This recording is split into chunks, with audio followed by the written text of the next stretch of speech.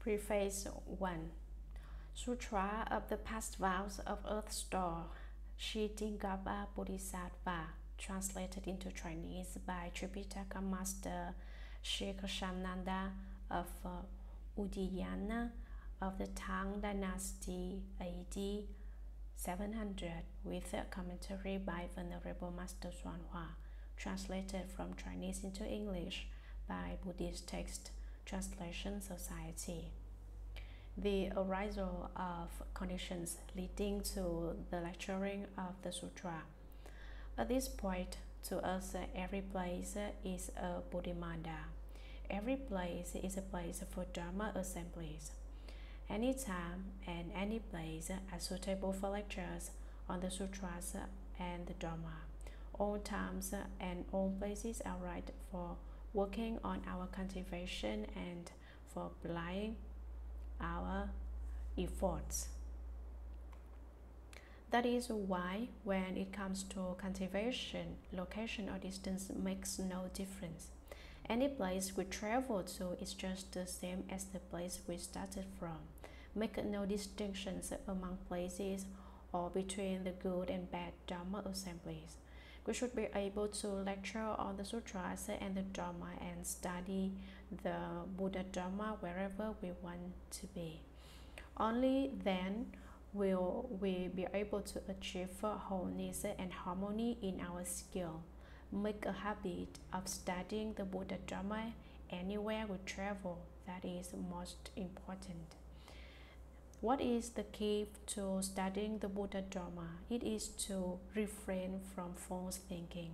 Gather in your body and mind, collect them together, and uh, keep your thoughts from wandering off in all directions into the past, present, or future.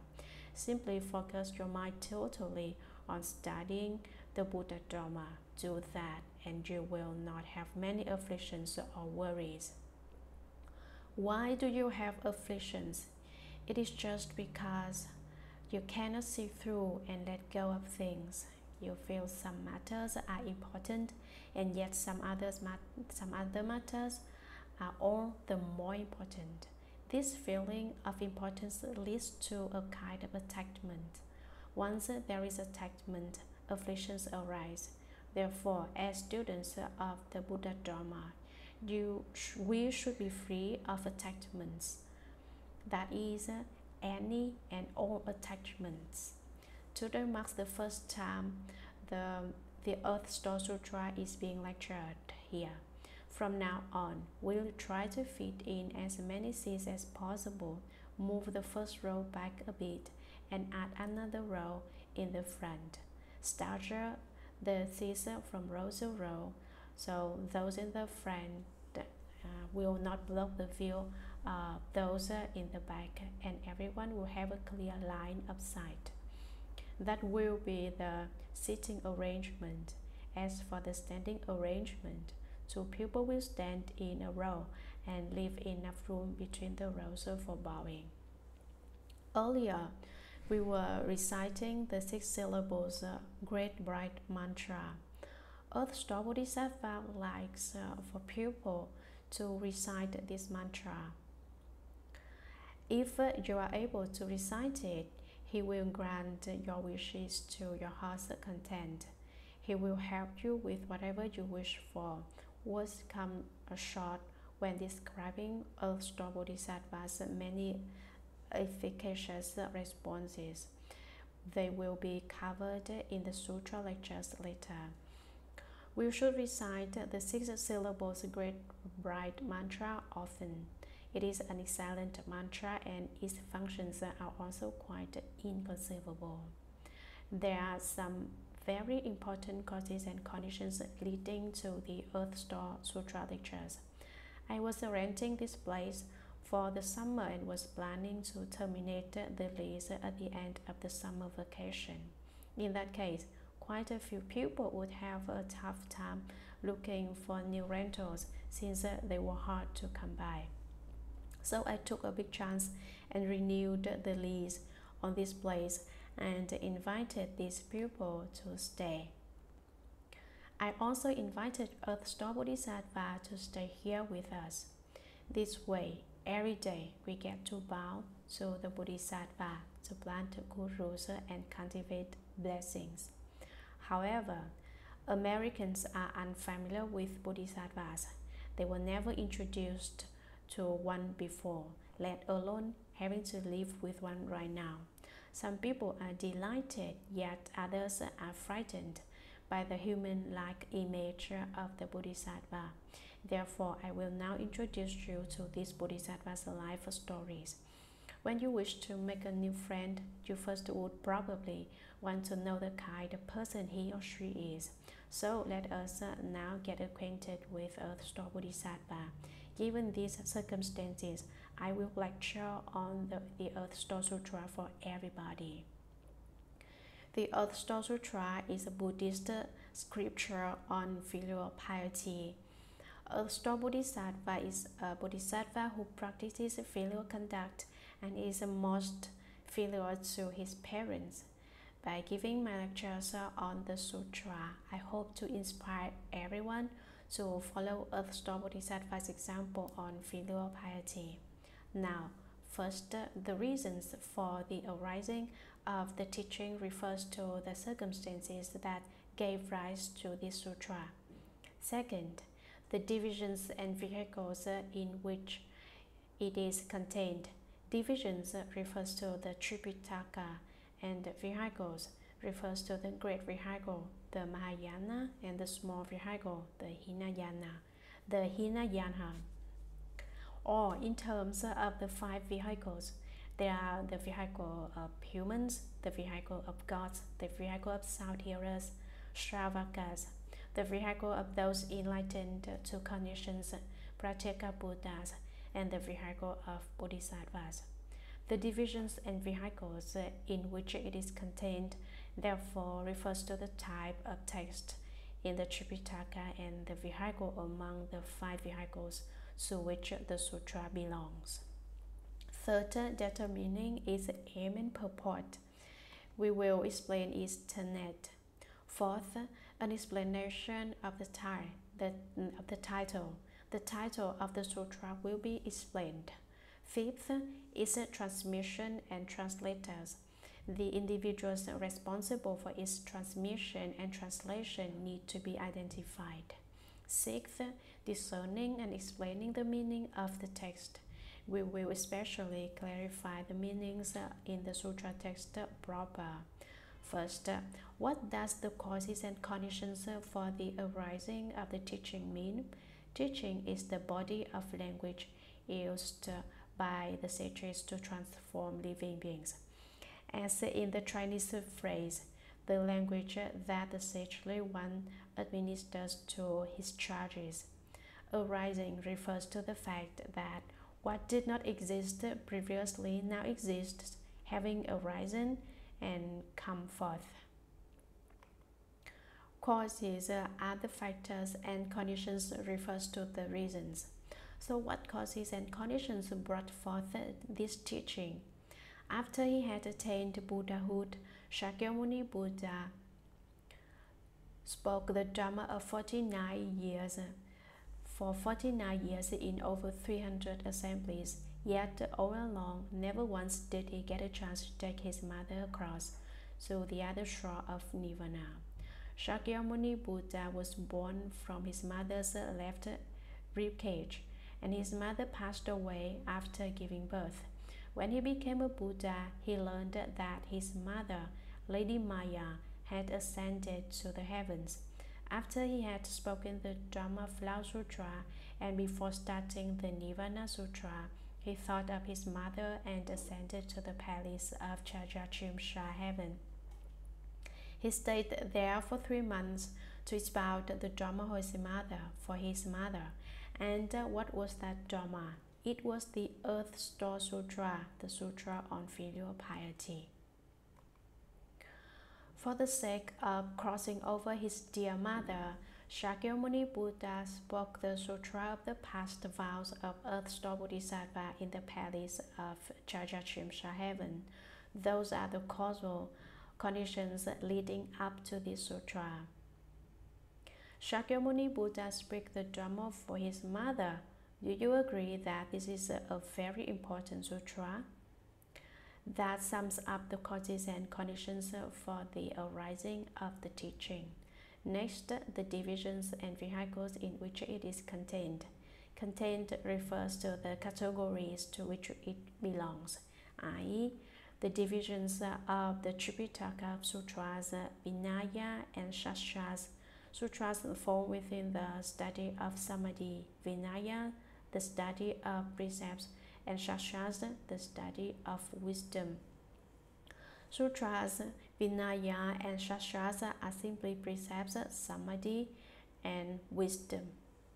This sutra is contained within the divisions of sutras and Vinaya because they discuss the precepts as well. Vehicles refers to either the five vehicles for the three vehicles, five vehicles or the three vehicles. The three vehicles are those of the Shravakas, the Pratyeka Buddhas, and the Bodhisattvas. Adding to these three, the vehicles of humans and gods completes the five vehicles. Just as one human being is unique and different from one another in millions of ways, so are the celestial beings, the Shravakas and Pratyeka Buddhas. Likewise, there are not just one but many Bodhisattvas. The Earth Store Sutra is contained within the vehicles of humans, celestial beings, and bodhisattvas.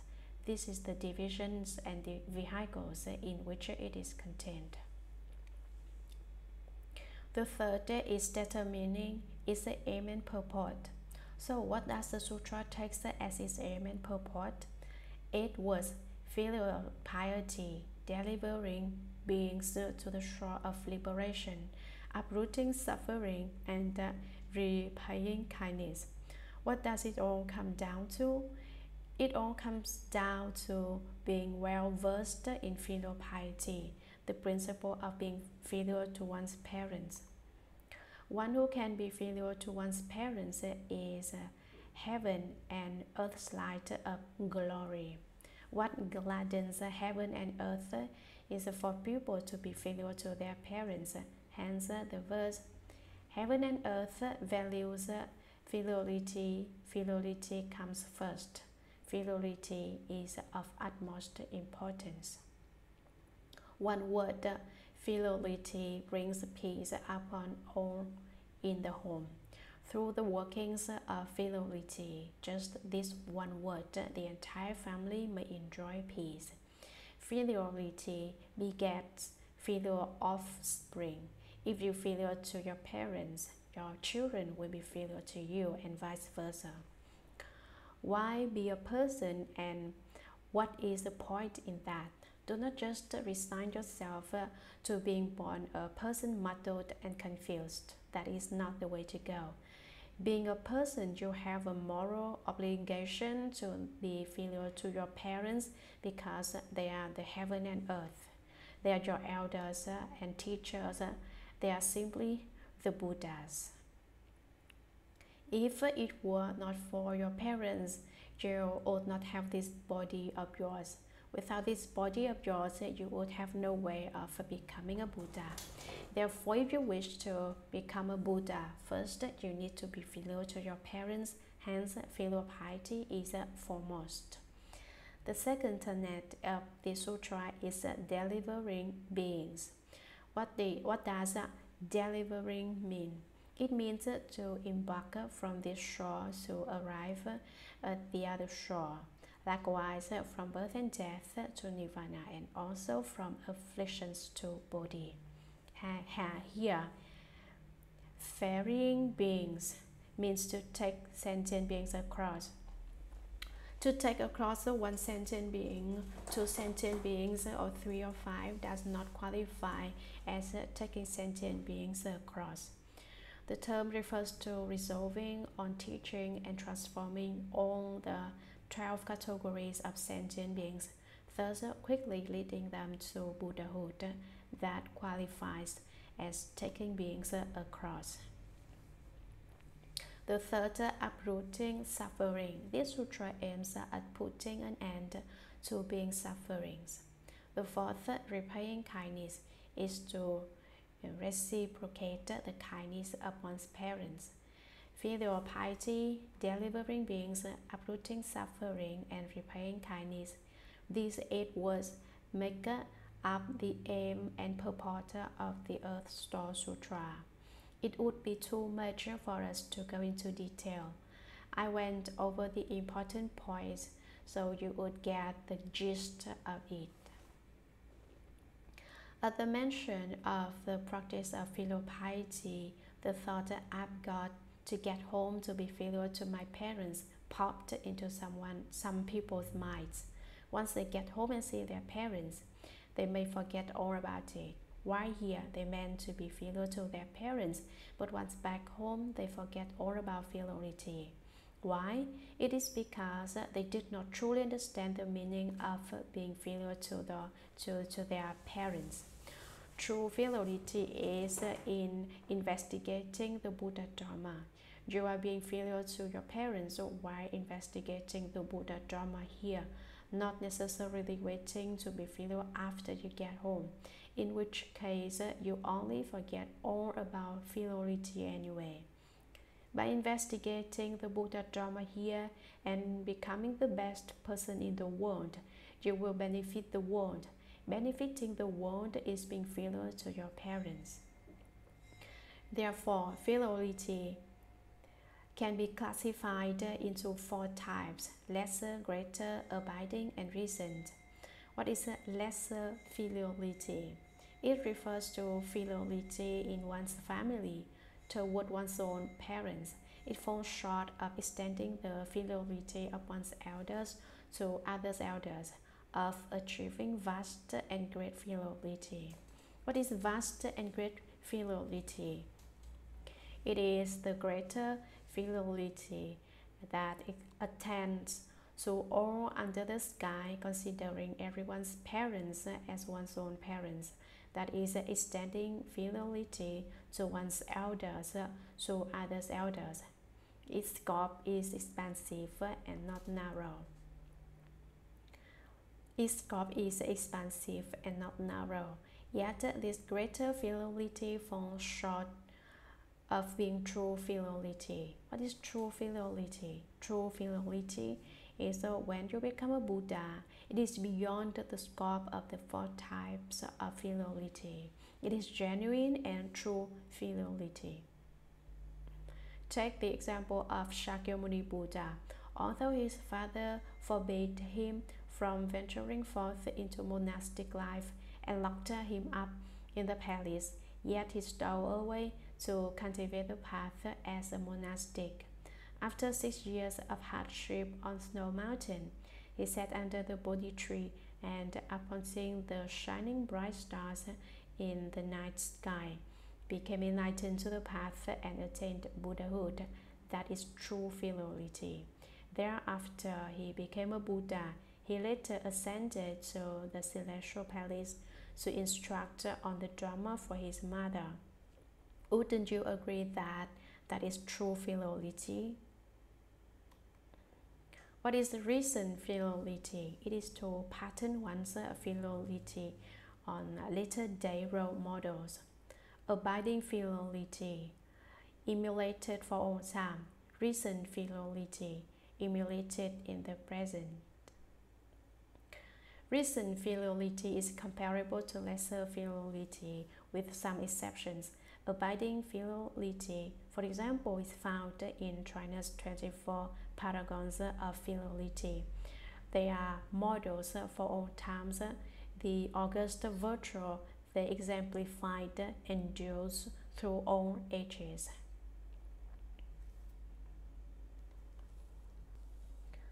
The story of Dong Yun. One of China's 24 paragons of filiality was Dong Yun, also known as Dong An a very filial person. One of his neighbors, Wang Qi, was the richest man, while he himself was the poorest. Dong An's mom, because of her son's filial devotion, was well nourished and plump. Though, though advanced in years, she felt happy day and night. On the other hand, Wang Ji's mom was made of money and ate only the finest delicacies, poultry, seafood, assorted meats, but she was thin as a rail. She was unhappy and worried all the time.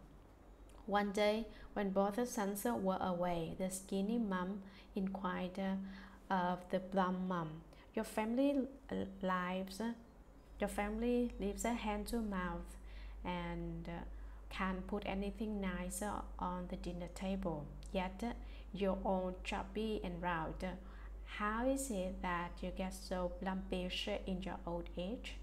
Dong'an's mom said to the skin, skinny mom, My son is very filial.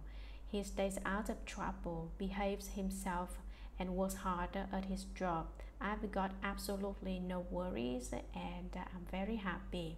As the saying goes, when the heart is carefree, the body plumps out. I'm happy at heart, so I plump out. She went on to ask the skinny mom, You live the good life, and there are plenty of nice things to eat in your house. Yet, why are you all skin and bones? Is there something wrong with you? The skinny mom replied, Sure, I've got money and eat well, except my, my son is a roughneck. He gets in trouble with the law day in and day out. He's either wanted by the police for questioning or there'd be some warrants to appear in court. I worry about him all the time. No matter how well I eat, I don't feel happy. I'm stressed out. I get skinnier by the day because there's no way I can put on weight when I'm all worried. While the two moms, one skinny, one chubby, were chatting up a storm about their sons, uh, one filial, one disobedient. The disobedient one returned and overheard their conversation. After the moms uh, had said their goodbyes uh, and went home, Wang Ji went to Dong Dong'an's house and wrapped up the chubby mom good. You blabbermouth, why did you feed my mom all that crap, he yelled. When Dong'an came home and saw his mom upset, he asked why. She told her son, Wang Ji was here and beat me up. He accused me of speaking ill of him to his mom. Dong'an did not say anything to that, but simply comforted his mom. Please don't be mad, that's just how he is, don't mind him. However, after his mom got beat up and calmed down by that hooligan, she got sick and died. Upon his mom's death, Dong'an blew his top. When my mom was alive, I shied away from fights with you to keep her from worrying. Now you've done her in. So he picked up a knife and killed Wang Ji. The skinny mom had always worried that her son might get himself killed one day, and sure enough, he got killed.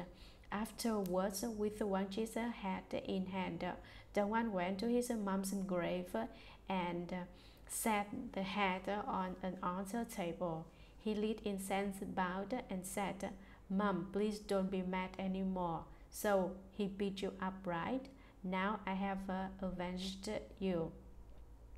I killed him to offer his head to you. When he finished with the rider of offerings, guess what happened next? He took the head with him and turned himself in, confessing, My mom died after the beating, so I killed him and made offering to his head to my mom. Do what you will with me. I accept the court's verdict and won't dodge the law. The county prefect handed down a life sentence and he was put in jail. It just so happened that the emperor then issued an imperial pardon which exempted all criminals of their past crimes and he was freed. After his release, he was later appointed to high offices in the government. That was the story of Dong Yun Dong Yung, a filial son. Though there's there are abiding filiality, recent filiality, greater filiality, and lesser filiality. True filiality is cultivating the path and accomplishing Buddhahood in the future. As right now, you are investigating the Buddha Dharma without having to return to your homes. That is true filiality. So, truly be able to investigate the Buddha Dharma and to be able to practice and uphold the Buddha Dharma is to be truly filial to your parents. An explanation of the title. Fourth, an explanation of title. Xiao as in to extinguish. What does the word xiao mean? It means to explain clearly the meaning of the text. Therefore, an explanation of the title of the sutra, Sutra of the Past Vows of Earth Store, C. Tingapa Bodhisattva. The sutra incorporates Earth Star Bodhisattva's name in its title, which refers to a person and past vows denotes Dharma. Therefore, in the seven categories of sutra titles, this sutra belongs to the category of titles consisting of person and Dharma. Dharma is just a kind of karma. Past vows refers to his fundamental activity karma, deeds and karma created in his past lives. While the name Earth Store Earth nurtures the growth of all things, and store refers to treasure troves. All the treasure troves are in the ground. Store can also mean to keep hidden, i.e., to keep from view. All the treasure troves are hidden from view underground. The earth can grow the myriad things. It can also keep the myriad things uh, hidden, buried underground. Like the great earth, this bodhisattva is able to make the myriad things grow. Like the great earth, he has endless boundless treasure troves in the ground for people to uncover. Those who believe in this bodhisattva are entitled to the treasures within. Anything you can think of can be found in these treasure troves, and there is something to suit everyone's fancy. All the precious diamonds, gold, silver, lapis lazuli, crystal, mother of pearl, to name a few. Even say you come into possession of a big 300 pound diamond, that should make you the world's richest person. I made some people laugh when I said 300 pound. They thought that was way too big.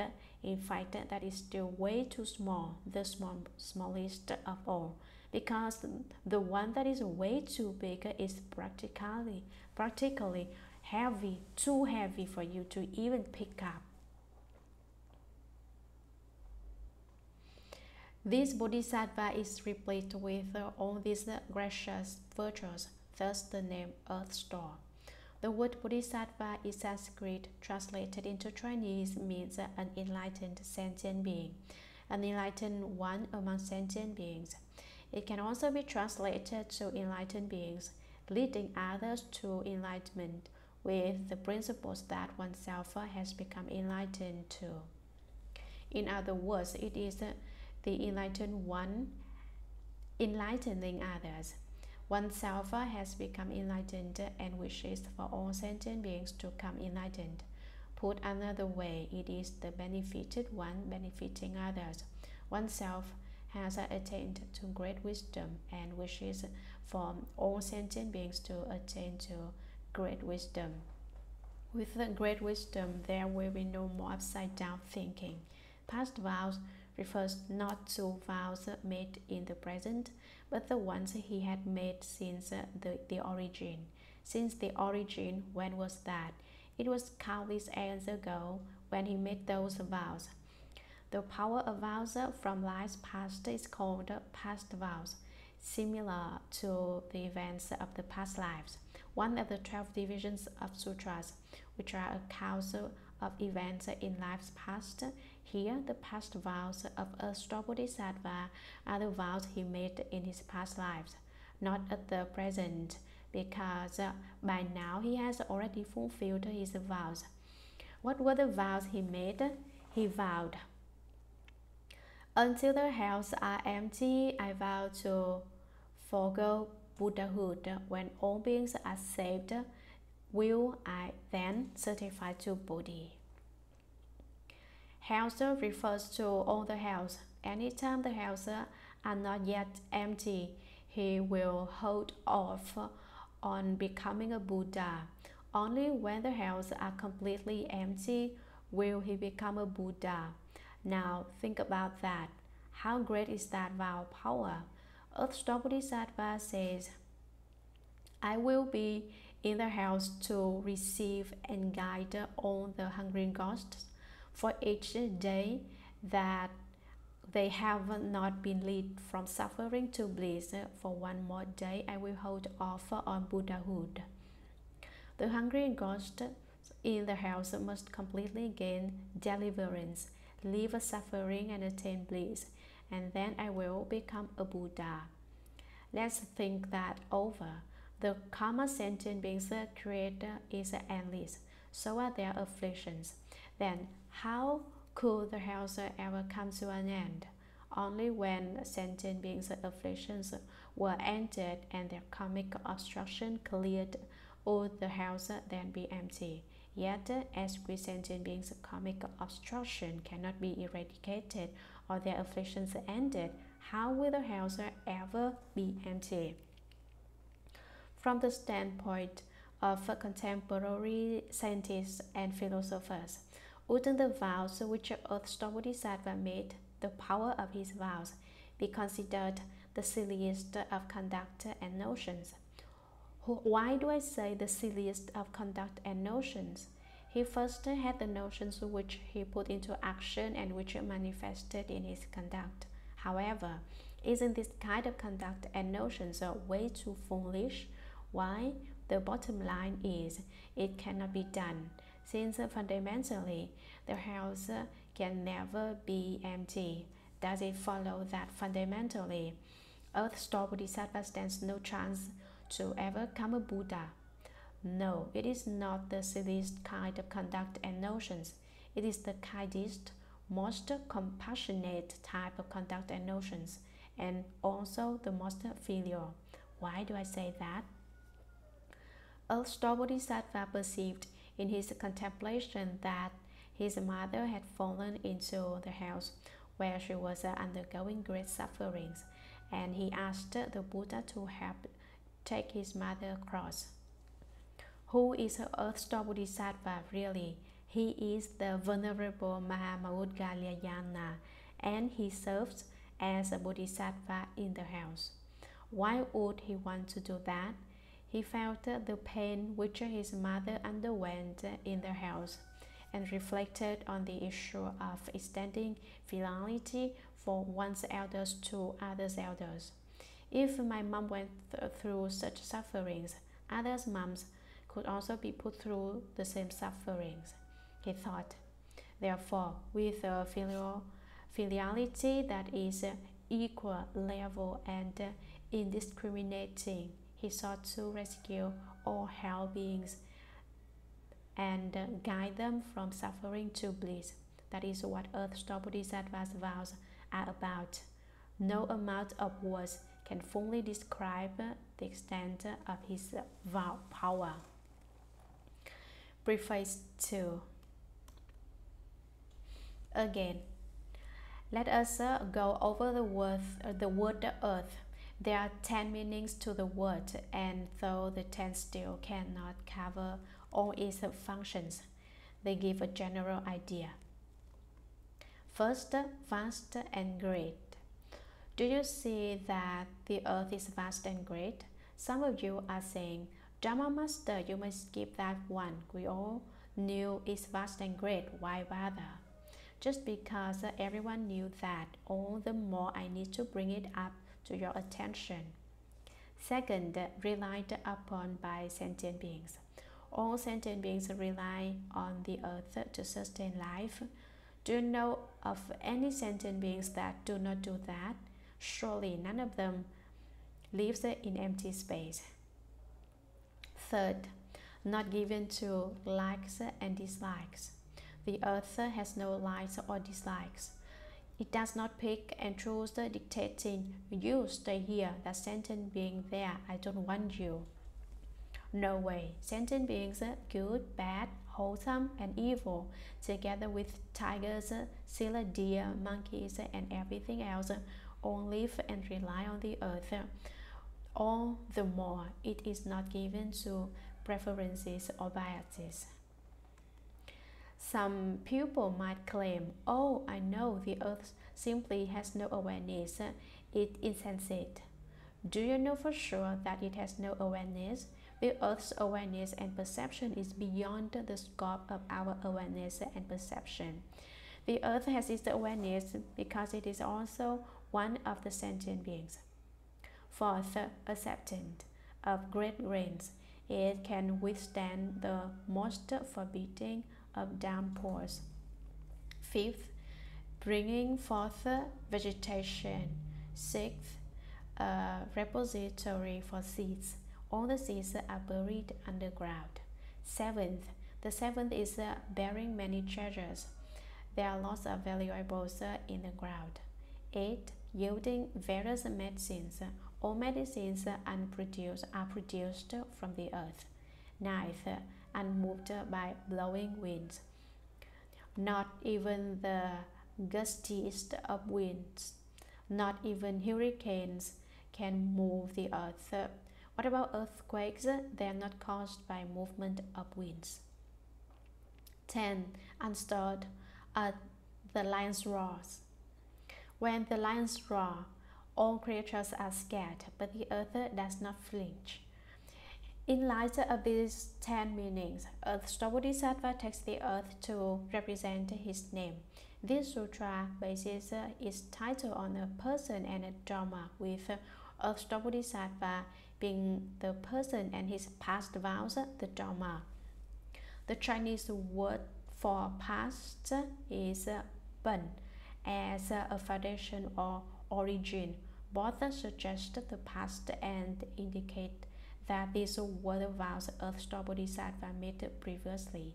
Previously, countless aeons ago, in life after life, he constantly made these vows to perfect his filiality, to serve his parents with filial devotion, and to save and take them across at the expense of his own life. Such was Earth Store Bodhisattva's vow power. I have explained the term sutra on many previous occasions, but it helps to go over it in every sutra lecture. Some of you learned it from prior lectures, yet others have not been to one until now and are not clear about its principles. Sutras offer a path for cultivation which everyone may walk on. If you wish to become a Buddha, you must take this route. This is the way to Buddhahood. Therefore, sutra means path. It also has the meaning of the carpenter's chalk line, or as in China, the carpenter's ink line. The carpenter snaps the line he pulls out of the ink pad to mark a straight black line. By the same token, sutras help us tell the proper from the deviant. Moreover, sutra has the meaning of garland, as sutras string together principles like flowers in a garland. There are four more meanings threading, attracting, permanent, and law. Threading is to perforate into and thread together the set principles, so none will be left out or lost. Analogous to the magnetic pour on iron feelings attracting is to attract and support those with the potentials for transformation. The Dharma the Buddha taught takes across and transforms living beings according to their potentials and affinities. The scriptures based on the Buddha's words like magnets draw those sentient beings who are due to be transformed. Similarly, you have come to my sutra lectures because this attracting power brought you here. Weaker power like mine draws fewer people, stronger power, more people. This attracting power has drawn someone, Ron Epstein, all the way from Seattle here. Like the magnetic pull on iron feelings. Before you know it, its an invisible power has already drawn you in, thus attracting. In the Cantonese dialect, the word attracting is used to describe parents' loving care for their children. The term to attract and to accept refers to how the Buddhas treat sentient beings with kindness and compassion, and in turn, sentient beings regard the Buddhas with respect. That is how the Buddhas attract and accept all sentient beings. Another meaning for sutra is permanent, that which does not change. Not one word may be omitted and not one word added. That which may not be increased or reduced is called permanent, unchanged and forever unchanged. So, you want the sutras changed, you will end up in the house, not due to some strong arm autocracy, but because the principles in the sutras, as it were, are still like and cannot be changed, thus permanent. The fourth meaning is a law, which is uh, adhered to throughout the three periods of time, those of the past, present, and future. While the third meaning, permanent, means being unchanged from days of old to today. In all three periods of time, this is a law to abide by in cultivation an eternal law, a permanent, not temporary constitution. Sutra is a Sanskrit word. Its Chinese translation means scriptures only. In the olden days in China, transfers of real estate titles did not have to be recorded at the county recorder's office. Instead, the contract would be written on a piece of paper which was then folded and cut zigzag with scissors into two halves for each of the parties to hold on to. So what proof would we have if, say, you offer to sell me your lot and I agreed to buy your land? We would each produce our tally and the zigzags should match to a T as the Chinese proverb alluding to the practice of scribing words or insignia on a bamboo segment later split into two tallies, the matching of which identified their bearers as parties to be the to the prior prior agreement. A much like the two tallies of a halved bamboo denoting an agreement that is called tallying. To respond, agree, or match. What does the scriptures that tally mean? Above, the tally with the principles of the old Buddha. The principles of all Buddhas are just the minds of all Buddhas, i.e., upward they match the Buddha's minds. Below, they tally with the potentials of sentient beings. Downward, they are in keeping with sentient beings' propensities. What are sentient beings' potentials and pro propensities? Sentient beings are like grass, trees, medicinal herbs, i.e., vegetation. All the plants being rooted in the earth are equivalent to the potentials. Also, the plants themselves may be likened to sentient beings, this analogy might help you understand better. Comparing plants to sentient beings when it rains and as the rainwater falls to the earth, all the flowers, grass, shrubs, and trees flourish in their own way. Big trees get more nourishment, small shrubs less nourishment. Grass gets the nourishment befitting grass, flowers get the nourishment befitting flowers, equal and level, and that is totally with sentient beings' potentials. Sutras are like the rainwater falling on all the myriad things, thus belonging totally with sentient beings' potentials. The totally in the sense that you will receive however much you are due for. For instance, as I am lecturing on the sutra, those among you who are wise will add to their wisdom, and uh, the dim ones will also add to their wisdom. But the wise ones will get to add a bit more. Each person will get each own nourishment, own a share of benefit, while those lacking gurus reject the Dharma rain and get no benefit from it. Therefore, it was to each own benefit by toning downward with sentient beings' potentials. Sutra has all those meanings, plus many more if we were going to cover more of them. That was just an overview.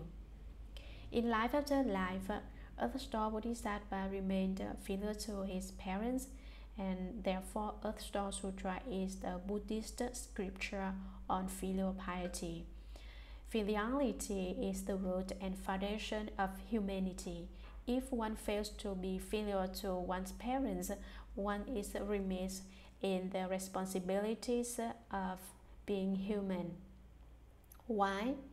Our parents gave birth to us and raised us. Now that we have grown up, if we neglect to repay their kindness, we have not lived up to our obligations as human beings. All through his life, Confucius advocated filial piety, and as part of his legacy, Classic of Filial Piety gives an account of a dialogue between Confucius and his disciple Zeng Zi, Zeng Shen, on the subject of filiality. When Confucius was at his abode, and his disciple Zeng Zi was in attendance on him.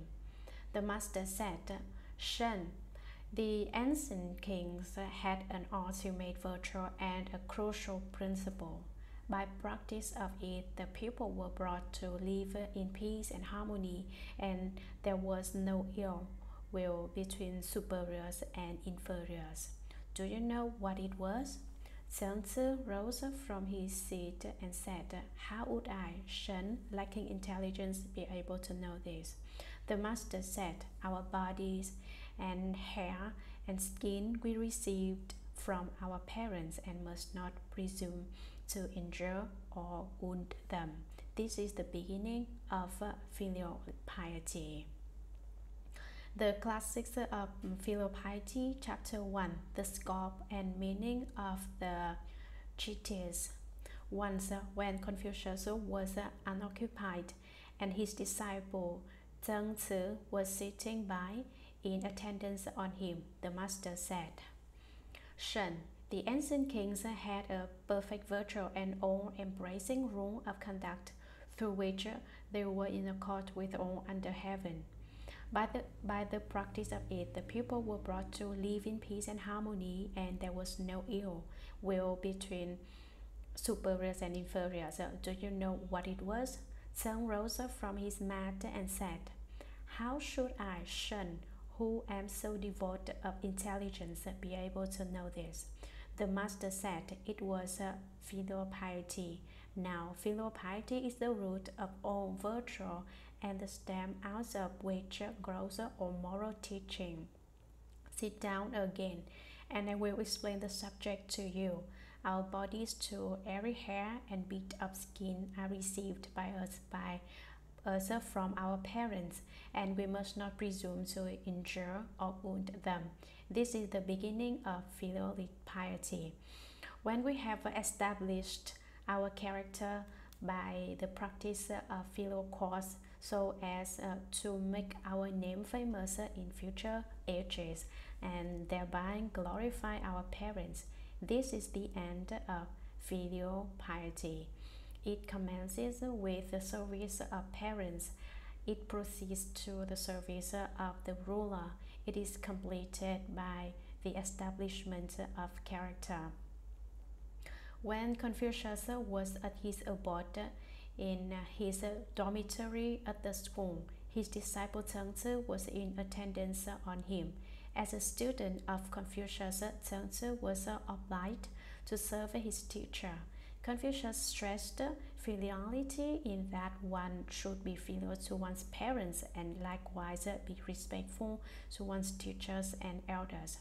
So, for instance, uh, sometimes Confucius uh, might like some tea, and Zengzi would oblige with a cup of tea. He would take care of things that Confucius wanted done. Confucius said that the ancient kings, China's former sage, the emperors of Yuan, had an utmost virtue, the greatest and of the highest degree attainable, and a crucial principle which is most important, to which they were in accord with all under heaven. By the practice of it, the people were brought to live in peace and harmony. If the common people made use of this principle, they would strive for peace, and there was no ill will between superiors and inferiors. Do you know what it was? Confucius asked. Zeng vacated his seat. He got up and said, How would I, Shen, being very dense and lacking intelligence, be able to know this? No, I do not know. The master said, Confucius went on to say that our bodies and hair and skin we received from our parents and must not presume to injure or wound them. Do not casually harm or damage them. This is the beginning of filial piety, the start of filiality. However, currently there is a group of individuals in the United States who misunderstand filiality. What is that about? Raving China's Confucius says, Our bodies and hair and skin we received from our parents and must not presume to injure or wound them. This is the beginning of filial piety. A bunch of hippies crop up who do not cut their hair or wash their faces. That would amount to injure the hair and wound, wounding the skin. You see, that thinking is wide of the mark to not presume to injure or wound them does not equate to not cutting one's hair or washing one's face. It is telling you not to bring damage to them. Haircuts are part of the times. Since the going chance call for haircuts, then one should go with the chance. Today, hippies want to turn the times around. Brandishing Confucius says, Yet at the same time, guess what? They smoke opium and uh, marijuana and take LSD as if those do not injure or wound their bodies. Those things kill off who knows how many body cells, ruin their health, and practically run their bodies down. They chalk it up to filiality, and meanwhile, their parents are the furthest, furthest thing from their minds, uh, consigned to oblivion. Ask them who their parents are, and they draw a blank, and they are supposedly observing Chinese filiality. That is a complete mix up. This erroneous thinking needs to be completely corrected from refusing to cut their hair to engaging their bodies in shady dealings, even robberies and vices, where do you suppose they will end up? If one day they should get gunned down, that would truly be unfilial. Once they get into illegal dealings or robberies, they will either end up killing some policemen or getting killed by the police. Now, is that to not presume to injure or wound them, the beginning of filial piety. What a mistake. Me being in this country, I wish for this country's citizens to follow rules and abide by the law, and therefore I hope to set this uh, deleterious habit right. Do not give in to hatred and resentment. Adopt the nature of the sages and worthies. Be careful with your thoughts and actions. Wherever we are, we should be of benefit to the local people, so that country and to the world. Do not be a menace to the world. That is my wish. If everyone behaves this way, rejecting work and refusing to be productive, this country will definitely go downhill. Therefore, as we are now learning the Buddha's teachings, we should all take up jobs uh, and by working at our jobs help the world and humankind. By setting good examples ourselves, uh, we influence society so that human minds uh, as a whole will change for the better. That is the responsibility of Buddhists. The United States has a great legal system and many fine institutions, especially the edu education system, which has made education widely available and better. It serves as an example for the world. Just one more thing to add to that. If everyone also learns to be filial to his or her parents, and as it is said, a superior person tends to the basis for when the basis is established, the way comes forth. Filial piety and fraternal regard are they not the basic basis to being human?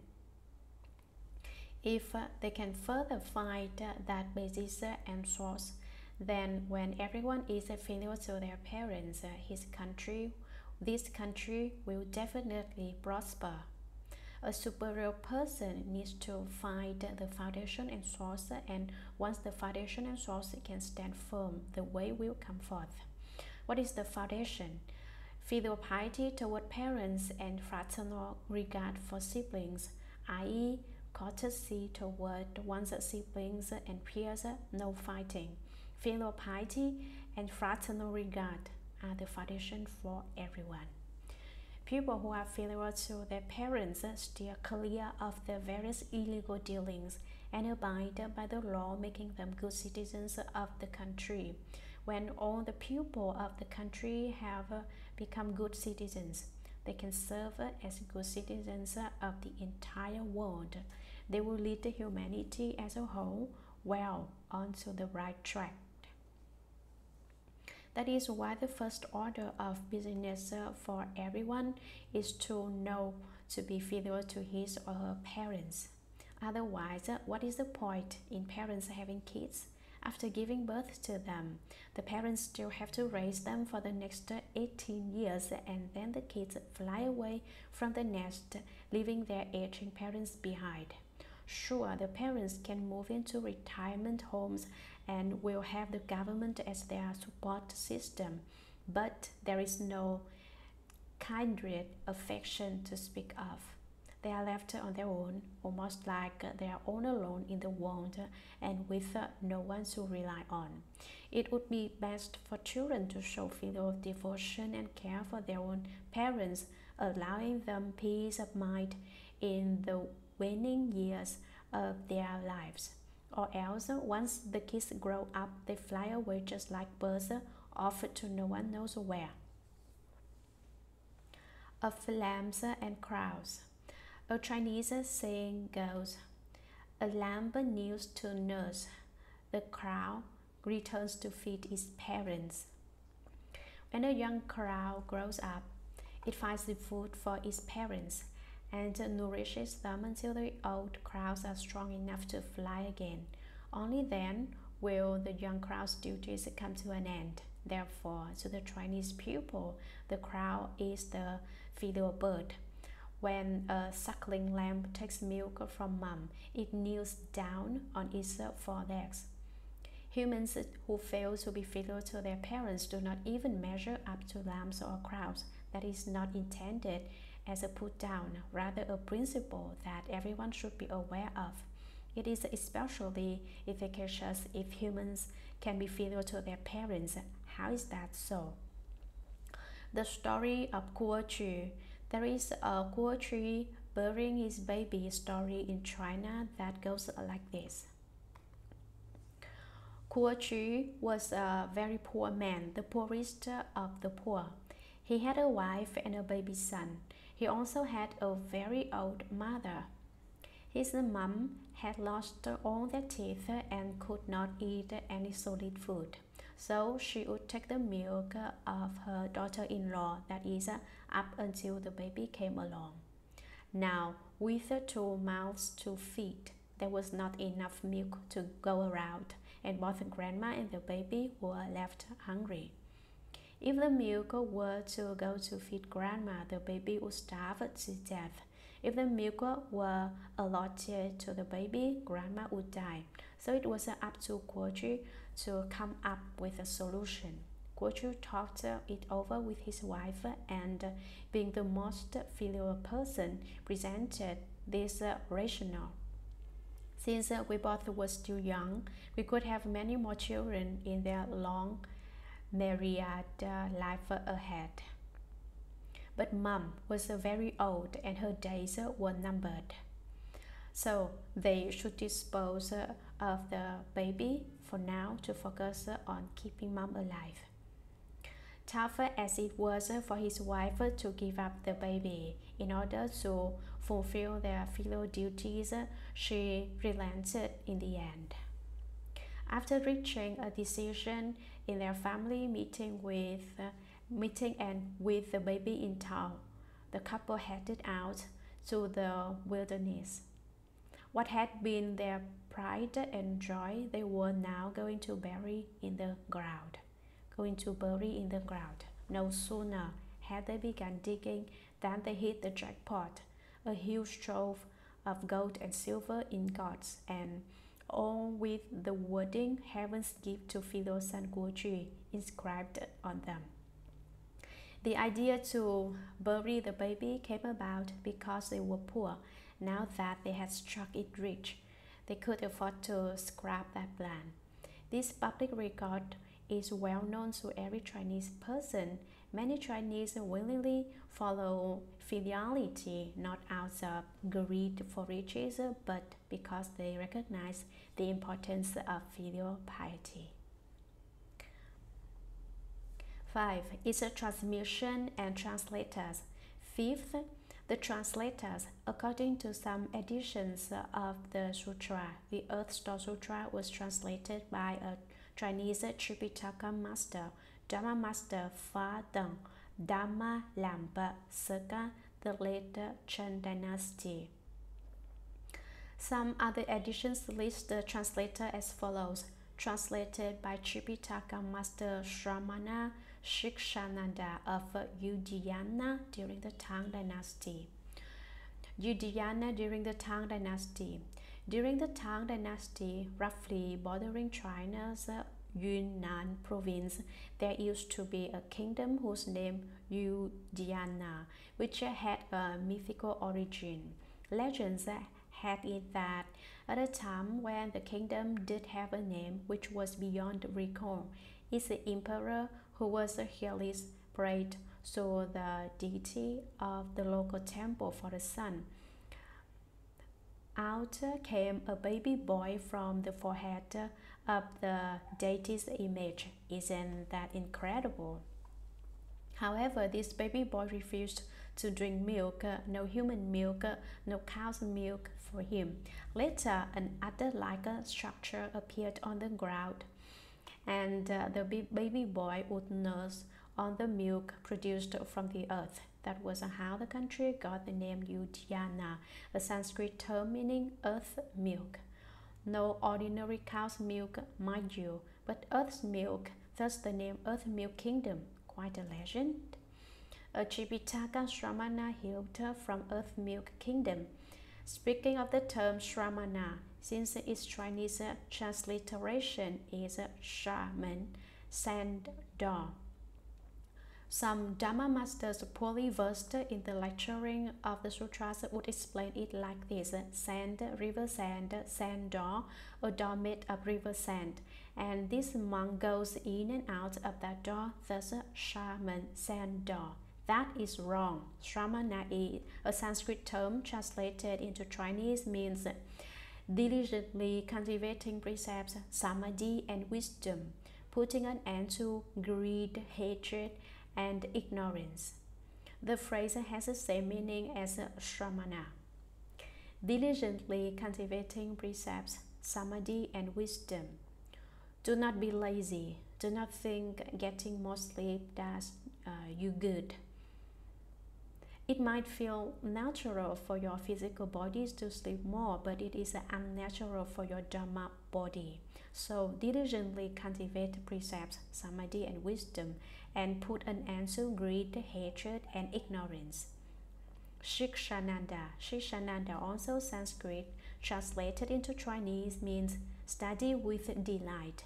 This Shramana was never lazy and was most delighted in learning the Buddha Dharma, learning the Shuragama mantra, the Great Compassion mantra, and all the areas of Buddhist studies. It gave him great joy, thus his name Shikshananda. Translated, to translate is to render the Sanskrit text into Chinese. It refers to an exchange exchanging the identical text in Sanskrit for Chinese. The Chinese word for to translate is yi. During the Zhou dynasty in China, an office was created to oversee languages used in the four directions of the land. The official installed in the north was called Yi, and this word has since come to mean to translate. That was a fifth, is a transmission and translators. Sixth, discerning and explaining the meaning of the text. Sixth, discerning and explaining the meanings of the text. To discern is to distinguish, and to explain is to elucidate. Meanings of the text refers to meanings of the sutra text proper. Spiritual penetrations in the palace of the Trayastrimsha heaven. Chapter 1 Commentary this is the start of the sutra text. Trayastrimsha heaven is Sanskrit for the heaven of 33. This is not the 33rd layer of heaven from bottom up. It is in the middle with eight heavens in the east, eight heavens in the west, eight heavens in the south, and eight heavens in the north. Four times eight makes 32. 32 heavens surrounded with uh, the 33rd heaven in the center, making this heaven the heaven of 33. The Lord of the heaven of 33 is Shakra. Shakra is a god which is a Dharma protector in Buddhist terms.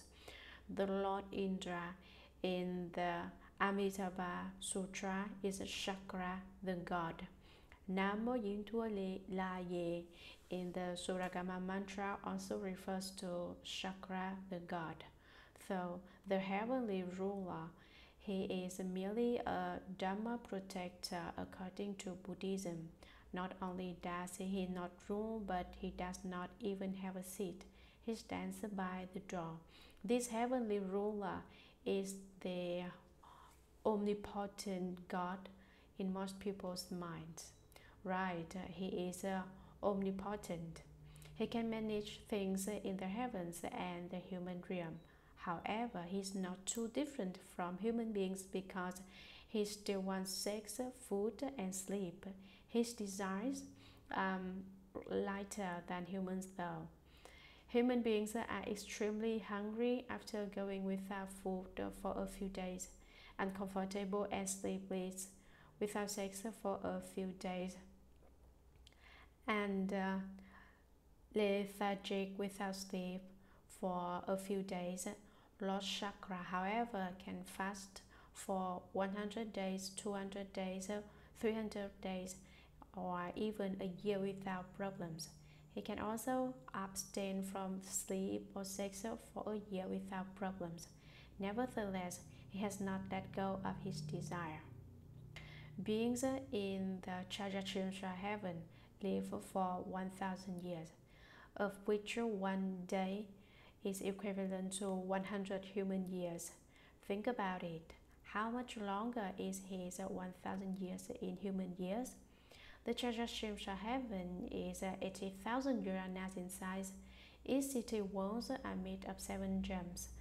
Just the city moat itself is 60,000 yojanas in size. The city of the Trayastrimsha god is called the city of fine views. His palace is constructed with the most valuable gems. This is why he refuses to leave after becoming reborn there as the Heavenly Lord. All the buildings all around are constructed with gems. No wonder his desire refuses to quit. It's such a beautiful place with such beautiful palaces. He is content with enjoying, just enjoying his heavenly blessings there and considers the place most delightful. He even tells all beings to be reborn in his kingdom. He welcomes anyone who would like to come to his world, a joyous world. He thinks he is being generous by welcoming people to come and stay. He does not realize, however, that he cannot end his own birth and death because he is greedy for and attached to this kind of happiness. Having said all this, how did he become a god? Did he get promoted from an earthly god to a heavenly god? Every household in Canton makes offerings to an earth lord. Did he get promoted from an earth lord to a heavenly lord, or from an earth lord to a human lord, then a heavenly lord? No. Then how did he become the heavenly lord? During the time of uh, Kasyapa Buddha, this heavenly lord was a woman. Do not think he is any big deal. Lord God was a woman before. This woman set out to build a temple for Kasyapa Buddha. The circumstances that led to this resolve were that she saw a dilapidated temple with no roof or ceiling. The Buddha image in the temple was losing its gold guiding from the wind and the rain that came through. She was saddened by this and said, Gee, the Buddha image is dirty to begin with. Now is the wind blown and rained on. How embarrassing. She made it her goal to rebuild this temple. Since she did not have any money, she asked her friends and relatives, I want to rebuild a temple, but I am penniless. Could you all help me? Get more of your relatives and friends together so we can do charity and repair this temple. Her friends and relatives agreed, okay, let us cooperate and build a temple. 33 people were found. She is the founder, while there was uh, 32 others, mostly women too. So unverifiable in history. Even if there were men, there were very few. Men probably thought they were too great to build temples, so they let the women do it. In any case, these 33 women finished rebuilding this temple, plus a jeweled stupa at that. Each person donated a little money and all their effort in building this temple and stupa. At the end of these 33 people's lives, they were reborn in their heavens. Each person has one layer of heaven, so there are 33 layers for 33 people at this heaven. The center of these heavens is the Trayastrimsha Lord Shakra. This is the origin of the Trayastrimsha heaven. What does heaven mean? It does not mean anything. If it did, it would not be called heaven. Why? Heaven is spontaneous by definition. The karma of these 33 individuals created these heavens. Without these 33 individuals, there would not be the Trayastrimsha heaven. That is why I say it does not mean anything. The palaces here are the best and most beautiful models like some of those Chinese imperial palaces. But these heavenly palaces are even more beautiful and wonderful. Mm -hmm. Spiritual penetrations. The spiritual, the spirit is also known as the heaven's mind. Penetration is a type of wisdom. Penetrations are unhindered and spirits are beyond the magical and the mystical. There are six kinds of spiritual penetrations, although these six are one and the same too. Furthermore, they could be nothing whatsoever because there was no spiritual penetration to begin with, or there was always spiritual penetrations. How can we say there was no spiritual penetration and there always was spiritual penetration? This is quite a terrific explanation. Let us first explain the six spiritual penetrations individually. Originally, there was a spiritual penetration and no spiritual penetration. Originally, there was one type of spiritual penetration and there was no spiritual penetration at all. The six spiritual penetrations are the penetration of the heavenly eye, the penetration of the heavenly ear, the penetration of uh, knowing others' thoughts, the penetration of knowing past lives, the penetration of traveling freely, and the uh, penetration of being free of outflows. The penetration of traveling freely is also called the penetration of spiritual states and the penetration of wishes fulfilled. Speaking of the penetration of the heavenly eye, we are all people, but we are different. How are we different? Some people can observe uh, the trichiliocosm as if it were an apple in the palm of their hand. Venerable Aniruddha had the penetration of the heavenly eye. He was foremost in the heavenly eye. The penetration of the heavenly ear, someone with this penetration can hear all the sounds throughout the human realm, the heavens and all of trichiliocosm. The penetration of others' thoughts, someone with this penetration knows what you're thinking before you articulate it. The penetration of knowing past lives. Someone with this penetration knows everything you did in your past lives, both good and bad. The penetration of spiritual states. The penetration here is uh, what you mentioned earlier, a kind of inconceivable state. The spiritual and the wondrous are somewhat similar. So sometimes uh, we use them together as one phrase to mean that they are unfathomably spiritual and wondrous, an incredible state. Penetrations are unimpeded, blockages clear up. For instance, uh, walls obstruct, but uh, puncture uh, a hole in it and it is penetrated. Our ignorance obstructs the light of uh, our inherent nature. If you can use your wisdom sword to pierce through, that would be penetration. The penetration of no outflow. Why do we human beings not become Buddhas? It is because of our outflows. Why do we human beings not become Bodhisattvas? It is also because of these outflows.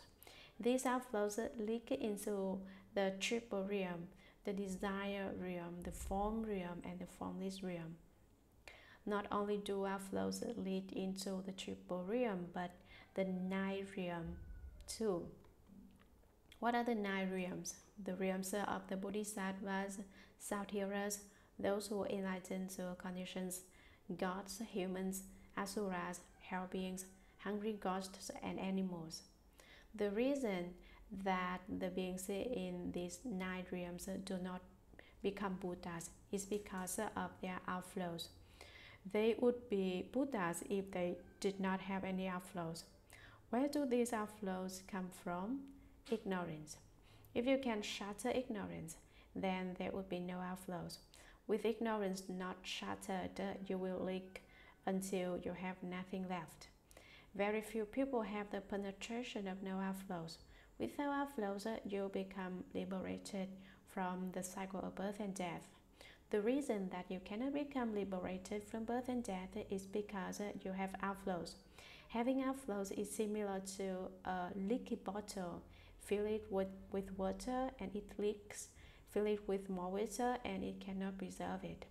And outflows and you would have the penetration of no outflow.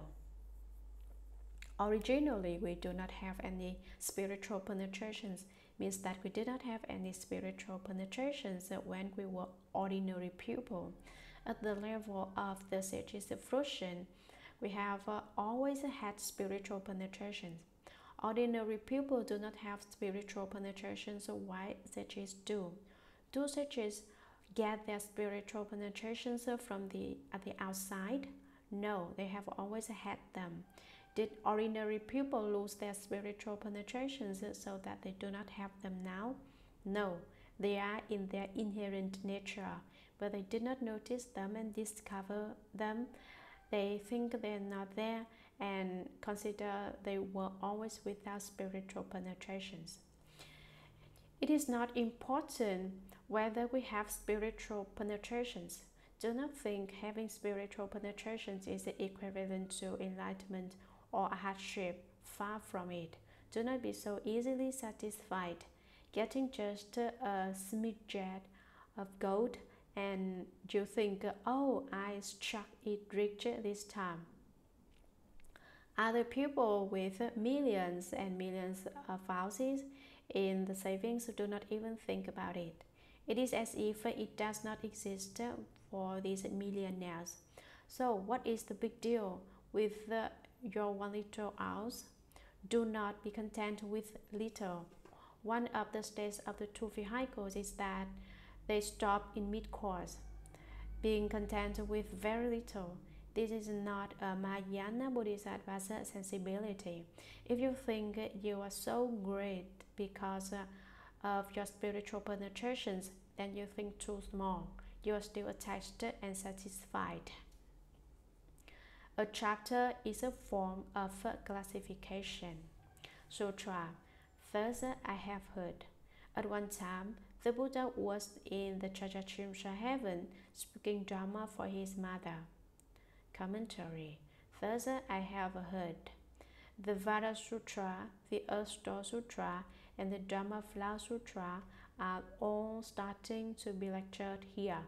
So, thus I have heard is said three times. Thus is a term that the Dharma thus spoken is credible. The Dharma that is not thus is not credible. This Dharma here is a Dharma that is thus. Thus is also a term for a seal of uh, approval. This is the version that cannot be altered. Thus I have heard is one of the answers the Buddha gave to answer one of Ananda's four questions. Before Shakyamuni Buddha entered Nirvana, Ananda cried his heart out forgetting everything. Venerable Aniruddha did not have the flesh eye, only the heavenly eye, but he has especially cool and calm. He told Ananda to ask the Buddha four questions. One, what words should be used at the beginning of each sutra after the sutras have been compiled to show that it is representative of the Buddhist canon? 2. When the Buddha was in the world, the Buddha's disciples lived with him. After the Buddha enters Nirvana, with whom should we live? 3. When the Buddha was in the world, the Buddha was our teacher. After the Buddha enters Nirvana, which venerable one should be our teacher? 4. How should we treat evil natured bhikshus? The Buddha responded at that time 1. Use the four words thus I have heard it before every sutra. 2. Abide in the four types of mindfulness. The four types of mindfulness are about the body, feelings, the mind, and the Dharma. Contemplate the body as impure, contemplate feelings as a suffering, contemplate the mind as impermanent, and contemplate the Dharma as without a self. These are the four types of mindfulness. 3. When the Buddha was in the world, the Buddha was our teacher. After the Buddha enters Nirvana, we take the Pratimoksa as our teacher. This is the master for all bhikshus and bhikshunis. 4. Give evil nature to bhikshus the silent treatment and ignore them. Thus I have heard is to end the multitude of doubts. When the sutras were being compiled, everyone developed three questions immediately. These questions were raised when Ananda joined the sutra compilations, before which he certified to the fourth level of arhatship. No one opened the door for him, and he entered the sutra compilation place through the crack in the door. Although all the other participants who joined the compilation of the sutras had certified to arhatship. Their memory was worse than Ananda. Ananda was a provisional manifestation in that life. He was the attendant to all the Buddhas in the past. When Shakyamuni Buddha became a Buddha, he was born. He became Shakyamuni Buddha's attendant who was uh, being prepared for compiling sutras. As soon as Ananda stepped onto the Dharma seat, everyone had three suspicions. One, the suspicion that Shakyamuni Buddha came to life again. Two, the suspicion that a Buddha from another direction came. Three, the suspicion that Ananda certified to the fruit of Buddhahood. The Great Assembly developed these three suspicions uh, until Ananda said the four words, Thus I have heard, then these three doubts disappeared. The purpose of using Thus I have heard for sutra compilations is 1. To eliminate everyone's skepticism. 2. To observe the Buddha's last words. 3. To end arguments. Since Ananda was quite young when the sutras were being compiled, some of the senior elders such as uh, Elder Kashyapa, Anatta Kaundinya, Subhuti and others might say, what kind of experience and knowledge could a young person like yourself have to compile have to compile the sutras? How will you compile the sutras? If Ananda said he will write out the sutras People would argue, What you say is completely wrong. The Buddha did not say this. But once Ananda said, First I have heard that no one fought. Why? Ananda heard this from the Buddha. Ananda did not make this up himself. This is to end arguments. 4. To differentiate from the non Buddhist. The thinking of non Buddhist texts at that time in India uh, is as follows all dhammas are not apart from existence and void. Either everything is existence is existent or non-existent. Existence and non-existence embody all dhammas. The non-Buddhist texts begin with two words a and ga. A is non-existence, while ga is existence. To differentiate from non-Buddhists, the Buddha instructed on using the four words Thus I have heard at the beginning of the sutras, which means thus is the Dhamma that I, Ananda, personally heard from the Buddha. Thus makes the condition of faith happen. I have heard makes the condition of, happen, of hearing happen. Why not say one heard with the ears, but say I have heard? It is because I represents the all six senses in the body at one time. Why is not a specific year, specific month, and specific day named? Why is the location where the Buddha spoke Dharma named? It is because different calendars are used around the world. January in some country is a February in another country, or January in some country is a March or April in another country. These days they are uncertain. So the Buddha, the Buddhist sutras just say there was a, such a time. If there were a fixed time, archaeologists might use a lot of brain juices to do research. The Buddha did not want to waste archaeologists' brain juices any effort, so the Buddhist sutras used at one time. This makes the condition of time happen. The Buddha makes the condition of the host happen. The Buddha enlightened himself, enlightens others, and perfected enlightening conducts.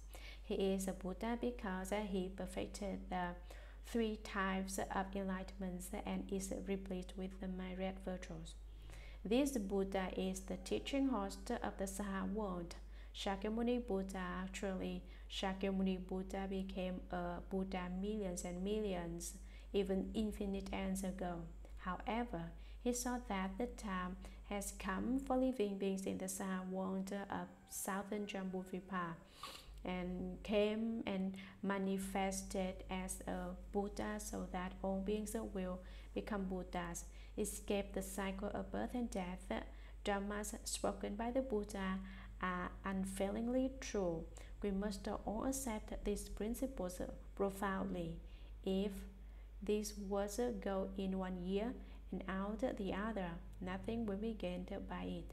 We must practice truly and honestly reject even as much deceit as uh, a hair's breadth. Was in the Trayastrimsha heaven, this makes the condition of place happen. Speaking Dharma for his mother, Shakyamuni Buddha went up into the Trayastrimsha heaven to save his mother. Seven days after the Buddha was born, the Buddha's mother, Lady Maya, passed away and uh, became reborn in the Trayastrimsha heaven.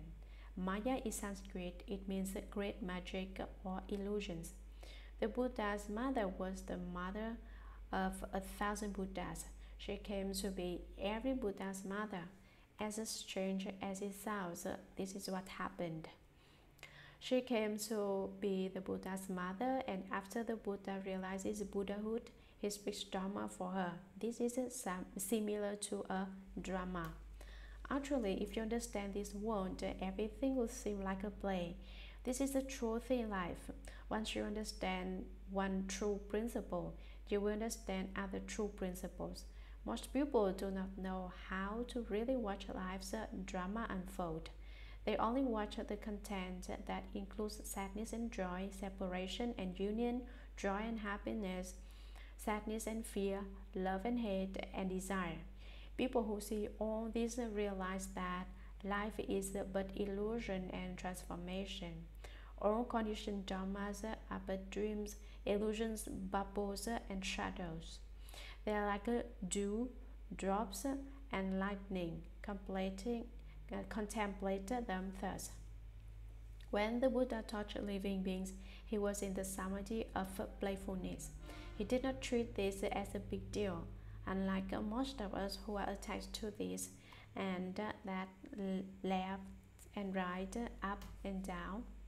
Not everything is perfectly integrated and unobstructed. All states are but illusory and unreal. We are attached if this is not how we perceive states. If the role of the Buddha's uh, the role of the Buddha's mother, Lady Maya, is to be a thousand Buddha's mother, after every Buddha realizes Buddhahood, he will go to the Trayastrimsha heaven to speak the Dharma for his mother. Every Buddha is this way, but a wheel-turning sage king a Shakra has to request the Dharma, who requested that Shakyamuni Buddha go and speak the Dharma in the Trayastrimsha heaven. His father, a wheel king. He told the Buddha, you should go to the Trayastrimsha heaven to speak the Dharma for your mother. Save her. The Wheel King requested Dharma from Shakyamuni Buddha. Some sutras say Shakra did. Shakra is the lord of the Trayastrimsha heaven, who's a former incarnation was that poor woman who renovated a temple. Having uh, renovated a temple, she became a heavenly lord. Some sutra texts say Shakya, Shakara knew that Buddha's mother was in the heavens and requested the Buddha to speak the Dharma at the Trayastrimsha heaven. Regardless of which version, the general idea is that someone has to request the Buddha to speak the Dharma. What Dharma did Shakyamuni Buddha speak for his mother? Earth Store Bodhisattva's Fundamental Vows Sutra. This is a Dharma on filiality. Everyone should be filial to their parents. Why? It is because our parents are our roots. By being filial to your parents, you douse your roots with uh, fertilizer. If you are not filial to your parents, you will definitely have no future. Being filial to your parents means tending to your roots well and ensuring a bright future. As the saying goes, stable roots lead to lush branches, deep roots lead to luxuriant leaves. For his mother, Shakyamuni explained this type of Dharma which follows. Sutra at that time, uncountably many Buddhas and great Bodhisattvas, Mahasattvas from infinite worlds in the ten directions assembled. Commentary At that time, uncountably many Buddhas and great Bodhisattvas, Mahasattvas from infinite worlds in the ten directions assembled. Worlds throughout the ten directions are the dependent retribution, while all the ineffably ineffable Buddhas and great Bodhisattvas are retribution proper. People are retribution proper, while ones are dependent retribution. These are the two types of retributions. There are five ways to explain at that time. First, this refers to the times when the Dharma is about to be spoken the time that the Dharma is being spoken and the time when the Dharma was already being spoken. Here, it would be when the Buddha wanted to speak the Dharma, then when the Buddha was explaining this Dharma on filiality, and uh, then when the Buddha finished explaining this Dharma on being filial to one's parents. This is the first explanation. The second explanation for it refutes the non-Buddhists. Non-Buddhists speak dharmas that do not specify past, present, or future. They are vague. This uh, explanation contradicts the non-Buddhist by explaining a dharma of the past, present, and future. This is the second meaning to at that time. The third meaning for at that time is a time for planting. Once the seeds are planted, there will be a time for ripening and harvesting. What happens after ripening? There is a time for liberation, which also occurs at that time. For example, someone who has never planted good roots, such as the elder who wanted to live the home life. The great Arhat took a look at him though and saw that he did not do any good deeds in the last 80,000 great ants. They refused to let him live the home life. Do not consider leaving home easy. It is all because of Bodhi planted in life's past. It is all because of Bodhi planted in life's past. People who are monastics now got to be monastics because they planted good roots, roots of goodness in the last 80,000 great ants. Do not think one can casually become a monk or a nun, telling those who have never planted roots of goodness to plant some, those who have never recited the Buddha's name to recite, and those who have never recited mantras to recite is about planting roots of goodness. Once the seeds are in the soil, they will grow and mature. It is like farming, for instance where seeds planted in the spring are harvested in the fall. If they ripen but are not harvested, it would not do any good. Liberation means when the seeds are collected.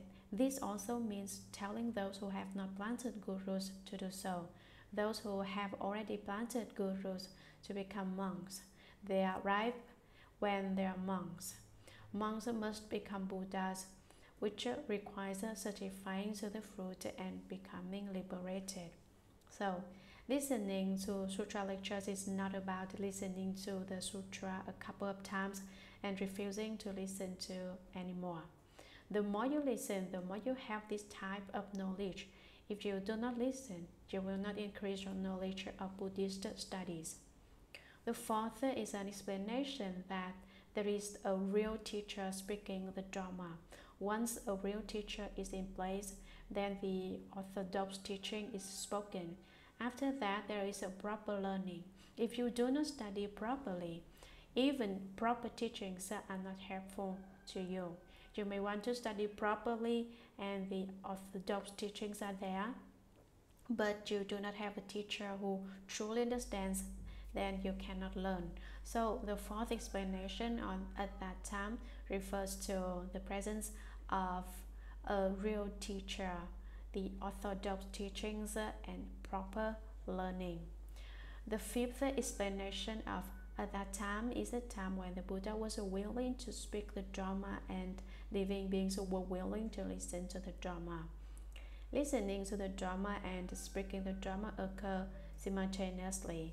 Neither one is higher or nor lower as long as the audience and the teachings click. Some beings come and listen to the Buddha speak this Dharma. The Buddha wanted to speak and living beings wanted to listen. They are equal. Above are five different explanations of time. For this sutra, the first is the fulfilled condition of faith. The I have heard is the fulfilled condition of hearing. The at one time is the fulfilled condition of time. The Buddha is the fulfilled condition of the host. The Trayastrimsha heaven is the fulfilled condition of a place, and the speaking Dharma for his mother is the fulfilled condition of the assembly. Although the Buddha was speaking the Dharma for his mother, beings in the heavens and human beings also followed him. Among those who always accompanied the Buddha, there were already 1,250 disciples of the Buddha alone.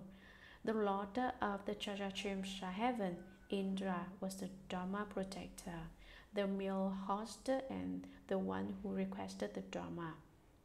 Although the Buddha was speaking Dharma for his mother, he was really speaking Dharma for the great assembly. Therefore, this line also fulfills the condition of the assembly. The above are the six conditions.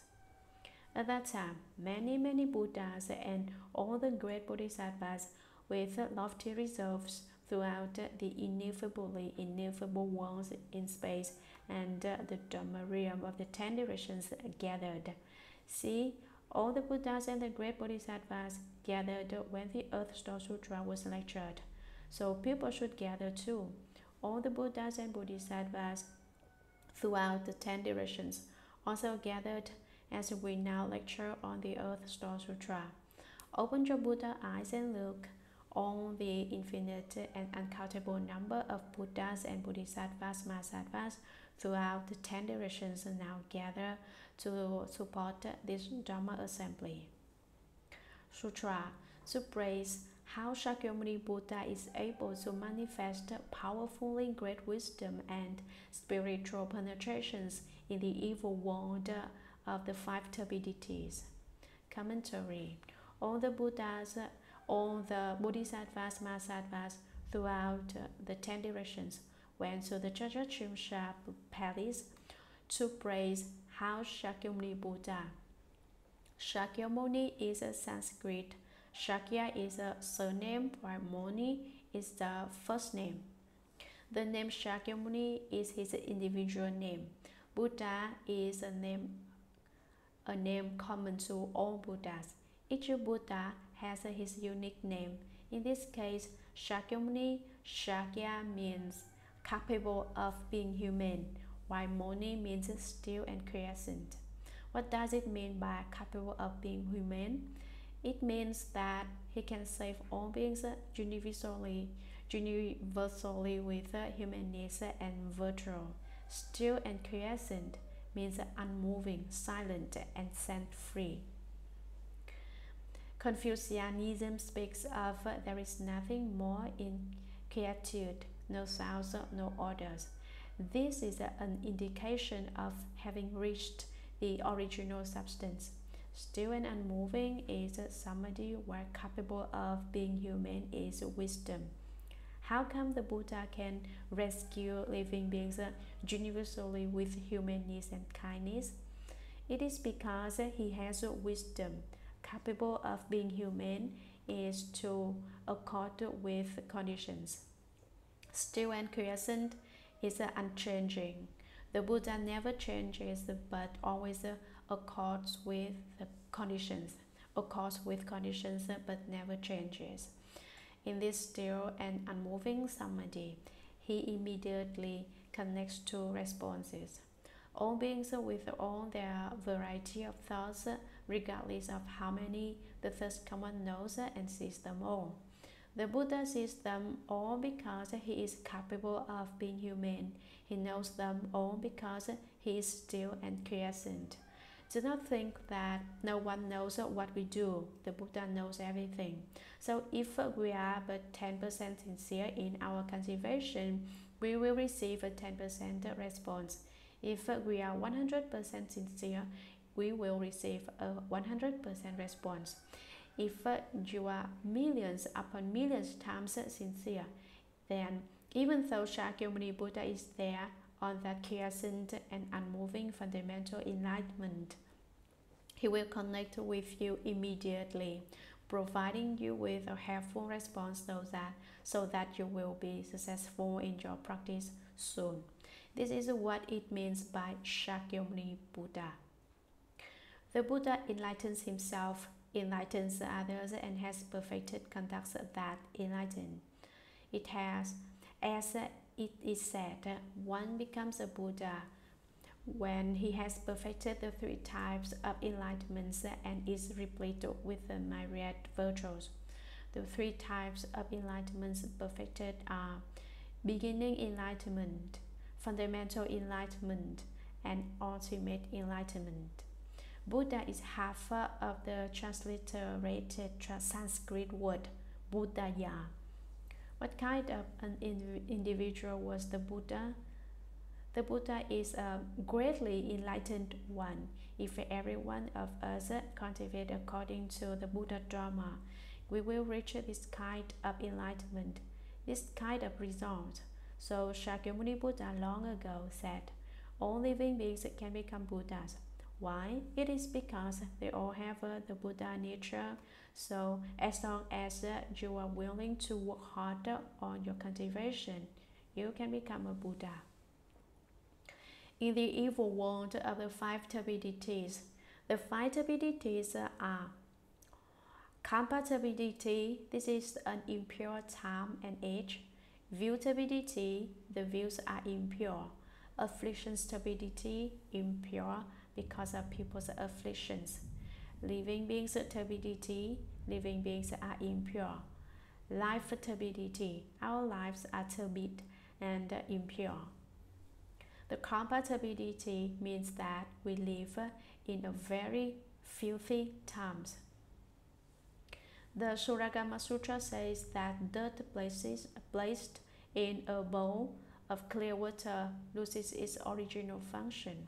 What was, what was the function of the dirt? It acts as a blockade.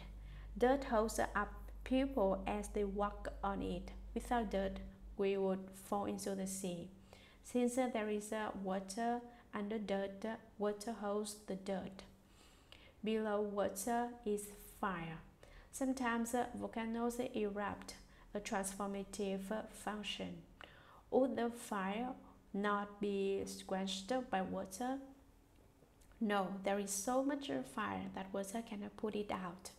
If you want to understand this kind of principle, you must study the Buddha Dharma more. The Shurangama Sutra says, Earth loses its ability to block and water stops being clean. That is turbidity. So this evil world of five turbidities is like water and earth mixed together. It is unclean. How? The kalpa turbidity, for example, has no time or is not clear as to what time it is. View turbidity how can our views can be differentiated clearly? They cannot. Can you divide up everyone's views, categorizing some as my views and some as your views? Where do you draw? Where do you draw the boundary between your views and my views? There are no boundaries or they are unclear, so things seem to blur together. This is the view turbidity. Affliction turbidity means everyone is afflicted. Your afflictions and my afflictions mix together and become unclear. Some say, I know these afflictions are mine and those afflictions are yours. If so, how come you can bring out my afflictions? If those were mine, you should not be able to bring them out. If your afflictions were yours, I should not be able to bring out your afflictions. Thus, we can tell that afflictions have no boundary and are turbid. Living beings turbidity. Living beings are human beings in this lifetime but may become dogs in the next life and cats in the life after that. Maybe even rats in the life after that, then as insects that crawl all over the place. How can you draw such concrete distinctions? Living beings cooperate to start a large firm. Our distinctions are unclear. You are either selling others or being sold by others in this large firm. We are all related. Is this not turbid? This is a living being's turbidity. The five turbidities are extremely complica complicated, but Shakyamuni Buddha is able to manifest powerfully great wisdom and spiritual penetrations. In this evil world, that is one of the worst ones, he can manifest inconceivably wondrous wisdom, the subtle, wonderful, and inconceivable power of uh, wonderful great wisdom, wonderful spiritual powers. Inconceivable means that it is uh, unimaginable and unthinkable, subtly and wonderfully incredible. This is the great power of great wisdom, great spiritual powers. Sutra, the Lord did how he regulates and subdues the obstinate beings so that they can learn what causes suffering and what brings bliss. Each one sent his attendants to pay their respects to the world honored one. At that time, the Thus Come One smiled and emitted billions of great light clouds. Commentary They lauded how he regulates and subdues the obstinate beings. What is subduing? People and perhaps particularly the Chinese enjoy delicious foods. The season they season our plain vegetables with five different kinds of flavors: sweet, sour, bitter, spicy, and salty.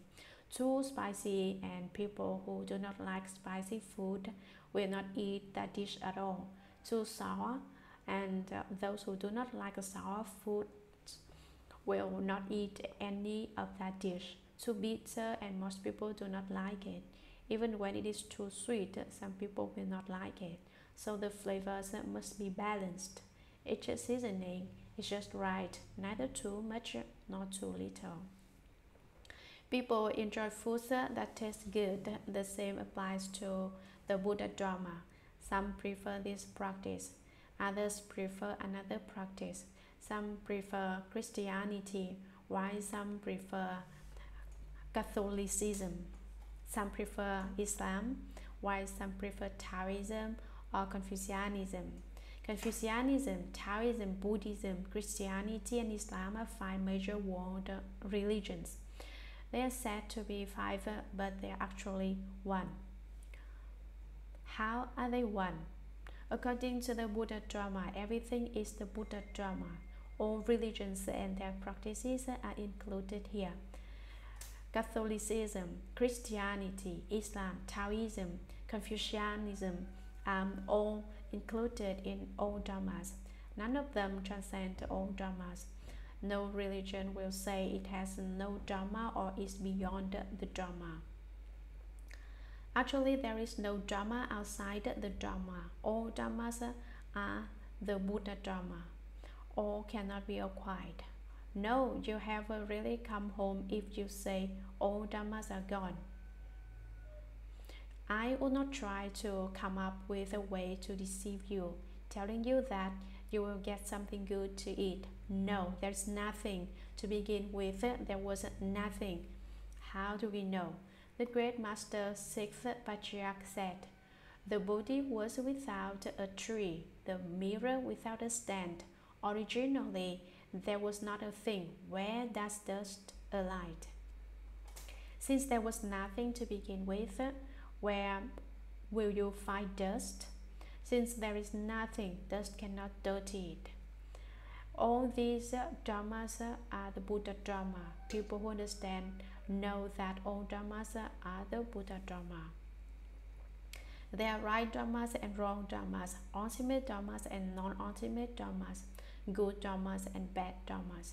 Cultivation requires practicing the ultimate dharmas. It's like walking. If you have uh, an airplane, you can definitely go from the Americas to Europe. How long would you have to walk if you were to walk from the Americas to Europe?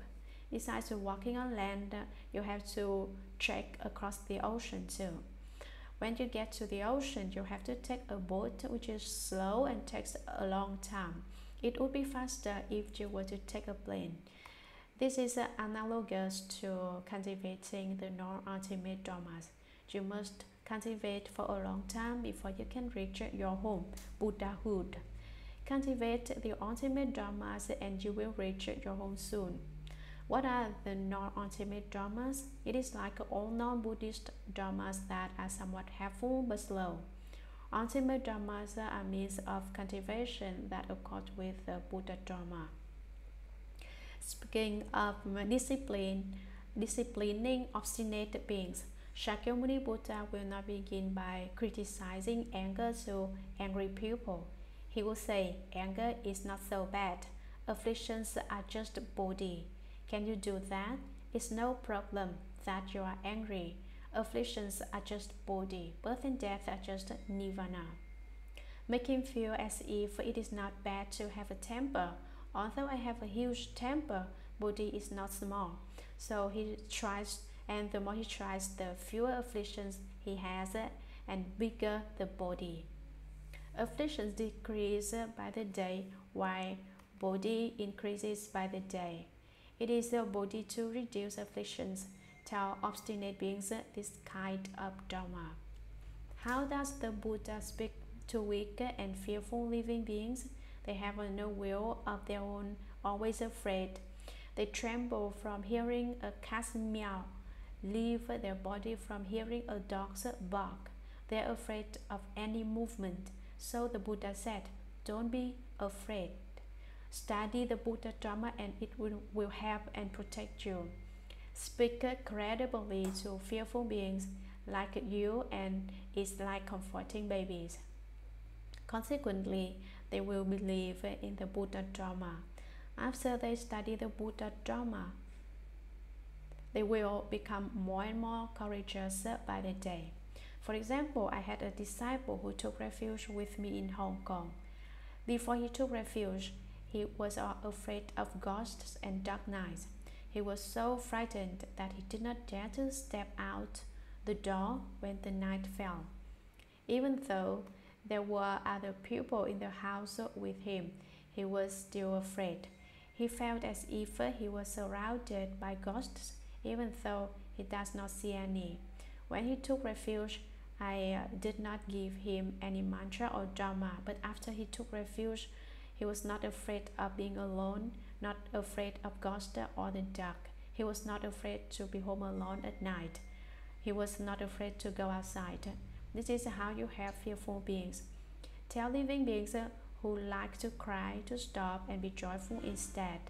In short, living beings are extreme must reach the middle way. This is the principle behind regulating others. Regulate obstinate beings so that they can learn what causes suffering and what brings bliss. Obstinate beings do not care whether there is suffering or joy. What is suffering? What is joy? He does not care. Since he is obstinate, he is not afraid of suffering or happiness. Shakyamuni Buddha make obstinate beings know what is true suffering and what is true happiness. Exactly what is true suffering? Falling into the lower realms is true suffering. For example, it is true suffering to fall into the realm of the hells, hungry ghosts, or animals. What is true happiness? Becoming enlightened, certifying through the fruition of arhatship, and practicing the bodhisattva path is true happiness. Actually, there are so many kinds of suffering and happiness, but it is fine just for us to have a general idea. Each one sent his attendants. All the great bodhisattvas, mahasattvas, throughout the lands of the ten directions did not come alone. Each bodhisattva brought many attendants, perhaps one, two, three, or four. Some preferred as many as several hundred, several thousand, or several tens of thousands of attendants. Each person sent the attendants with him to pay their respects to the world honored one. They went up to the Buddha and greeted him. What are their greetings like? They say, Is the world honored one healthy, at ease, and happy? Are living beings easy to save? World honored one, are you free of any sickness? Are you free of uh, any afflictions? Are you very happy? Are living beings easy to deliver to the shore of perfection? This is how they greet the world honored one. At that time, the Thus Come One Shakyamuni smiled a slight smile, not a boisterous laugh, and emitted billions of varieties of great, the largest light clouds and colorful clouds. Sutra There was the light cloud of great fulfillment, the light cloud of great compassion, the light cloud of great wisdom, the light cloud of great prajna, the light cloud of great samadhi, the light cloud of great auspiciousness, the light cloud of great blessings, the light cloud of great merit, the light cloud of great refuge, and the light cloud of great praise. After emitting indescribably many light clouds, commentary. As said, there was the billions and billions of clouds of great light. Since billions and billions are numerous, he will only name ten. These ten represent uh, the contemplation of the ten vehicles and the ten Dharma realms. As said, the light cloud of great fulfillment. Shakyamuni Buddha released light clouds of great perfection which are symbolic of how the realm of Buddhas pervades the entire Dharma realm. Perfection means that something is non existent yet uh, omnipresent, shining on all places without an exception of a dust mote. All space and the Dharma realm are covered by these great clouds of light. This is the realm of Buddhas, which is perfect. The light cloud of great compassion Kindness can bestow happiness, while compassion can uproot suffering. This is the Bodhisattva path. Bodhisattvas conduct themselves to bring living beings every happiness and uproot living beings every suffering. Whatever living beings enjoy, give that to them. They like sweets, give them sweets. They like sour things, give them sour things when Universal Worthy Bodhisattva was the temple's dining hall attendant, someone who stands by the table serving and refilling food for monastics. He had all the seasonings with him, one bottle after another. You enjoy something sweet? And he will add some sugar. You enjoy something sour? And he will add some vinegar. You enjoy something spicy and he will give you some hot pepper. He had bottles all over his body. He carried all these seasonings with him because if someone wants something sour, he will pour something sour to him. But the person will complain, Hey, I do not want that much. How come you gave me so much? Someone says uh, he wants something spicy, but the Bodhisattva is afraid to pour too much, so the person will not want it. He pours a very little, and the other person yells, Hey, some more, so little. Universal Worthy uh, Bodhisattva has a hard time satisfying living beings. He gives a lot and they complain that it is too much. He gives a little and they complain that it is too little. See, it's not very easy to be a bodhisattva. Confucius of China had to say, had this to say, only women and petty individuals are most difficult to live with. Women and petty individuals are difficult to handle. How come? Too close and they condescend. Get too close to them and they become unreasonable and do not observe the rules. Too far and they resent. Stay a distance from them and they resent you. They are difficult to interact with. Confucius probably suffered in this way, so as an experienced expert, his words fit people's understanding. Bodhisattvas are this way too, too good to people and it does not accord with the middle way, too mean to people and that does not accord with the middle way either. So, Universal Worthy Bodhisattva has a hard time satisfying living beings. The Bodhisattva path is difficult to walk. I am so considerate of you, and you are so dissatisfied. This like cloud of compassion represents the Bodhisattva path. The light cloud of great wisdom. This wisdom represents the realm of those who enlightened conditions, those who cultivated the twelve causal links and became enlightened. He needs great wisdom. What is great wisdom? He contemplates the twelve causal links and knows that all things come into being and cease. Through this principle, he develops true wisdom from the Buddha nature. So the light cloud of great wisdom represents the realm of those who enlighten the conditions. The 12 causal links are ignorance conditions activity, activity conditions consciousness, consciousness conditions form, form conditions the six entrances, the six entrances conditions contact, Contact conditions feelings, feelings condition love, love conditions craving, craving conditions existence, existence conditions birth, birth conditions old age and death. This series involves birth migration. There is also a series that involves ceasing. Ignorance ceases, then activity ceases. Activity ceases, then consciousness ceases consciousness ceases, then name and form cease. Name and form cease, then the six entrances cease. The six entrances cease, then contact ceases. Contact ceases, then feelings cease. Feelings cease, then love ceases.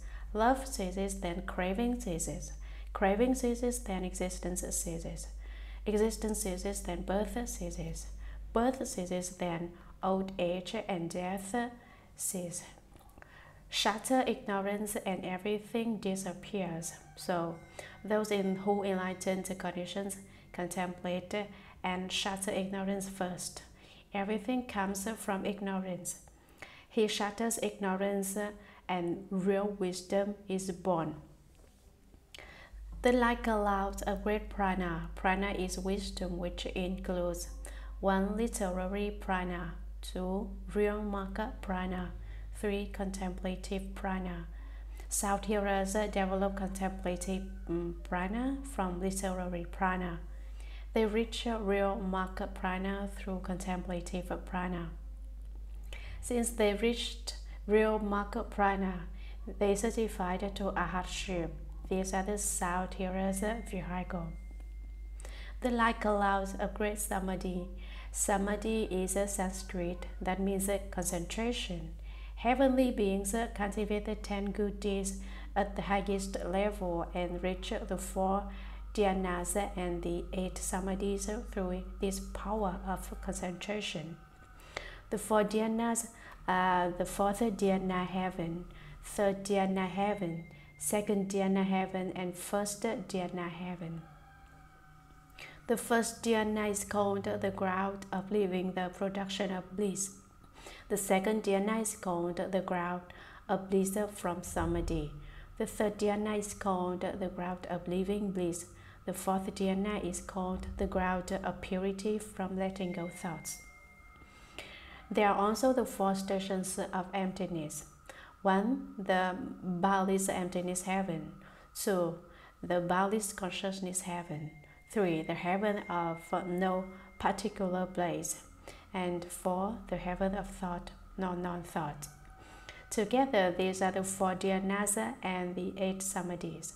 These types of individuals have samadhi and cultivate the highest among the ten goodnesses, which include the superior grade, the average grade, and the below average grade. These uh, people will become reborn in the heavens if they take the three refuges and receive the five precepts. The light allows a great auspiciousness. Auspiciousness represents the human realm. People want everything to be auspicious. In Chinese, this means luck, such as wishing each other great luck around Chinese New Year's uh, in the hopes that good things happen. It also means auspiciousness, something lucky. Those who cultivate the average grade among the ten good deeds, take the three refuges, and receive the five precepts will become reborn in the human realm. The like allowed are great blessings. Blessings and virtues represent the asuras. Asuras are in the heavens, the human realm, the animal realm, and the hungry ghost realm. In short, they also have great blessings and virtue, so this kind of clouds of light shine on the asuras. The light cloud of great merit represents the animal realm. The Buddha releases this kind of meritorious cloud of light so that all the animals will eliminate their offenses live suffering and attain bliss in the future. The light allows a great refuge. This represents the realm of hungry ghosts.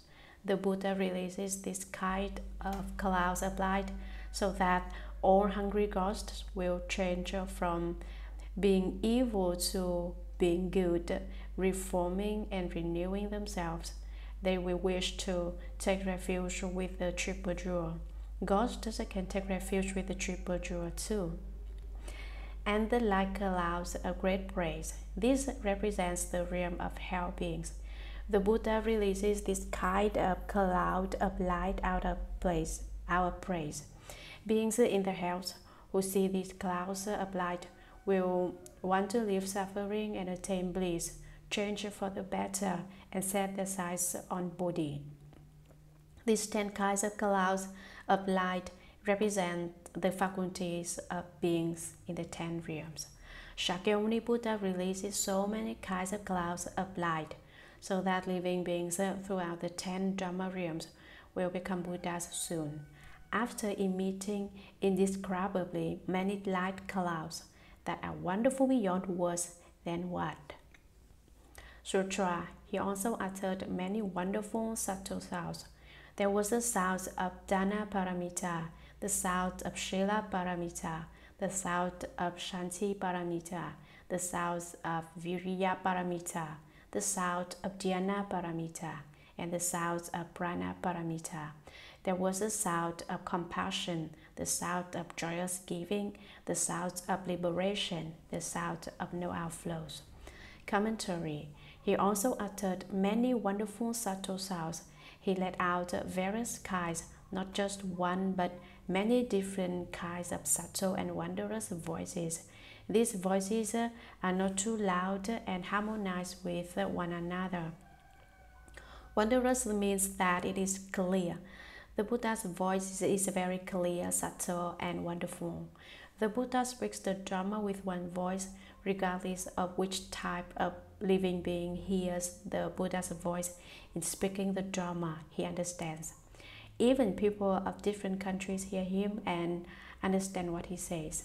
The Buddha speaks with one voice, but the Japanese will hear him speaking Japanese. The British will hear him speaking English. The French will hear him speaking French. The Spanish will hear him speaking Spanish.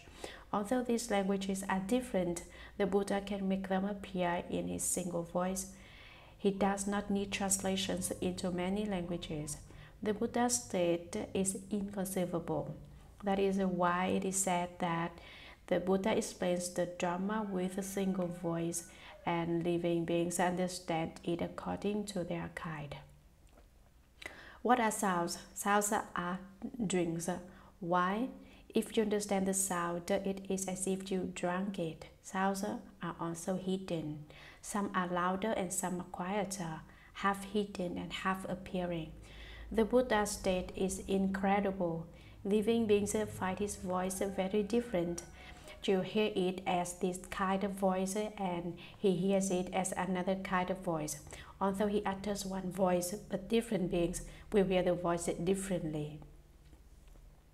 How far can the Buddha's voice reach? Mahamoggallana was foremost in spiritual penetrations.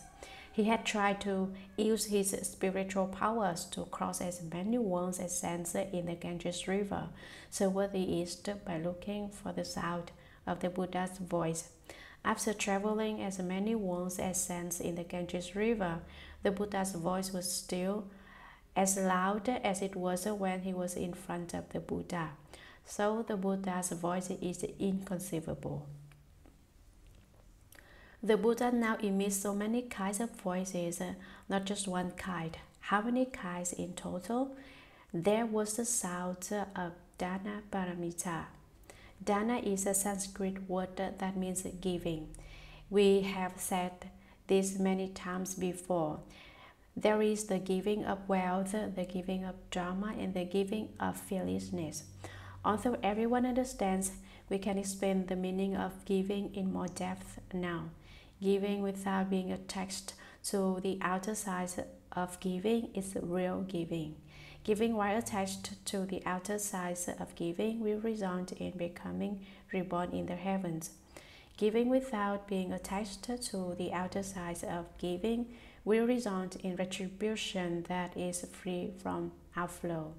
Not being attached means not remembering it.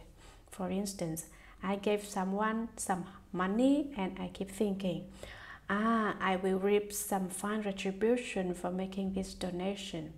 In the end, there is either no reward or the mere reward of becoming reborn in the heavens, not the retribution free from outflows. What does it mean by giving without being attached to outer marks? One must be empty in three aspects. There is no giver, nothing given, and no receiver. What is giving? What is being given? Recalling that there is a giver is a sign that there is a self. One cannot forget oneself. For example, I have a donation to contribute to building a temple. So building Buddha images or printing to printing sutras. This is an attachment. What is attachment? I am a donor. I can give five uh, fifty thousand dollars. The gift, the fifty thousand dollars I donate, whether it is building a temple, building Buddha images, or printing sutras, I earn some merit from contributing this gift. I am the donor. I offered a gift. Now, along with the donor and the gift, there is a receiver. There is a subject and object to the receiver. The subject of the receiver is uh, someone who receives that donation of $50,000. The object received uh, is the gift the other party gave to me, making the other party the giver of the gift received. Without a giver and a gift, there would be no receiver and nothing received. These are the three aspects of emptiness in giving, which is about not being attached to the outer marks of giving. Paramita is a Sanskrit word which means to the other shore or arriving at the other shore. What other shore is this? Arriving at the other shore means we have succeeded with what we want to do, fulfilling our wishes and reach, reaching our goals. For instance, we want to become liberated from the cycle of birth and death now. Birth and death is this shore, while nirvana is the other shore. From this shore of birth and death, cross the currents of afflictions and reaching the other shore of nirvana, we arrive at the other shore.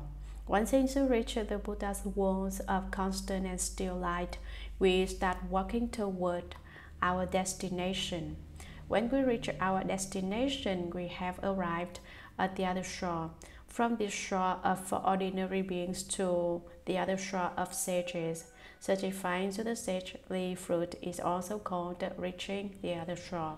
We did not understand the Buddha Dharma before, but now we do. This is also called arrival at the other shore. But that other shore consists of an ultimate, ultimate and a non-ultimate shore. What is the ultimate shore? What is the non-ultimate shore? Ordinary people can who certify to the first level of arhatship reach the other shore of first level arhatship, but not the other shore of the second level arhatship. When we certify to the second level arhatship, we reach the other shore of second level arhatship, but not the other shore of the third level arhatship. When we, we certify to the third level arhatship, we reach the other shore of third level arhatship, but not the other shore of the fourth level arhatship. When we certify to the fourth level arhatship, we reach the other shore of fourth level arhatship, but not the other shore of the bodhisattvas. When we certify to the level of bodhisattvas, we reach the other shore of bodhisattvas but not the other shore of the Buddhas. When we certify to the level of Buddhas, that is the ultimate other shore, the final other shore. So this to the other shore can be explained at a very profound level and endlessly. I have only explained a few principles here. Once you understand the meaning of the other shore, expand and elaborate on it so that you reach the ultimate other shore. Although I explained only a few principles for you, if you can expand and elaborate on these, such as getting insights on 10 or 100 principles from my explanation of one principle, then you are expanding and elaborating on the meaning. Another example is our sutra lecture. We begin now, and when we finish two hours later, we reach the other shore. That is paramita. Another example is we started with thus I have heard, which is this shore. By the time we reach the end about how everyone is happy and left in full faith, it means we have reached the other shore. In short, when we reach our goal, we arrive at the other shore. Once you understand this other shore, you reach the other shore. Our biggest goal is to realize Buddhahood, Asenanuttara Samyak the unsurpassed equal level of bright enlightenment. This is our other shore. The sound of Shila Paramita. Shila means clear and cool. It is a clean and refreshing which means the absence of hidden afflictions. This is one interpretation. There is another interpretation for it, which means prevention. There is a national defense with its preventative measures and equipped armies that will strike other countries that do not observe the laws and try to attack us. This is a national defense. Families have their uh, preventative measures and individuals have their preventative measures. This is a personal defense. What are we preventing? We want to prevent all evil deeds. Avoid any evil means doing no evil and doing all good. There was a great layman in the olden days who pleaded with his senior monk to give an explanation on the Buddha Dharma. This monk responded, Do no evil and devote to all good. The layman said, Elder monk, I am requesting the Buddha Dharma from you. Even three years old year olds understand this. Do no evil and devote to all good. How can you tell me this is Buddha Dharma? The old monk said, Three year olds may understand it, but 80 years old years, year olds cannot do it. All evil means each and every possible kind of evil. To me, each is one, while every one is many. Many are one, though. Why do you even do one evil deed? Do one, and you will do a second evil deed. Do that second evil deed, and you will do a third evil deed. Do a third level deed. Do a third evil deed, and you will do a fourth evil deed even millions and millions of evil deeds. All these are accumulated from one. A mountain, for instance, is huge and it came from one dust particle. Many dust particles gather together to create a mountain. So how many is many? There is no applicable number. Might as well explain it as a one so that it is easier to understand. So do not do even one evil deed. This is called doing no evil.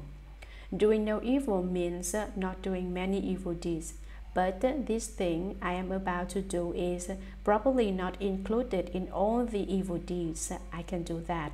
My explanation now prohibits the doing of even one evil deed, not to mention many, which is all the more prohibited. This is the most critical, most wonderful. Do not do even one evil deed. Devote to all good. This means doing every single good deed, whether the deed is big or small, even if the deed is as minor as a piece of hair, as long as it is good, do it.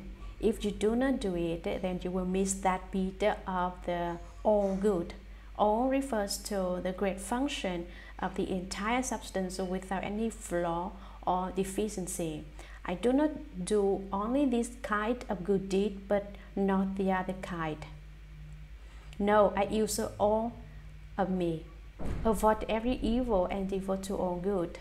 Good Goodness, whether numerous or few, major or minor, ought to be done. But do no evil. You are mixed up if you do evil deeds regardless of how big or small they are. So this elder monk said, Although three-year-olds understand, 80-year-old elders cannot do it. This is because you cannot perfect it. Shila also means precepts. When the Buddha entered Nirvana, Ananda asked the Buddha one of these questions, which is, when the Buddha was in the world, we had the Buddha as our teacher. After the Buddha enters Nirvana, who do we take to be our teacher. The Buddha answered Ananda's question, saying, Monastic disciples should take the precepts as their master. The precepts talk about avoiding all evil and doing every good, which is to stop evil and prevent wrongdoing. So Shakyamuni Buddha taught about the Shila Paramita. Precepts are most critical. Number one. Earlier we said Giving is the foremost important issue in cultivation. Now we say keeping the precepts is. This is almost this is also a most important topic in cultivation. Some people are wondering how come there are so many firsts? There are no seconds uh, in the Buddha Dharma, all are number one. No matter which Dharma it is, it is the foremost. Someone once asked me, out of the 84,000 practices of the Buddha Dharma, which is number one, which is the most lofty, the most wonderful. Guess uh, how I responded? I said, the Buddha Dharma contains 84,000 kinds of Dharmas, creating 84,000 number ones, none of which is number two. Why did I say this? The 84,000 practices are antidotes for currying, Living beings 84,000 problems. Each being has his or her problem. The practice that cures his habit is number one. For example, all the medicines include some that cure headaches, some cure pain in the throat, some cure pain in the eyes, some cure pain in the ears, toothaches, pain of the nose, and the rest of the body parts. Which medicine is number one? It would be wrong to say the medication for curing the head, a headache is number one and the medication for curing pain in the eyes is number two. Take medicine for curing a headache if that is what you have. That medication is number one. You have problems with your eyes, take medicine to cure the eye disease, then that medication is number one.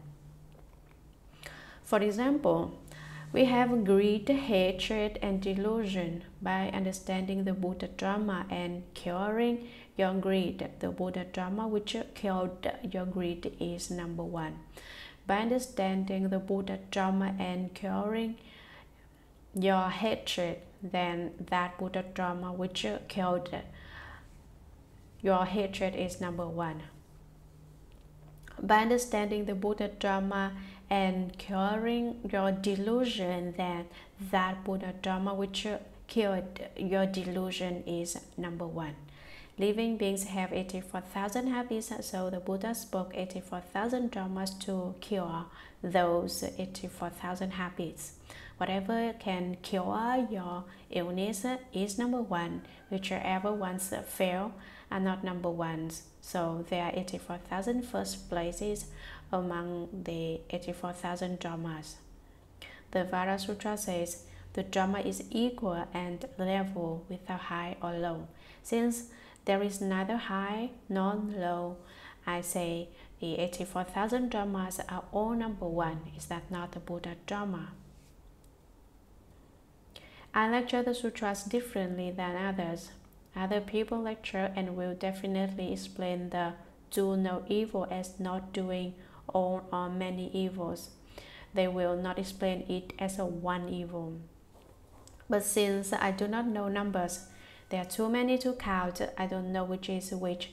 I figured since I can't catch up, I might as well turn around and head back, meet up from another direction. For example, this person is a fast runner, so I will I will turn whenever he turns. Uh, I can never catch up by chasing after him. But if I turn around and wait for him at the other end, I meet up with him. See, this is the way I lecture the sutras too, since there are so many numbers that I cannot figure out how many exactly. I will just talk about one. Not only do I understand this term, even children understand. This is how I lecture the dharmas. The Shila Paramita. Shila means keeping the precepts. There are so many people who keep the precepts whom I can talk about, but I will talk about one who is he? Vinaya Master Tao Xuan. Vinaya Master Tao Xuan was foremost in keeping the precepts in China and had achieved the highest level of understanding in the Vinaya. Due to the way he upheld the precepts, he moved the heavenly beings to bring him food. He did not eat food in the human realm but ate food in the heavens offered by the heavenly beings. Everyone knows that among the Chinese patriarchs, only Vinaya Master Tao Xuan received offerings from heavenly beings. The Vinaya talks specifically about the principles of the outer marks of the precepts, the precept Dharma and comportment. The 3,000 comportments and 80,000 fine conducts. Where did these uh, 3,000 comportments come from? They came from the four great comportments of walking, standing, sitting, and lying down. Walking with dignified uh, decorum, sit with dignified decorum, stand with dignified decorum, and recline with dignified decorum. walk like a breeze, stand like a pine, sit like a bell, and recline like a bow. Like or walk like a breeze. This breeze is not a typhoon or a gale. If you walk like you're running, then you have turned into a gale. If not a typhoon, do not do that.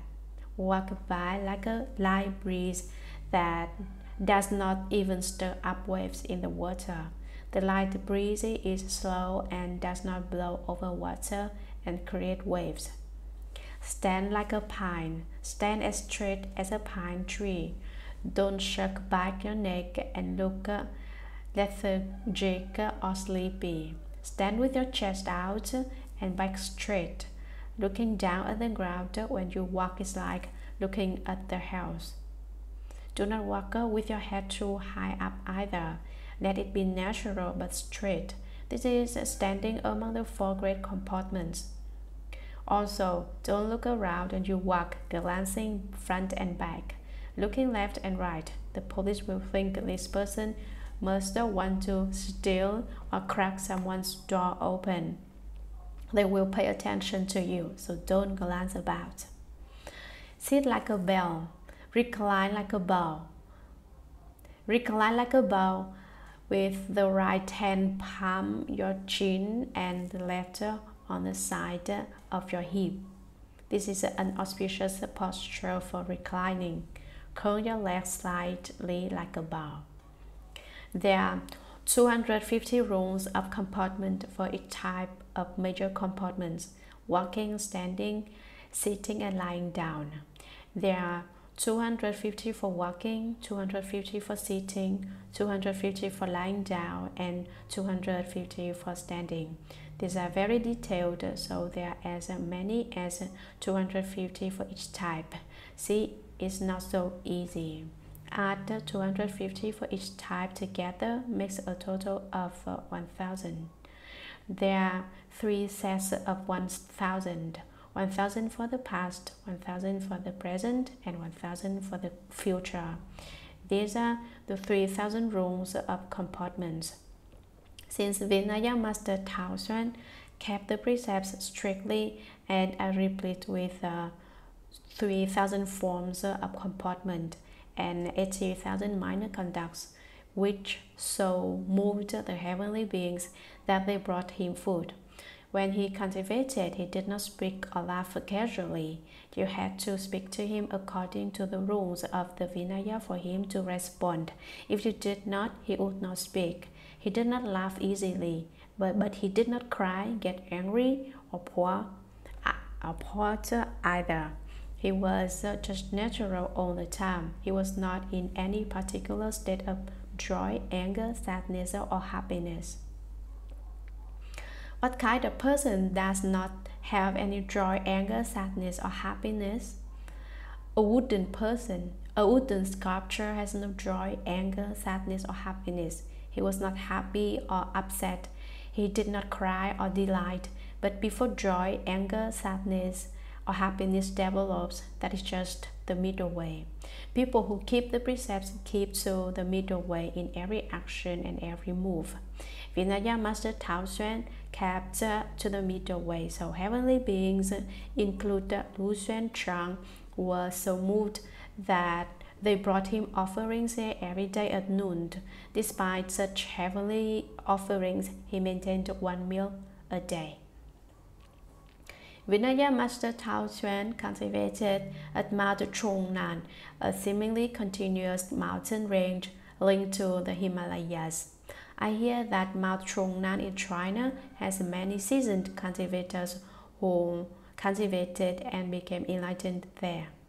There are many wolves and tigers there too, but they do not obstruct monastic cultivators.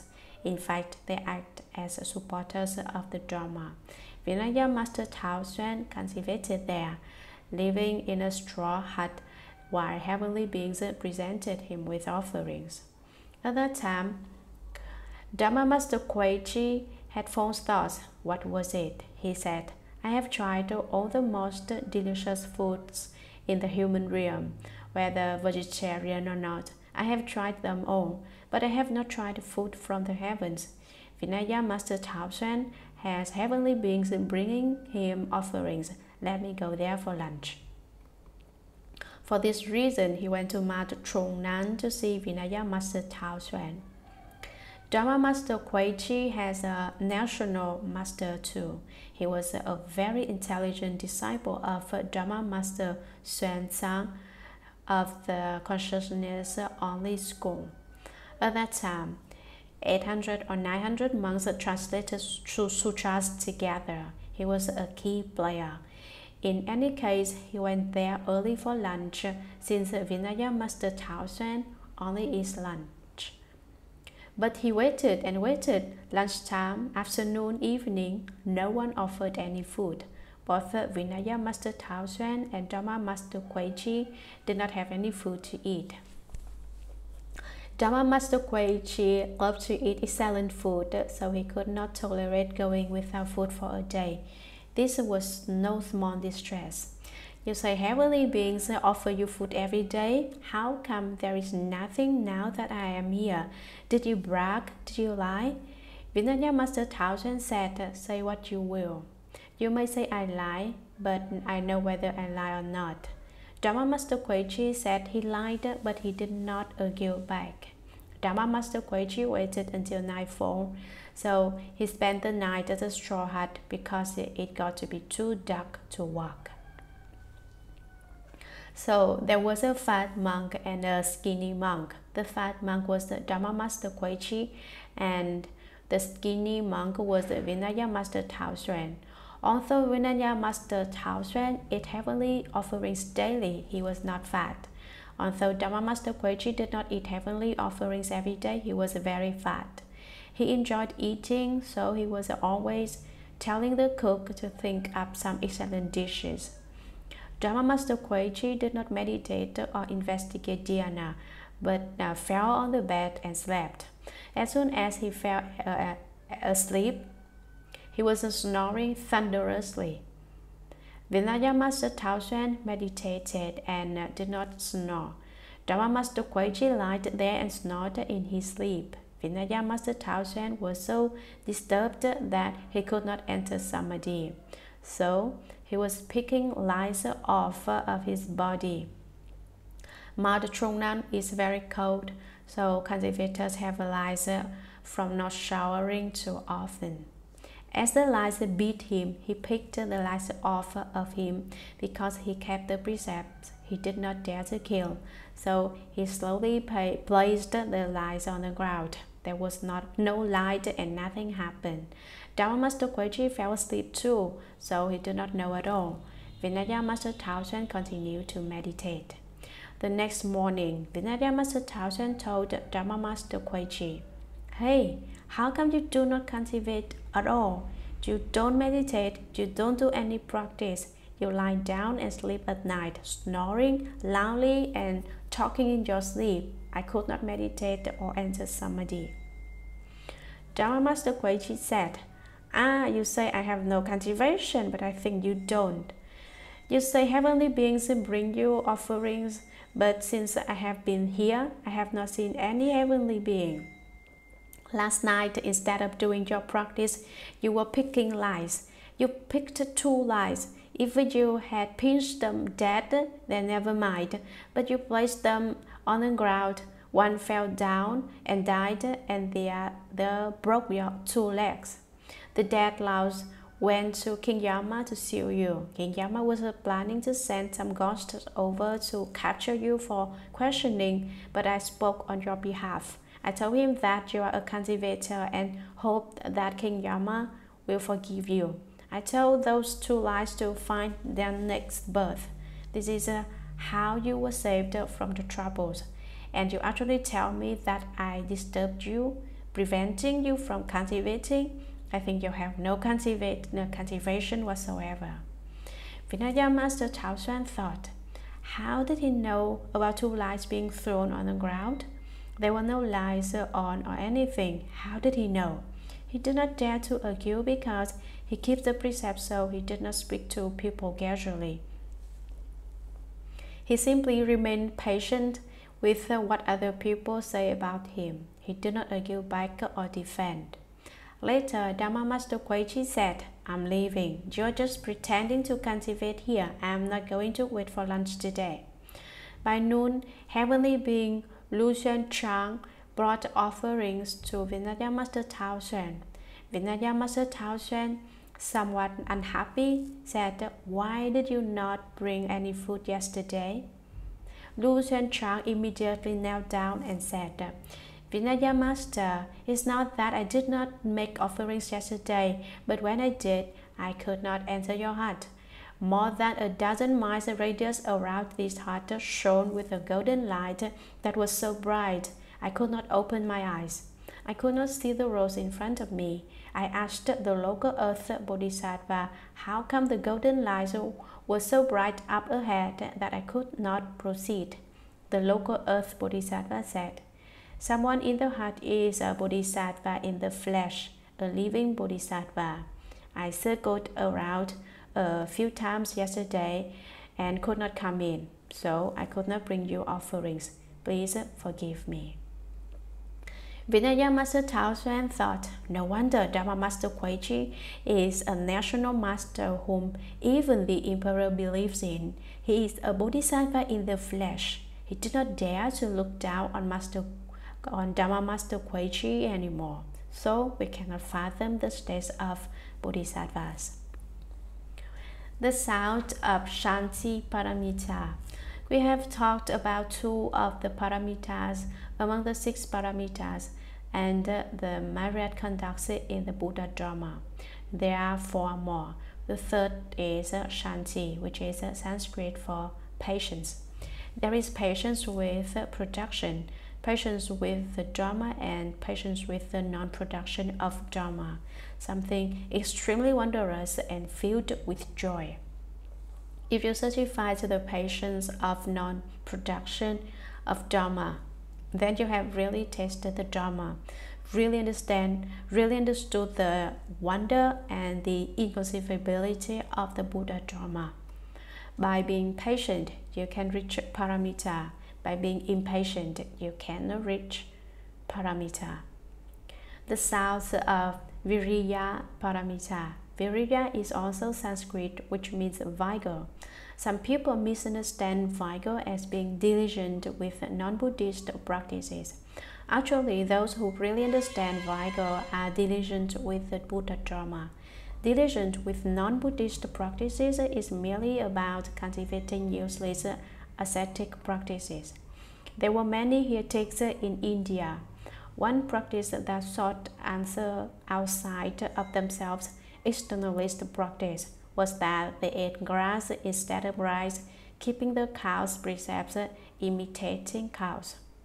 Another externalist practice was to imitate dogs and keep the precepts of dogs.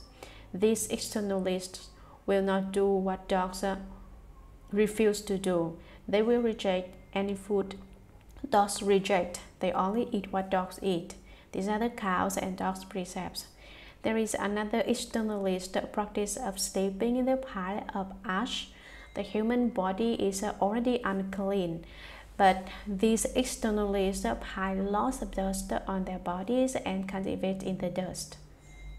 Another externalist practice is to sleep on a bed of nails to show that these externalists can tolerate pain and practice asceticism. These are examples of externalists' useless uh, ascetic practices. They think they are very diligent, but it is actually a different form of knowledge and view. It is not proper knowledge and proper view. This kind of diligence is useless. Be vigorous in the area of good Dharma rather than evil Dharma. Being diligent with evil Dharma is to go against the way. Diligent in doing good Dharma, such as bowing to the Buddhas, reciting the sutras, bowing in repentance, reciting the Buddha's name, are about being diligent with the body. Then there is a being diligent with the mind. What does it mean by being diligent with the mind? Always cultivate in thought after thought, never forgetting to cultivate the paramita of vigor, but always forget your fatigue. Cultivating the Buddha Dharma truly that way, you will not feel tired or hungry. You will not be bothered by anything that is not according with the Dharma. Why? You are diligent, so you do not have any of these negative feelings. If you are not diligent, then you will experience problems. You will feel tired and lethargic.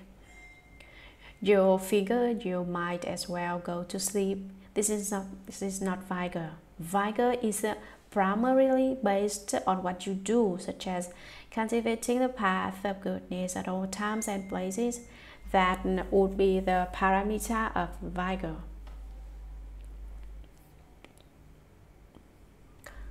Last summer, when I lectured on the Shuragama Sutra, I explained a four-line gatha. Every monk and nun should remember this four-line gatha. When the Buddha was in the world, monastics recited this four-line gatha every day. They did not forget it at any time. I said this specifically during the summer break. I even think lay people should memorize it, not to mention how monastics should not forget it. This four-line gatha is guard the mouth and gather in thoughts, make no bodily transgressions, never distress a sentient being, stay far removed from useful from unuseful asceticism. Practitioners like these save the world. Gather mouth and gather in thoughts, make no bodily transgressions. Do not speak casually or gossip. Watch over the mouth to prevent it from talking about this being good and that being bad, this being delicious and that being bad tasting. Gather in thoughts means to pour in all those thoughts so that they do not run left to right. Make no bodily transgressions means not violating any precepts with the body. Always remind oneself that one is a left home person. Do not violate the rules. Never distress a sentient being. Do not bother or disturb by sentient being. Sentient beings include uh, not only humans, but even animals. It is wrong to make any of them upset monastics should not distress any sentient beings. Stay far removed from unuseful asceticism. Stay farther away from unbeneficial ascetic practices, but do the 12 Dhutanga practices. Avoid those unhelpful practices that do not accord with the Buddha Dharma. Do not study from heretics who dare say that they will become Buddhas in this lifetime. Cultivating according to the Buddha Dharma. Do not observe the precepts of cows and dogs. Why would people do that? Externalists do these bitter practices that are so difficult, they open their heavenly eye. When they open up their heavenly eye, they see a dog dies, then enters the heavens. So they imitate dogs by keeping prohibitions that dogs do. Some other externalists see cows do that and imitate cows and keep the prohibitions that cows do. These externalists in India were short on wisdom. Although they cultivated various ascetic practices, none of these practices are helpful.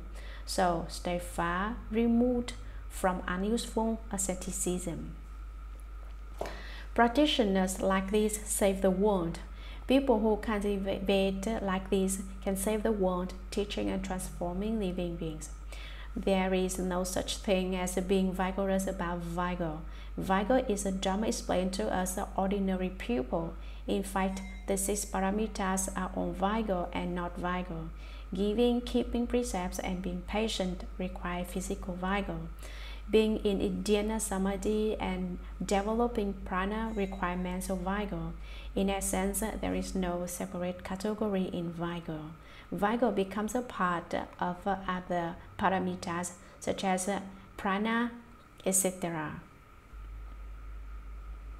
Giving more, you are vigorous with giving. Keeping to the precepts closely, you are vigorous with the precepts. Being patient more, you are vigorous in patience. Being ever more vigorous, you are vigorous in vigor. Meditating non-stop, you are vigorous in dhyana samadhi. Cultivating prajna, you are vigorous in wisdom. Studying the prajna dharmas, you are vigorous in prajna. There is no vigor to vigor in and of itself does not do anything. So, not being attached to being vigorous is having real vigor. Attached to how you are vigorous in this and that, claiming that your vigor is without bounds, that your vigor applies to all six parameters, then you are not truly vigorous. Truly understand the Buddha Dharma, and there is essentially nothing there is something when you do not understand. Once you understand, there is nothing. You say, I do not have anything now. I am not diligent either. Not being diligent is also nothing. This is different from really understand the Buddha Dharma and there is not even real diligence. Why? It is because you are not attached. If you do not understand the Buddha Dharma and continue to be attached to your delusions, then there is no delusions. Since you really do not understand the Buddha Dharma, you basically do not know what is diligence, not to mention being diligent. This is why you do not understand the Buddha Dharma. If you really do understand, you still have to let it go. You still do not understand the Buddha Dharma if you do not let it go. This makes people break all attachments to marks, thus becoming attached to nothing. Attached that you don't understand the Buddha Dharma. This is vigor. The sound of Dhyana Paramita. Dhyana is also Sanskrit, which stands for the cultivation of contemplation or quiet deliberation. Dhyana includes the four dhyanas, the eight samadhis, and the nine sequential samadhis. There are also secular dhyana, transcendental dhyana, and the most superior form of transcendental dhyana. Secular dhyana are what we ordinary people cultivate. This includes the four boundless qualities of the mind and the four formless samadhis. We do not need to describe the states in detail just work hard in your meditation and you will naturally understand this state. What is a transcendental dhyana? Transcendental dhyana includes the four dhyanas and the eight samadhis, the eight superior ways, and the eight liberations. You are confused by these terms. This is like reading a menu. Something may look good, but before you put it in your mouth, you will never know the taste of it. Now you know why there are different dhyanas. Secular dhyana, transcendental dhyana, the most superior form of transcendental dhyana. Thus Come One's dhyana, Vajra's dhyana, and others. As long as you are willing to work on your cultivation, you will get a taste of its flavor in the future and the sound of paramita, a prajna paramita. Prajna is Sanskrit for wisdom. Wisdom is also divided into secular wisdom and transcendental wisdom. Secular wisdom is worldly knowledge and intelligence. What are worldly knowledge and intelligence? For instance, advances in science, advances in philosophy, and all types of information are worldly knowledge a debater who can explain principles where there are no principles has uh, worldly wisdom. Transcendental wisdom is about pursuing the Buddhist path diligently in thought after thought, studying the Buddha Dharma continuously. Real cultivation of transcendental wisdom means contemplating the Buddha Dharma while sleeping, dreaming, suffering from sickness, and pain. So is secular wisdom and transcendental wisdom one thing or two? Originally, they are one, but it depends on how you use it.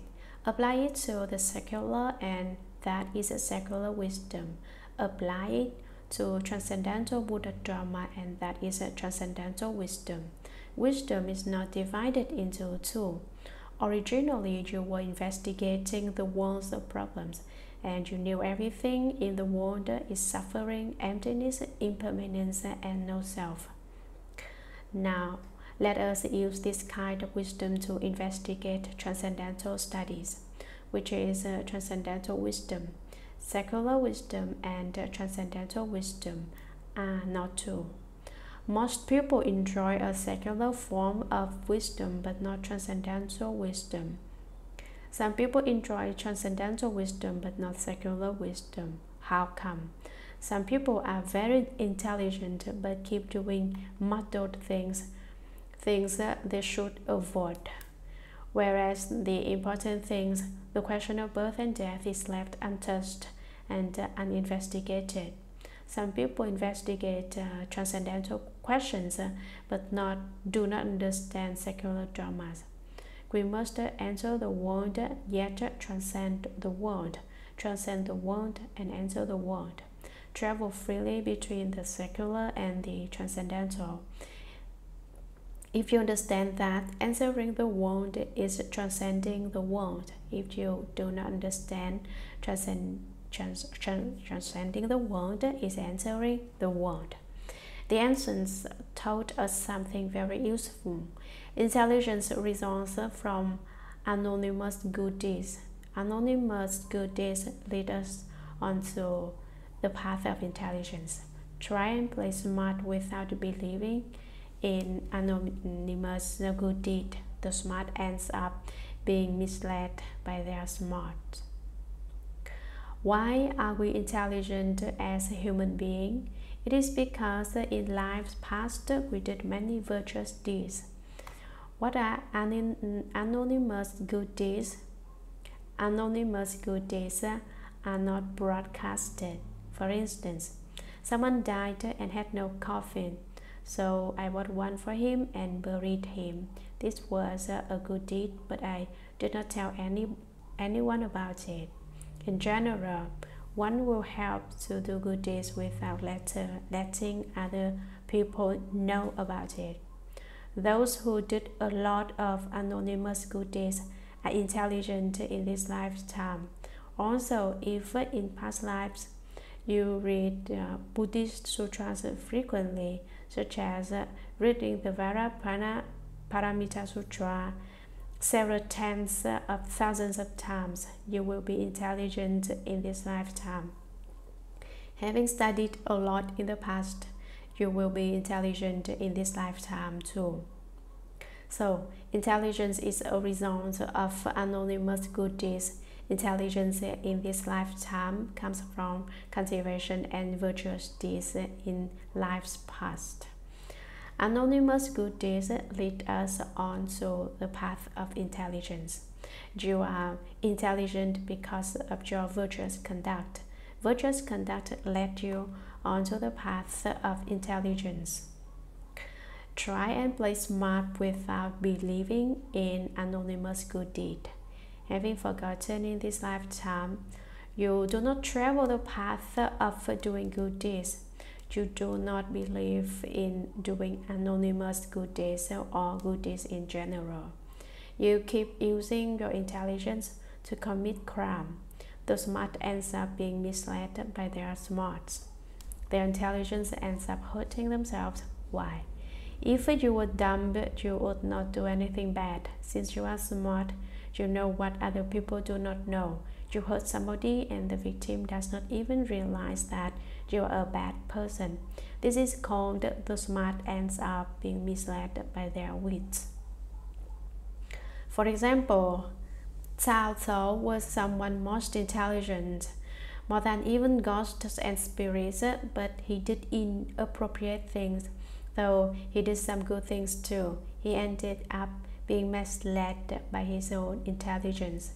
Of course, he did have his accomplishments after hearing this verse, people who would like to be intelligent should work hard at doing good deeds, contributing to humanity, and avoiding harming others.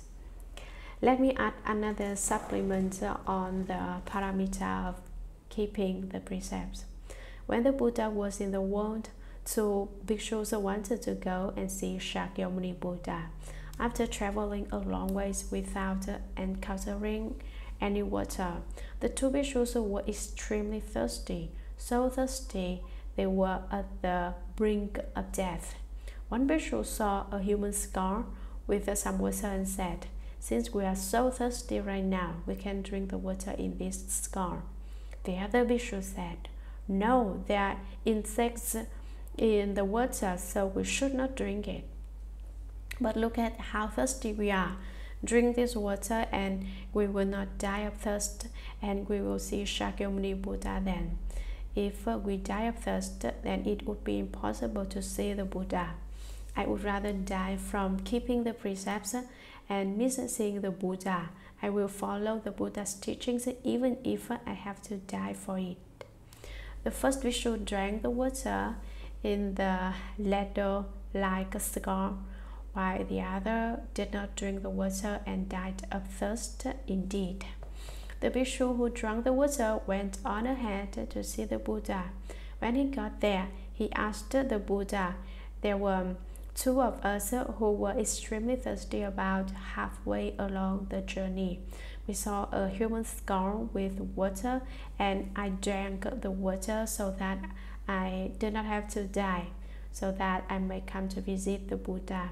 My fellow cultivator was willing to die of thirst than drink that water because uh, of the insects in the water. He would violate the precepts if he drank it. I drank the water and did not die. He did not drink the water and died of thirst. I get to see the Buddha. Shakyamuni Buddha said, You thought he died of thirst? Since that Bhikshu kept the precepts, I made it so that he got to see me first. He is already here listening to my Dharma talks. Although keeping the precepts is extremely difficult, I understand his sincerity. Although you get to see me, you did not uphold the precepts, so you are not so sincere. He has already become enlightened and certified to the fruition, but you still have to cultivate over time. This tells us how we must be sincere in doing the six paramitas of precepts patience, giving, vigor, dhyana, samadhi, and wisdom, as well as the myriad conducts insincere, we are casual and will not, will not accord with the Buddha Dharma. We must do what is true. So, guard the mouth and gatha in thoughts. Make no bodily transgressions. Never distress a sentient being. Stay far removed from unuseful asceticism. Practitioners like these save the world. This four-line gatha is something that monks and nuns should always remember. Act according to this gather. It is extremely important to keep the precepts. Do not be casual about it. Be a little bit casual and you miss the target. So cultivation requires sincerity and down-to-earth steps. Do not float, float along. Do it honestly. There was a sound of compassion, kindness can bestow joy, while compassion can uproot suffering. All beings hear this voice of Shakyamuni Buddha and leave suffering and attain bliss, liberated from birth and death. The sound of joyous giving. Joyously give kindness and compassion, joy and giving are the four balanced qualities of the mind. We must be delighted when we give.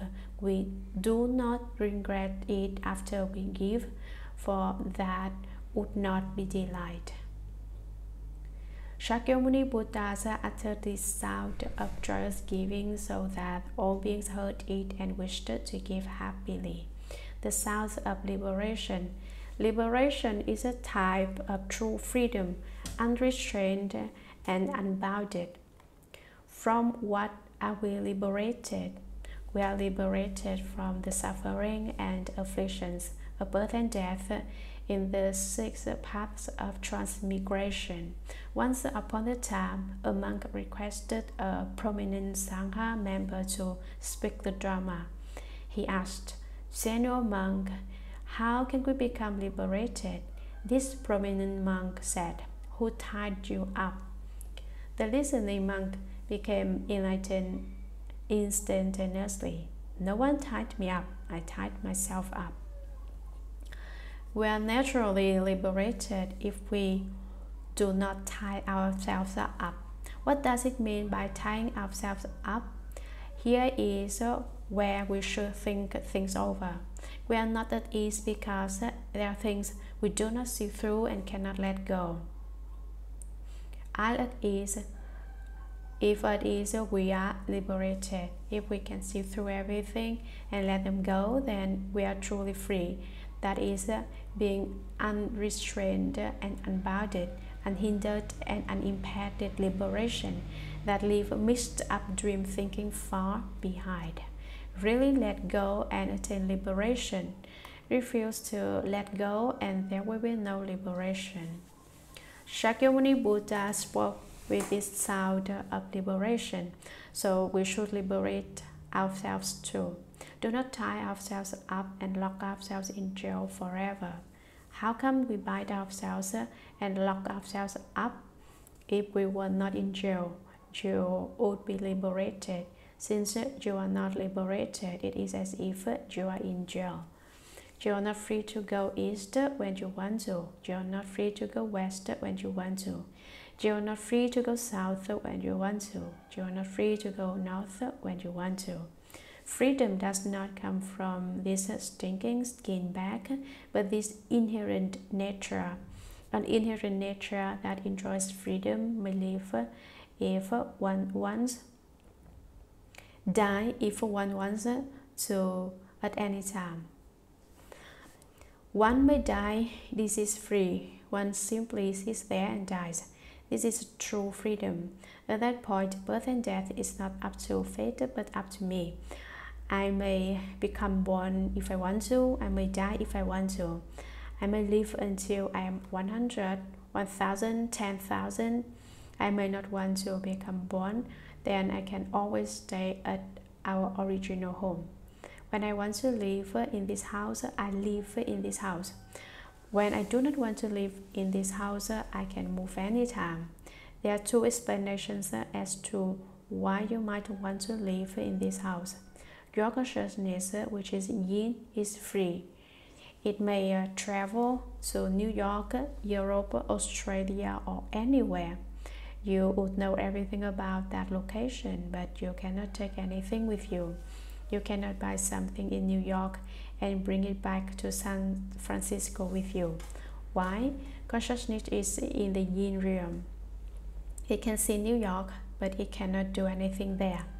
The other is that your inherent Buddha nature is free.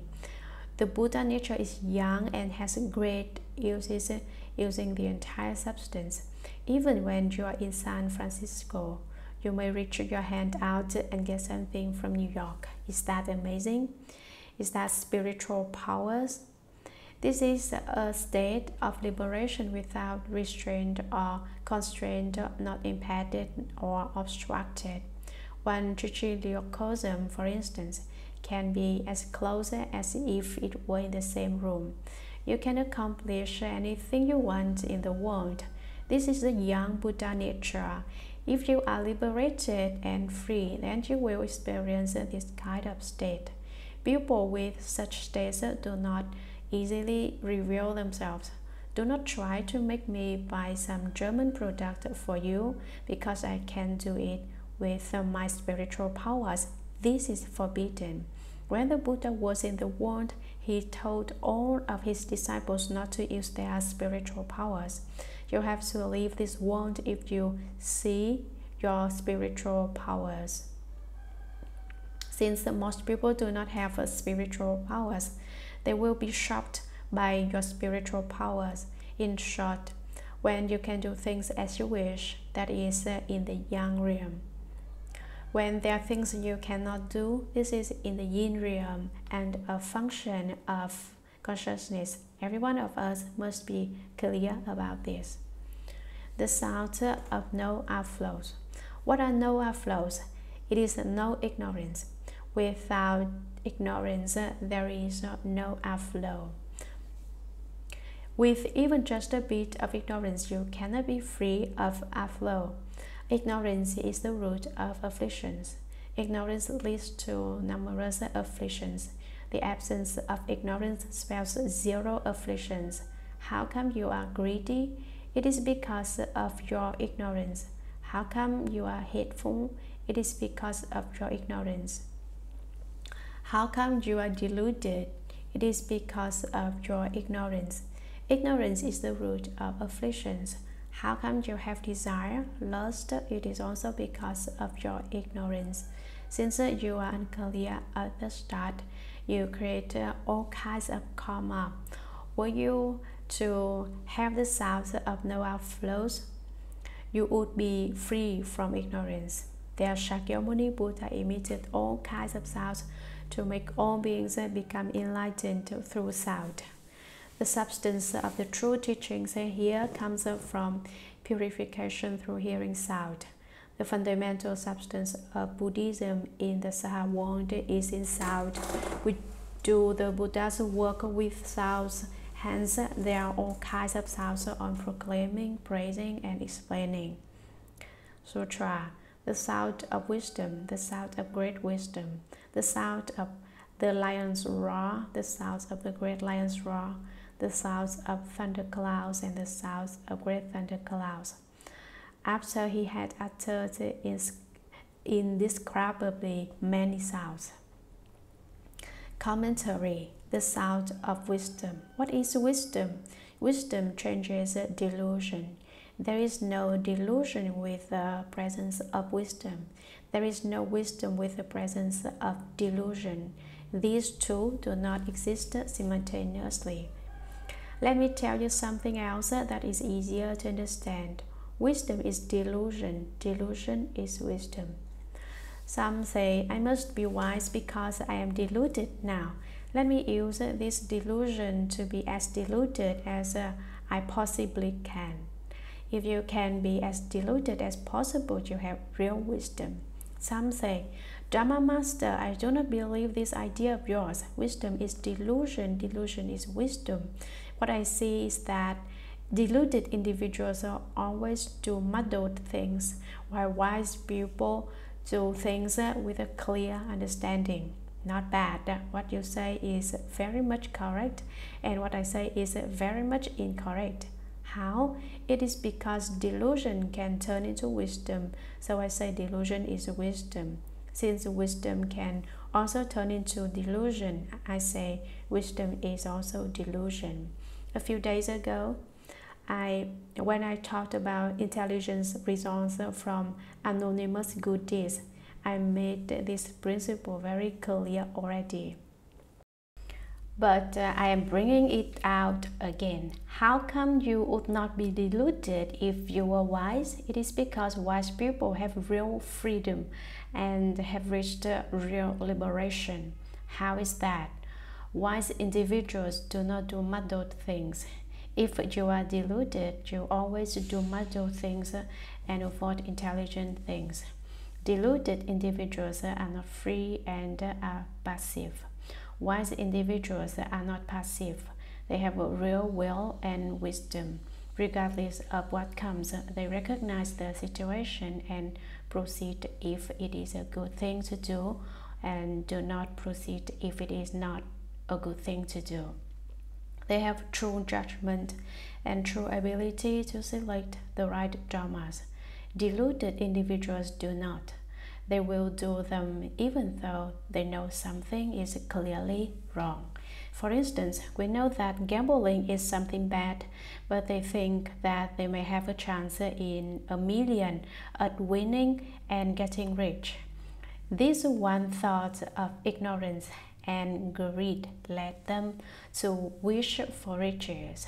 They end up losing all their assets. They still do not wake up after they lose all that. They think I'm just one step away from winning and getting rich. For example, A dollar something buys you eight numbers on a lotto ticket. If you select the machine set, you will win, win millions. If you lost by one number, so you buy again, thinking you will win for sure. Is that delusion? If gamblers can all win, then casinos will not make any profit. Some people smoke opium. People say opium is a drug that is harmful, but deluded individuals will try it. They try it once and they do not feel that they got anything out of it. So they try it once more, twice more, three times, four times, again and again. Once they experiment with it, they become addicts. They cannot do without it by then. Is that delusion? Someone perfectly sound is dictated by opium to drip snot and tears. One is a comfortable all over, so one has to get more money to buy this stuff to support oneself. Delusion made you not free. How come you are not free? Opium smokers believe smoking, uh, smoking opium is a form of freedom and enjoy it. But is it freedom when you are not smoking it and crave it?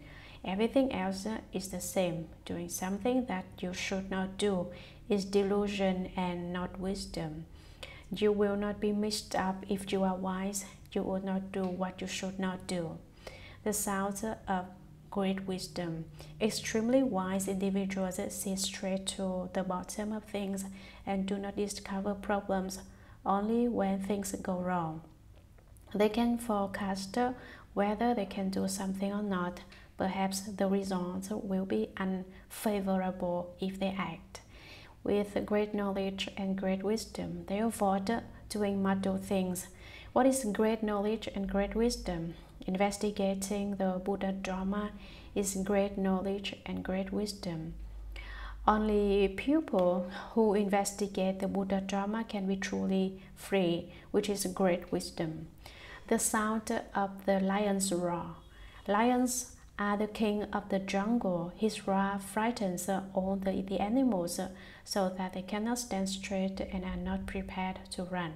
Even ferocious with beasts such as, such as tigers and wolves are at a loss due to fear. All the beasts hear his roars, hear his roars, and their heads split open. They are frightened dumb. The sound of the great lion's roar an average lion's roar is severe enough. Now imagine how the sound of a great lion's roar may be heard far and wide. The sound of thunderclouds, the sound like thunderbolts in the clouds, and the sound of great thunderclouds.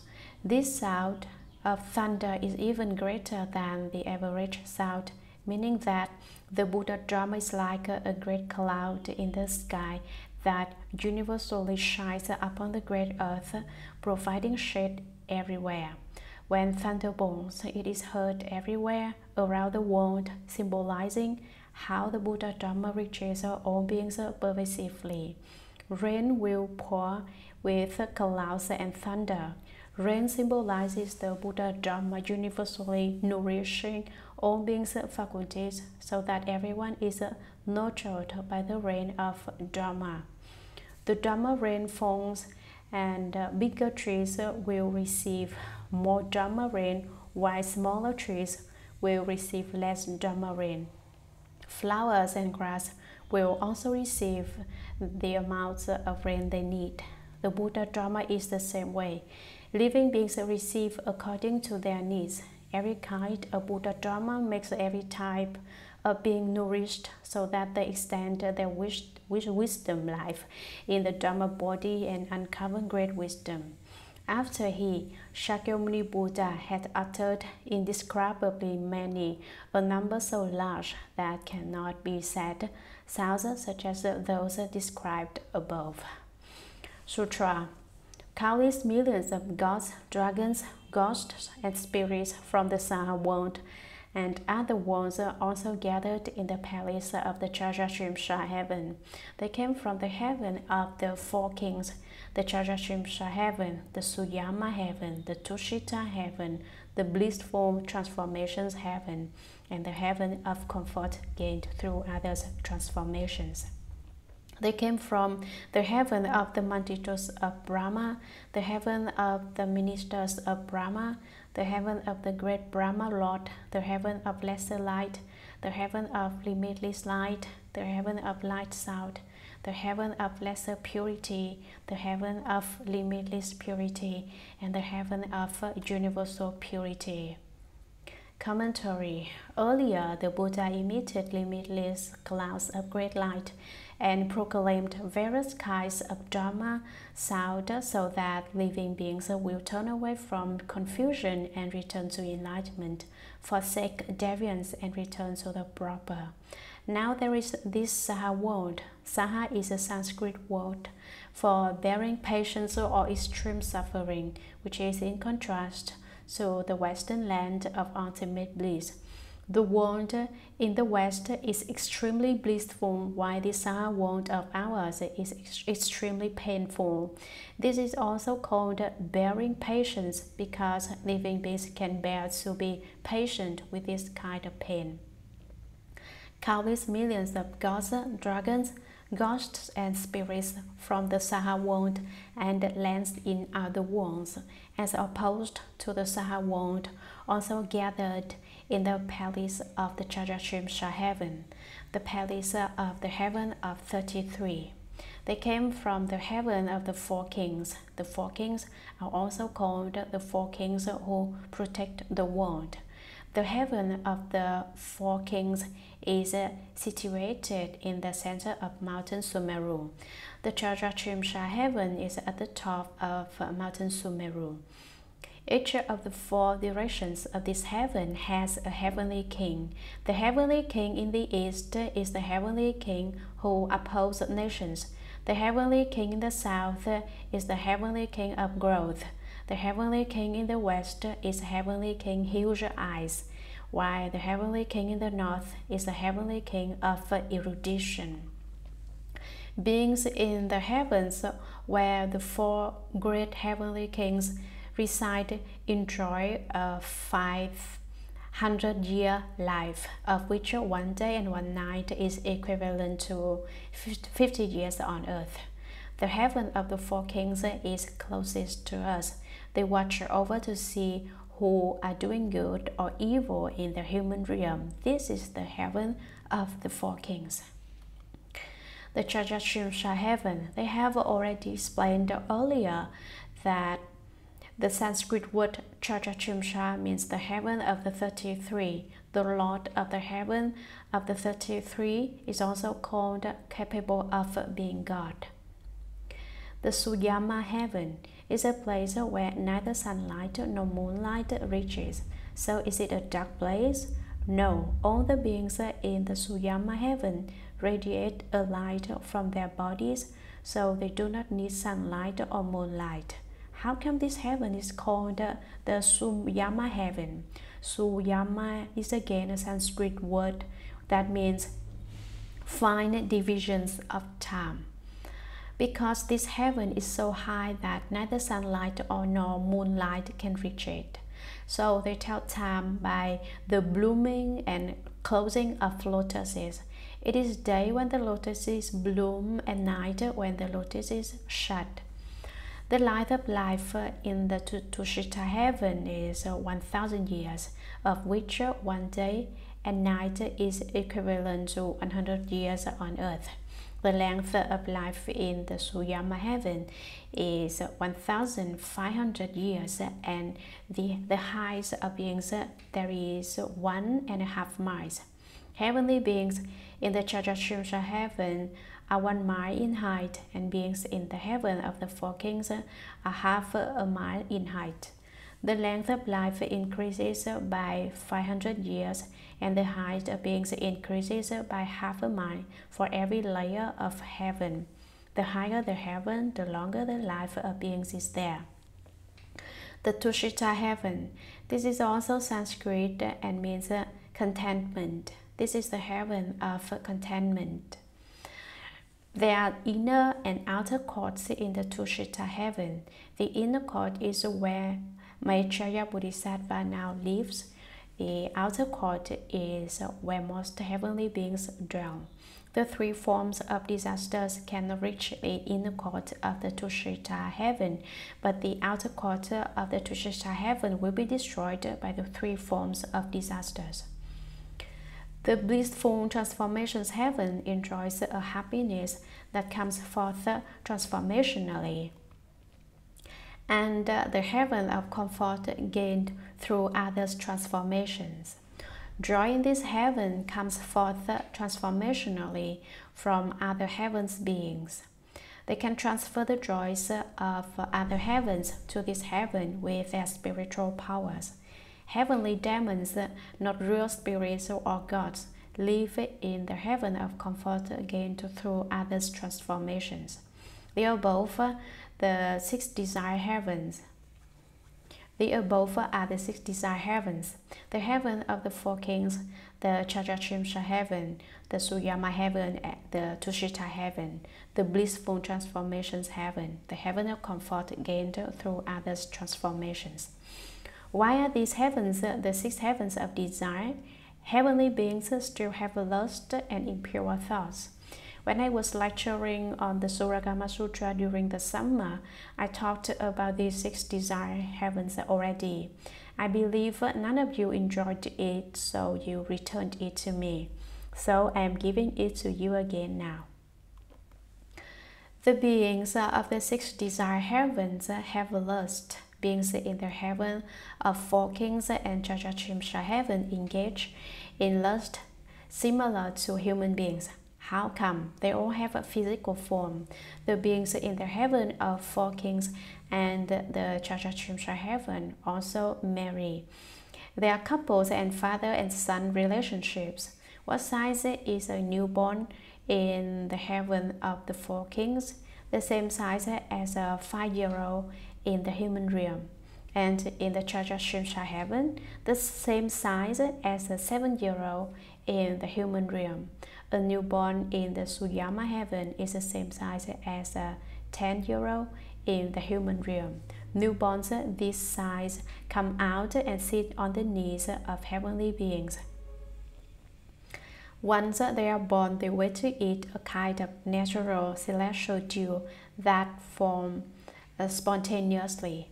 After they are done, they become the size of heavenly beings, which is half a mile in height and 500 years in the length of life. This is the heaven of four kings. As it is said, the heaven of four kings and the Trayastrimsha heaven engage in desire through embrace. Sexual activity in the heaven of the four kings and the Trayastrimsha heaven is the same as the human realm. Suyama through hand holding and Tushita through smiling. Sexual activity between men and women in the Suyama heaven occurs simply by holding hands. The same way Westerners greet each other by shaking hands, for example. This gesture is enough to count as a sexual activity between couples in the heavens. This is the Suyama heaven and uh, the Tushita heaven. Men and women engage in sexual activity just by smiling at each other. Heavenly beings of that place do not smile usually. Why? Their emotional desire is very light, nearly none. In the six desire heavens, the higher the heaven, the lighter the desire. How come we people have to eliminate desire and cut off love as we cultivate? Why do we want to be free of thoughts of desire? It is because uh, the more thoughts of desire we have, uh, the more delusions we have. The fewer thoughts of desire, the more wisdom we develop. Thoughts of desire belong to the evil ones of five turbidities. What are turbidities? Thoughts of desire are most turbid and unclean. Desire in the heaven of the four kings is the same as emotions and desires in the human realm. Compare the Trayastrimsha heaven to the heaven of the four kings, it is still lighter, hence lust only requires shaking hands. Suyama through hand holding, and Tushita through smiling. I have already talked about this during the summer. Let me explain it again. If I do not, you all forget. The heaven of four kings and the Trayastrimsha heaven engage in desire through embrace. Suyama through hand holding and Tushita through smiling. Bliss uh, from transformations through long stares and bliss from others through glances. These are the joys of desire in the six heavens. They just smile at each other in the Tushita heaven. We people think smiling is a good thing. Smiling is not good. There is desire in smiles. When you get to the heaven of Suyama, people wish to cultivate and work hard. Very few people shake hands. Shaking hands is equivalent to sexual activity between couples. The Tushita heaven this consists of smiling at each other. In the heaven of bliss from transformations, this consists of long stares between men and women. Long, maybe one minute or five minutes. They just look at each other for as long as one or two minutes in the bliss of others' transformations. A quick glance will do it. No need to look long. This is the way sexual behavior between men and women work in the six desire heavens. The higher the heaven, the lighter the desire is. If your desires were heavy, you would not become born in the heavens either. When you are in those heavens, you do not have much desire. This is the joy from desire in the sixth desire heavens. There are three heavens in the first dhyana, three heavens in the second dhyana, and three heavens in the third dhyana. The three heavens of the first dhyana are the heaven of the Brahma multitudes, the heaven of the ministers of Brahma, and the great Brahman heaven. They came from the heaven of the multitudes of Brahma. What is Brahma? Brahma means purity. Thoughts of desire in the first dhyana heaven are even lighter, so it is said to be Brahma. The Brahma multitudes heaven refers to how all the heavenly beings living there are all pure. These are the heavenly citizens of the Brahma heaven. The heaven of the ministers of Brahma. These are ministers in the heavens who came to their positions because of purity. They assist the great Brahma Lord. The heaven of the great Brahma Lord is where the great Brahma Lord lives. He is someone who works very hard at his cultivation, but he only knows to cultivate heavenly blessings and has not become enlightened or certified to the fruition.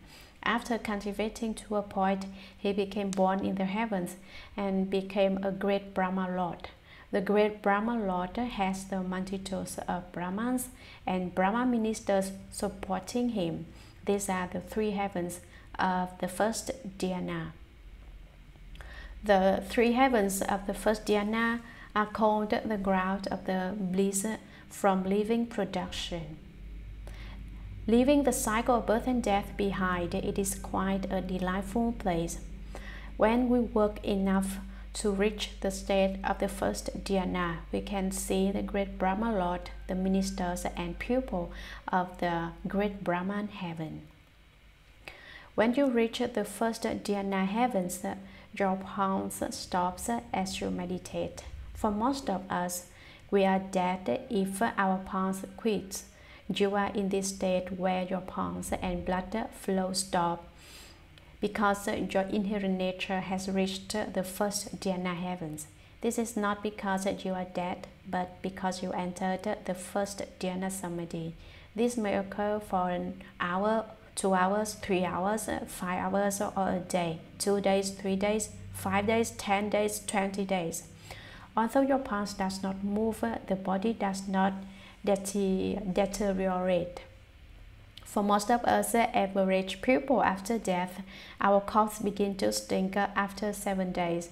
If you can work hard so that you reach this state, then your body will not deteriorate no matter how long you are in samadhi. This is about the three heavens of the first dhyana. The three heavens of the second dhyana are the heaven of lesser light, the heaven of limitless light, the heaven of light sound. How can we become reborn in the heavens? Eliminate desire and end love, so there is uh, no lust. With lust, we cannot become reborn in the heavens. Each heaven is uh, one level higher than the one below. One heaven is higher than another is because it has less desire. The heavens of the second dhyana include the heaven of lesser light. Heavenly beings here have asura, um, have uh, auras that are brighter than the lights uh, in the Suyama heaven. At the same time, among the three heavens of the second dhyana, the light of the heaven of lesser light is uh, comparatively weaker than the other two heavens. How come there is a light? It is because they kept the precepts purely or focused on keeping the precepts in particular when they were pupil. Those in the heaven of multitudes of Brahma and heaven of the ministers of Brahma also observe the precepts but not so well. They are pure but they do not emit light. Those in the heaven of lesser light not only keep the precepts well but emit a light. This is why they became born in this uh, kind of heaven. The heaven of uh, limitless light, the one earlier was lesser light. This light is limitless and boundless. Above the heaven of limitless light is the heaven of light sound. How do heavenly beings in the heaven of light sound speak? they speak with light. This is the science of optics that is found even in televisions, in that light communicate heavenly beings in the heaven of light sound do not speak. It is not that they do not communicate, but they do so with words. Some Dharma masters criticize that the heavenly beings in the heaven of light sound do not speak because they have no language or words. That is why they use light to represent language or word and words. No, if they do not know how to speak, would they not be mute? How is that better than those who speak? Since those in the heaven of light sound to speak using light, it is not useful to be mute there. I say they have language, but they do not need language with words. They use light the way we use optics to write. Something along the lines of optics, it must be that. It is not that they just speak with light and there is no language. No, to explain the Buddha Dharma, compare the Buddha Dharma with the secular Dharma so that it is clear. Some other Dharma masters say that there is no language or worse in that heaven, calling heavenly beings in the heaven of light sound music really shows how these Dharma masters do not understand. This is the second dhyana heavens. People who meditate and reach the samadhi of the second dhyana heaven. The ground of joy from samadhi experience a state. What is that? Their breath stop. This is the state of the second dhyana heaven. Having reached the state of the second dhyana heaven does not mean your skills are most terrific. People who work hard ask yourself now Have you reached this level? Did your pulse stop? Did your breathing quit during meditation? No. If not, then work hard. If you do not then you cannot become liberated from birth and death. There is no more birth and death at the first dhyana heaven or the second dhyana heaven. Hard work does not mean experiencing some minor states such as a vision of Dharma protecting bodhisattvas or some others. Even if we see light during meditation, the state is still insignificant. Do not be attached. Perhaps uh, during meditation, you begin to swing back and forth without wishing to. You do not want to move, but you do. When you do move, you cannot make it stop even if you want to. These are the six forms of earthquake at work, uh, signs of the six senses. This is not real skill, so keep moving ahead and strive hard. Until you reach the stage of the first dhyana and the second dhyana, you cannot be lazy. Lazy and you cannot end birth and death, which makes your future quite dangerous. It is not easy to become a monk. Lazy for one day, you dig into the house. If you do not want to go to the house, then work a bit harder. You say, I feel uncomfortable as soon as I start to apply myself. It is really uncomfortable. The house are even more uncomfortable. If you want comfort now, you will be uncomfortable in the future. If you do some hard work now, you will be comfortable in the future. Count this up, and who knows how long you will be in the house. There is no living the unintermittent house where you suffer there all day. Why does someone end up suffering there? It is because uh, one was very lazy as a novice. One did not work hard and did not study the Buddha Dharma, so he suffers. One can hardly be at ease in the house. The heaven of uh, lesser purity, the heaven of limitless purity, and the heaven of universal purity. These are the heavens uh, of the third dhyana. The first dhyana is called the ground of bliss from living production. The second dhyana is called the ground of bliss from samadhi. And the third dhyana is called the ground of wonderful bliss from living joy. In the first dhyana, the palm stops. In the second dhyana, the breath stops. And in the third dhyana, thoughts stop. Although the heaven of the multitudes of Brahma, the heaven of the ministers of Brahma, and the great Brahma heaven of the first dhyana heavens are already pure, but there is no light yet. Not only no light, but the lights are very dim. At the second dhyana heavens, there is light that is more pure than pure. There is another crude analogy that compares this to the floor. The heaven of the multitudes of Brahma, the heaven of the ministers of Brahma, and the great Brahma heaven are like the floor that has been swept once, but not yet waxed. Without wax, there's no shine. We are talking in worldly terms about how there's no wax or sheen. When you wash the floor, then it will shine. This is the heaven of lesser light, the heaven of limitless light, and the heaven of light sound. These are the second dhyana heavens. The third dhyana heavens, heaven of lesser light, is like a waxed floor, but it needs to be wiped to really shine. There may be some dirt or broom hair that has not been cleaned up and picked up so there is light, but it is not clean yet. The third dhyana heavens are clean.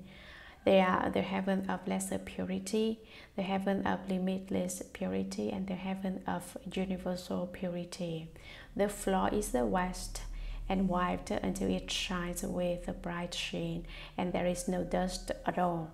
If you do not understand the states in the heavens, then you will if you think about this metaphor of a floor. Pulse moves the blood. When our pulse stops, that is purity. If a breath stops, then there is light. At the third dhyana heavens, thoughts stop completely. Although the pulse stops uh, at the first dhyana heavens, but there is still this thought. At the second dhyana heavens, this thought did not end either. At the third dhyana heavens, this thought stopped. He will not let one thought occur and another thought develop. That thought occurs and this thought develops.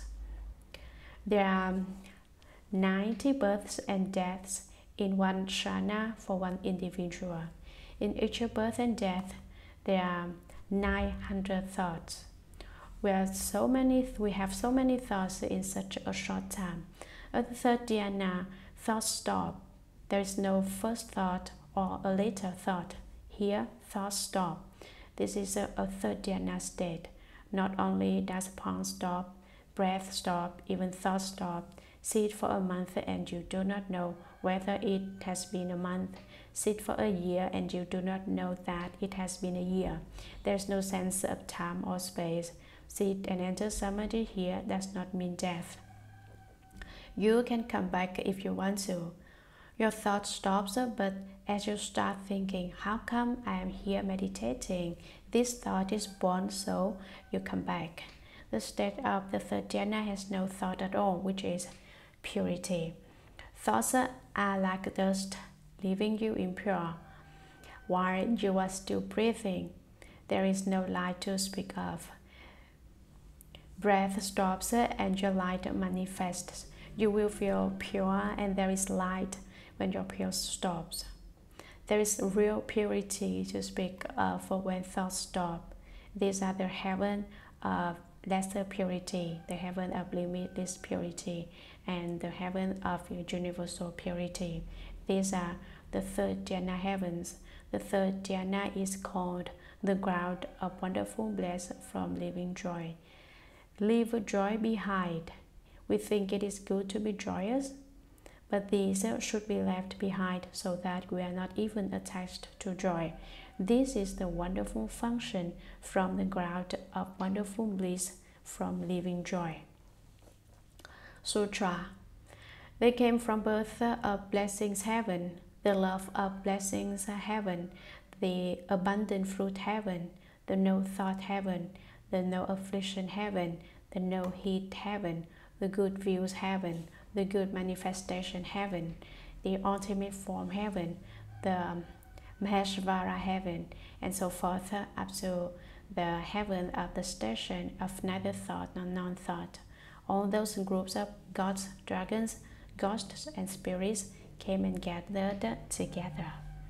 Commentary They came from the birth of blessings heaven. What is the birth of blessings heaven? Beings in this layer of heaven have entered the causes that led to suffering and abide in extreme bliss. He does not experience any suffering and is not attached to bliss. What does it mean by he does not experience any suffering and is not attached to bliss? Although Pan stops in the first Dhyana heavens, he still experiences suffering and afflictions. At the second and third Dhyana heavens, suffering and afflictions have not yet ended. At the fourth Dhyana heavens, the birth of blessings heaven, he does not experience any suffering. The seeds for suffering are no more. Although suffering disappears, is he happy? He is not attached to happiness, so he is not attached to bliss. He has left behind the suffering and afflictions of the first dhyana and the sadness of the second dhyana heavens. The beings in the second dhyana heavens have not yet ended their sadness. When they reach the fourth dhyana, the sadness of the second dhyana is gone. What are the causes of the suffering? They are desire. Desire is the cause of suffering. What are desires? Desires are the causes of suffering. Without desire, there is no suffering. Without lust, there would be no cause for suffering. Beings in the fourth dhyana heavens do not have lust. All the desires have severed, they vanish. The growth marks all disappear. There is a kind of pure blessings and virtue. This is a quality in the birth of blessings heaven, the first of the fourth dhyana heavens. Most people only know about the heavens, but how many? In the Buddhist sutras, there are all of the six desire heavens the three heavens of the first dhyana, the three heavens of the second dhyana, and the three heavens of the third dhyana. And in the fourth dhyana, there are nine heavens. The birth of blessings heaven is the first layer of the fourth dhyana heavens because his pure blessings are manifested. The love of blessings heaven, the blessings of this heaven are lovely. In this heaven, renunciation is perfected to a point that it is interpenetrating and unhindered. They can renounce what they could not renounce before, and they renounce what they can renounce, of course. They let go of what they could not let go before and let go of what they could already let go all the more. This is the perfection of renunciation. Pure in victorious understandings, he enjoys a blessing that cannot be obscured. It supersets the bounds of heaven and earth. He gets his wishes to come true and he can do as he pleases. At this time, both suffering and blessing are left behind. There is no suffer, suffering or bliss. Although suffering and bliss have left, they do not obstruct existence of the form realm. They may enjoy the realm of existence, but they accumulate merit for another pursuit, another goal. What is that? He hopes for the states enjoyed in the two heavens, above the love of blessings heaven, the abundant fruit heaven, and the no thought heaven. However, the abundant fruit heaven is one of the four dhyana heavens, while the no thought heaven is where he takes live. Before reaching the abundant fruit heaven, one may go to abundant fruit heaven or the no thought heaven. No thought heaven is a state of heretics, so it is easy to become diverted down the wrong path here. One can become born in the heavens and walk into the heretics heavens too. What is the abundant fruit heaven? The abundant fruit heaven is the fruition for ordinary beings. All the six desire heavens are fruitions that ordinary people reach. The finest state that ordinary people can reach is the abundant fruit heaven. The abundant fruit heaven leaves the defilements of the heavens below. They enjoy boundless and limitless joy in the, the abundant fruit heaven. Their spiritual powers also have endless fruitions. So it is not easy to become reborn in the abundant fruit heaven. The wonderful accord is a vast amount of wonderful accord, more than that of the love of blessings heaven. They can cultivate to reach this fruit as they so wish. This is the abundant fruit heaven. The no thought heaven. At the no thought heaven, their thoughts cease but not forever, just uh, 500 ends. His life is 500 ends, so he goes through life without develop one thought. But in 500 ends, he develops one thought.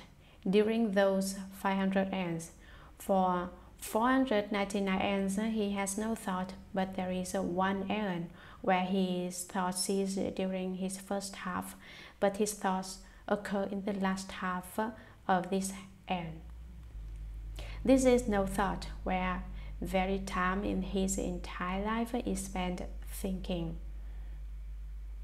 This heaven is totally occupied by heretics. Heretics reach this layer of heaven and think this is the ultimate heaven. He thinks that he will reach nirvana here. He stays here to cultivate, but he will still fall. This is a place where heretics abide the no affliction heaven. Heavenly beings have no afflictions from views or thoughts. What are afflictions from views and thoughts? Views come from greed. Thoughts are discriminating opinions due to ideas not understood or not clear about.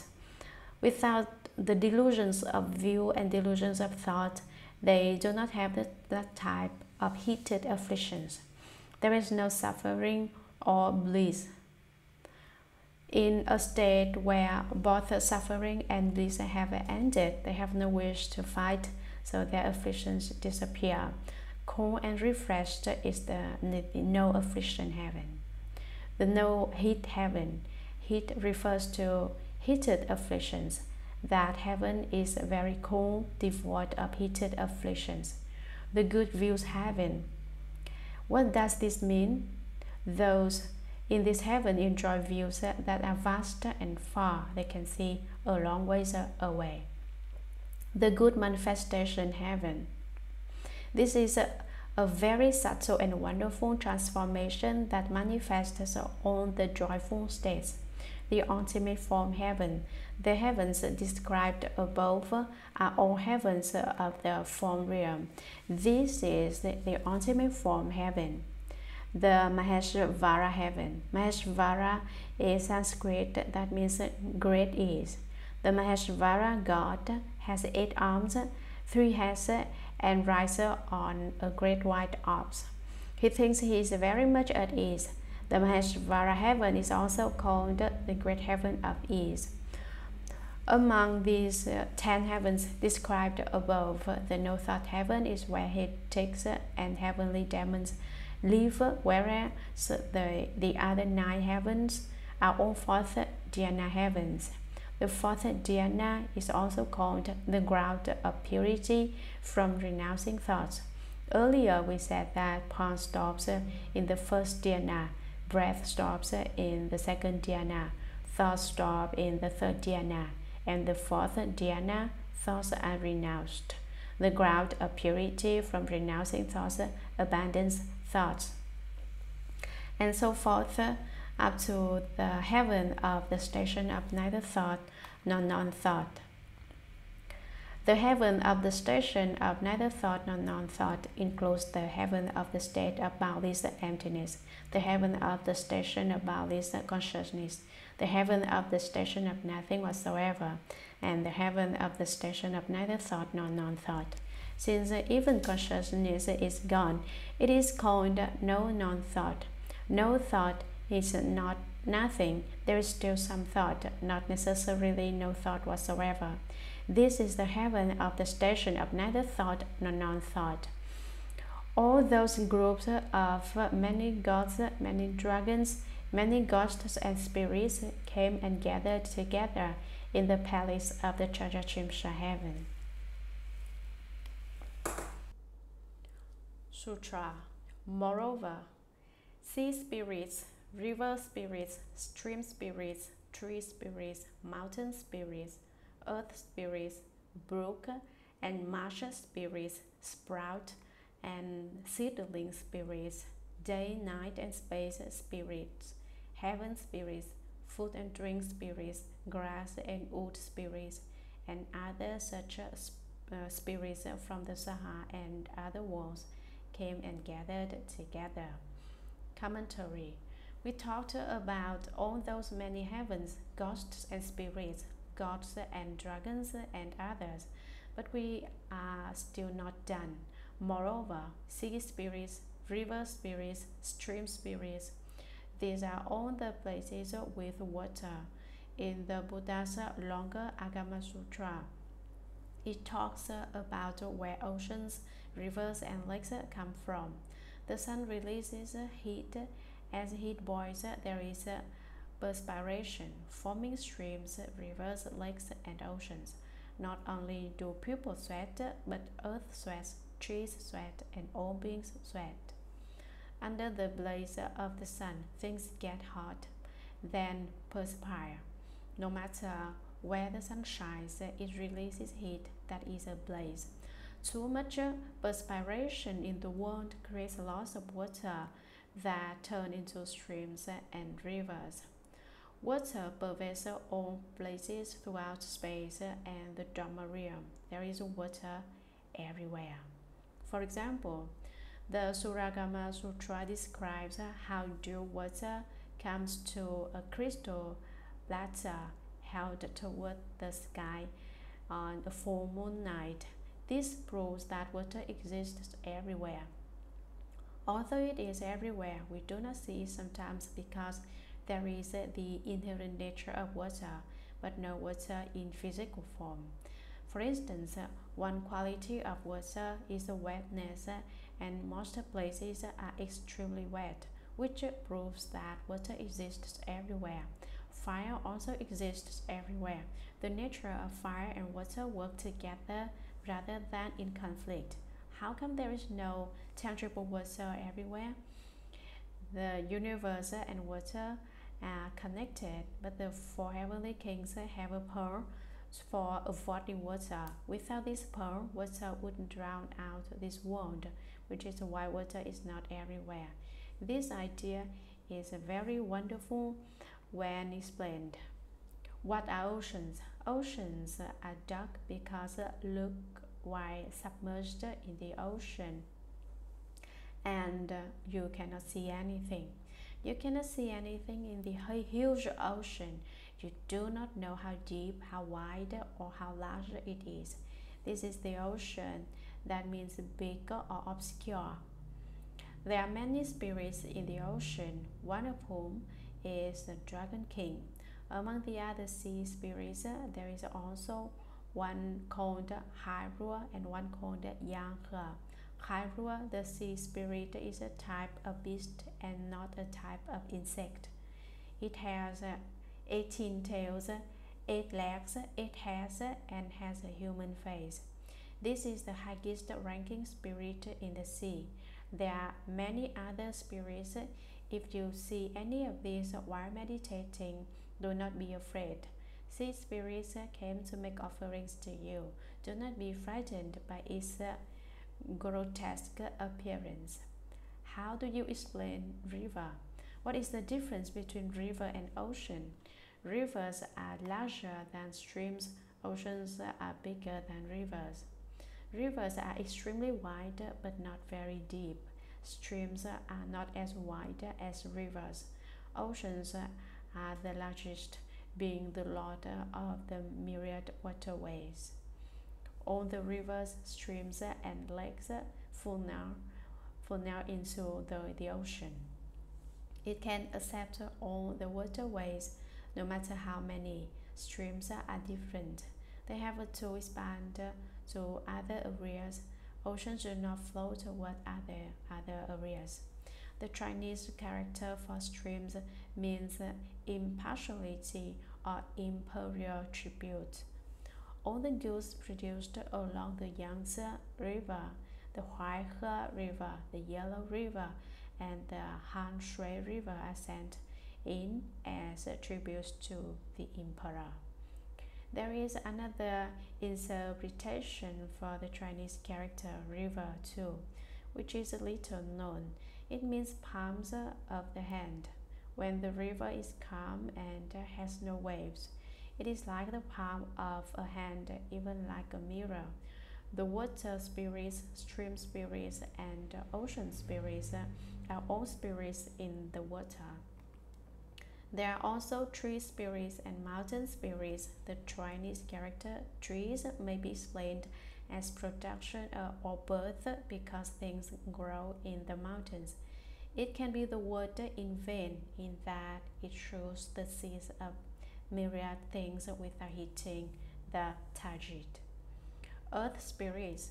Earth is explained as the bottom because it can grow all things and carry all things, so it is at the very bottom. Brook and marsh spirits. The Chinese character for brooks also means penetrate, in that brooks go through soil so other places originally without water. Marshes are also places with water. Sprout and seedling spirits. What are sprouts? Vegetation that grows to a certain height is called sprouts. Seedlings are seeds when they are being planted into the ground. As a part of the harvest, they are pits. Day spirit, a spirit that in charge of the day. Night spirit, a night in charge of the night. The divide between day and night is midnight. After midnight, it is day. After noon, night begins. Although there is not officially the sun at midnight, yang energy has developed already. People usually experience lust from 3 a.m. to 5 a.m. because the yang energy emerges. Without lust, there is wisdom. Go down one direction, it turns into wisdom. Go down another direction, it turns into lust. This is similar to the fork at the road to the abundant fruit heaven and the no thought heaven. Maintain proper thoughts and then you go down the direction that is your wisdom. Go down the other direction and your desire is helped. After uh, noon is when yin begins. Lust develops at night too. Instead of moving down the path of lust, you would be moving down the path of wisdom. There is also a fork in the road leading either to yin or yang. It is up to you on how you will travel. And space spirits. Who are space spirits? Space spirits refer to Shunyata in Ananda's verse before the Shuragama mantra. Even could the nature of Sunyata melt away, my Vajra-like supreme resolve would still remain unmoved. Do not just let what you hear go by thinking you are not greedy because you are not even greedy for the Dharma. Not being greedy for the Buddha Dharma, you better not greedy for worldly Dharma either. If you are not greedy for the Buddha Dharma but are greedy for worldly Dharma and sit around counting your money all day, then that is a problem too. Heaven spirits, food and drink spirits. There are spirits to food too. Spirits supervise people's food intakes, even if it is just one mouthful of water, one fruit, or one food item for the day. If you believe it, it exists. If you do not believe it, it still exists, but you just don't know about it. It is a stupid idea to say that it does not exist unless I believe it. Whether you believe there is such a spirit, it exists. There was a Duan Zhengyuan in Beijing. Most people called him Master Duan. He met someone who was in charge of the amount of food, water, alcohol, sugar everyone takes in the day. It is fixed. How did he supervise all this? He slept every day. His father was a commander or some type of officer of that sort with uh, 400 or 500 people under him. This son was 20 or 30 years old but did not work and slept all day. The father was very upset, thinking, I am 50 or 60 and I have to work to take care of you. You are 20 or 30, but you do not bother to do any work at all. What use are you to the world? He could not help but scold his son. His son said, You are an officer in the human realm, but I am an officer in the underworld. What kind of an officer are you in the underworld?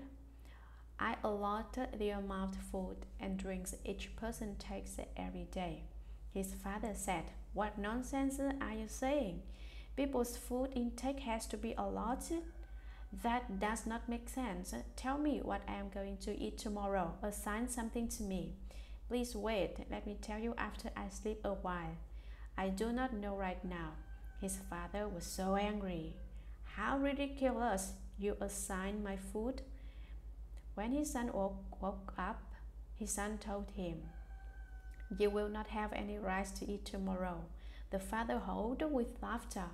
A high ranking officer like me has no food to eat, then what will I eat?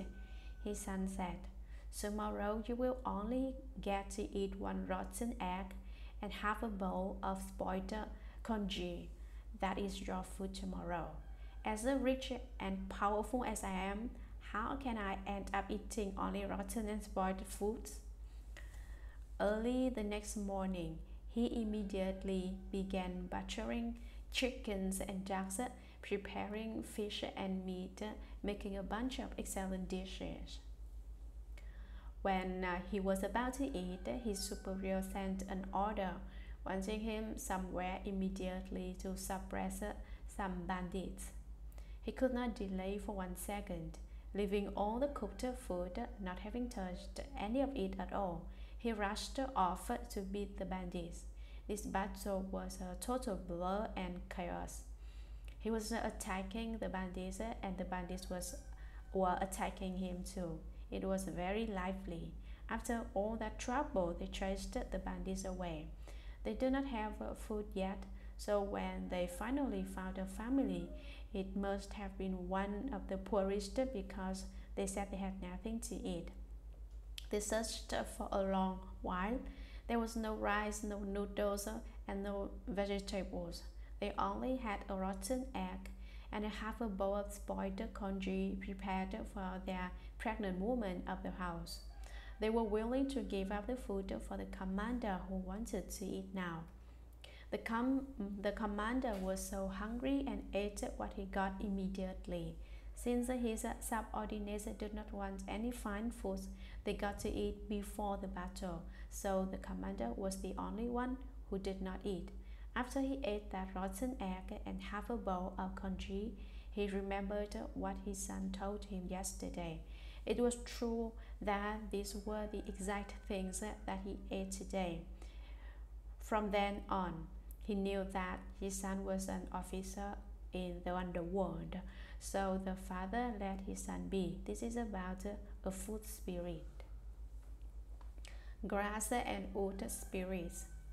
There are spirits to grass, spirits to woods, and spirits to trees. Trees stand erect. The largest tree in southern Jambudvipa is its tree king. When trees are big, they become villages for ghosts and spirits. Ghosts and spirits depend on these trees because they either suffer without these trees as dwellings or enjoy themselves living in these trees. Large trees are called villages for ghosts and spirits. During the time of Cao the three kingdoms, everyone referred to a large tree as a tree spirit. Cao did not believe the pupil and ordered the tree chopped down. Thereafter, he experienced headaches all the time.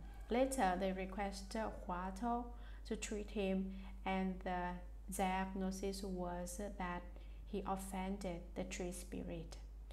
For divisions, Vinaya proscribes bhikshus from chopping down any large tree because there are ghosts and spirits living in them. For example, there was a camphor tree at Nanhua Monastery that requested to receive the precepts from Elder Master Hsu Yun. Elder Qin Shan of Nanyu also had a tree that bore white fruits request precepts from him. There are many incredible examples of true spirits requesting to receive the precepts. I told you earlier that whether you believe in the spirits or not, they exist. It does not mean the spirits do not exist because you do not believe they exist. Most people will say what exists for them is what they believe, and what they do not believe does not exist for them. With these things, though, they exist whether you believe it or not. For instance, there are gold mines in the ground whether you know it or not, believe it or not. You believe that there are spirits because you know, whereas you do not believe there are these spirits because you do not know. It is not because these spirits do not exist, but that you essentially do not have the knowledge and wisdom to know. We do not simply follow everyone's uh, everyone else's mistaken understandings. And other such spirits, many others in addition to the ones mentioned here, from the Saha and other ones came and uh, gathered together at the Trayastrimsha heaven to listen to the Buddha speak the Dharma. There are many natural and man made disasters occurring in San Francisco now. Most recently, a typhoon killed more than 90 people in the disaster area. This kind of disaster occurs because living beings' evil karma ripened. Someone said around May of last year that seismologists predicted earthquakes, but I wrote a guarantee that as long as I am in San Francisco, there will be no earthquakes, but I will not bother if I am somewhere else outside of San Francisco. I do not like earthquakes. I do not want people around me to fall over into the ocean. Why? I do not want to see the Dragon King. I do not want to befriend the spirit, the sea spirit with the eight heads, eight legs, and eighteen tails. Out of the eight heads, four of Four are of male features and four are of female features. One body with eight heads of four couples is very strange. It does uh, things strangely, so it is very special. I do not want to interact with it or let people who stay with me see it. I am not being selfish, but because nothing good will be accomplished by visiting it. Someone told me again this year that there will be earthquakes in March or April. Will I be another insurance company that offers guarantees this year? It is the same. In short, do not forget what I said last year. As long as I am in San Francisco that day, I guarantee there will be no major earthquakes, though not minor problems. During this age, where Dharma is on the decline, there are many natural and man-made disasters, so I hope everyone will recite Quan Bodhisattva's name more, recite Earth Store Bodhisattva's name more. This way, San Francisco will be as stable as Mount Tai without major problems.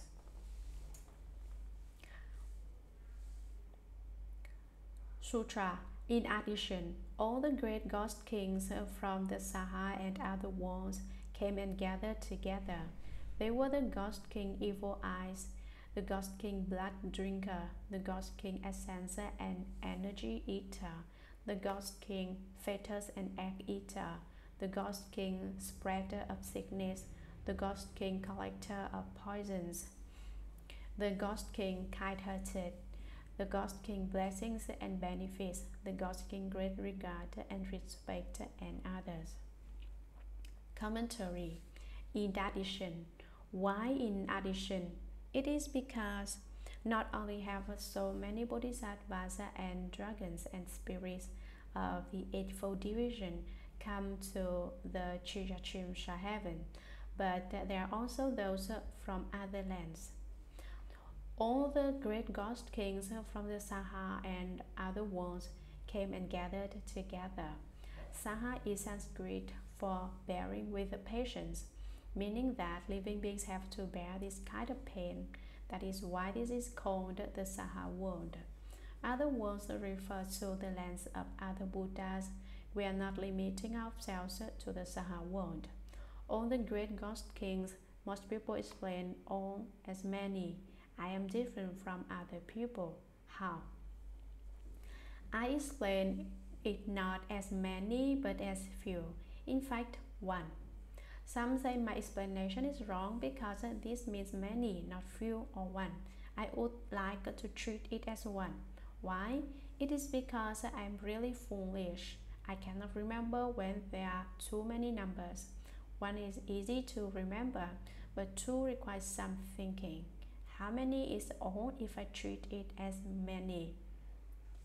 It is innumerable, which is pro problematic. So I explain it as one. All is one and one is all. Many is one and one is many. This is how I am different in explaining the sutras. All the great ghost kings in my explanation are one ghost king. Which one?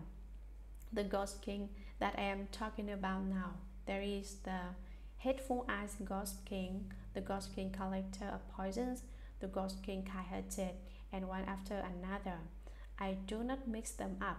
In Chinese, this or can also be an auxiliary, verb word to mean all those or all of one. In Chinese, this all can also be an auxiliary word to mean all those are all of one. This is my unreasonable explanation of the Chinese word true. True as one. I'm explaining this to you because if I do not, you disagree and think I lectured the sutras wrong. So now I explained it to you. Where did this many come from? Look for its source. The many came from one or even none. Since many came from one, you might count from one. Remember one, you will know about two and three. deduce uh, along this fashion, you end with one is uh, infinity and infinity is just one. One disperses into infinity. Infinity returns to one. We must return to one as we cultivate. What are we cultivating? We are cultivating this mind. What should we do with the mind? The mind must concentrate. As it is said, reach a singleness of focus, and everything is achieved. Reach that single one, and there will be no problems. Cultivation is about cultivating this one, cultivating to focus your thoughts. Once your thoughts focus, you can uncover wisdom. If your thoughts are not focused, then you are chasing for answers outside. If you can avoid letting a thought occur, that is even more wonderful. Not one thought occurs and the entire substance manifests. The six senses move suddenly and they are covered by clouds. Although the Sutra text describes so many ghosts, if you do not even let one thought occur, there is not one ghost. Not only one ghost, but not even one spirit, one Buddha or one Bodhisattva. There is nothing, and yet that is when everything manifests. At this time, the Buddhas come, the Bodhisattvas come, sound hearers, those who enlighten to conditions, practical Buddhas, and all show up. Why? Because you are gone. If you were present, they would not come. This where it is so wonderful and truly inconceivable. This also applies to true. At the same time, do not mistake true as merely one. Not even one came. All these great ghost kings, but they are all gone. This world vanishes, and this world vanishes. What do you have to worry about? No sadness and worries, no obstructions and impediments. By then, the nature ends, the hearing is quiet, and one is the universe. The human nature, self nature, and material nature And By this time, you are heaven and earth. Heaven and earth are you. You are all Buddhas. All Buddhas are you. You are not two and no different. Where is the you, I, or he? How could there be so many marks of the self, marks of pupil, marks of living beings, and marks of lifespan? Since everything is gone, what do you have to worry about? All the distresses are cleaned up. By that time, it is purity without remainder. Not only thought occurs and the entire substance manifests. The six senses move suddenly and they are covered by clouds. See, such states are really wonderful beyond words. Wonderful beyond words, so never mind the words. Let's not talk about it. No, I like to talk, so I will keep talking. Unspeakable, unspeakable. Who knows what is unspeakable? Speak on what? Speak about all the great ghost kings. All these great ghost kings are really mean. Ghosts are all mean. The ghost I am talking about here has a very long legs. How long? I don't know how long. They must be several yards. In general, even some professors in China do not recognize ghosts because their legs are so long that most people do not see where they are actually. This word ghost in Chinese is um, a homonym for returning. The Chinese has a saying about how dying, how dying is coming home, returning to a place of offenses. Ghosts return to the house, their home. Why do they believe the house are their home? It is because they are lost. Let me try an English uh, homonym for ghosts. Go. They go to their house. Why? Because they think that place is fun, the best. They run to the mountain of knives, trees of swords, works of orbs of oil. They go and go, going to the house, to the realm of hungry ghosts, to the realm of animals. So, an explanation according to Chinese is a returning, while an explanation according to English is going. This is a simple explanation of mine.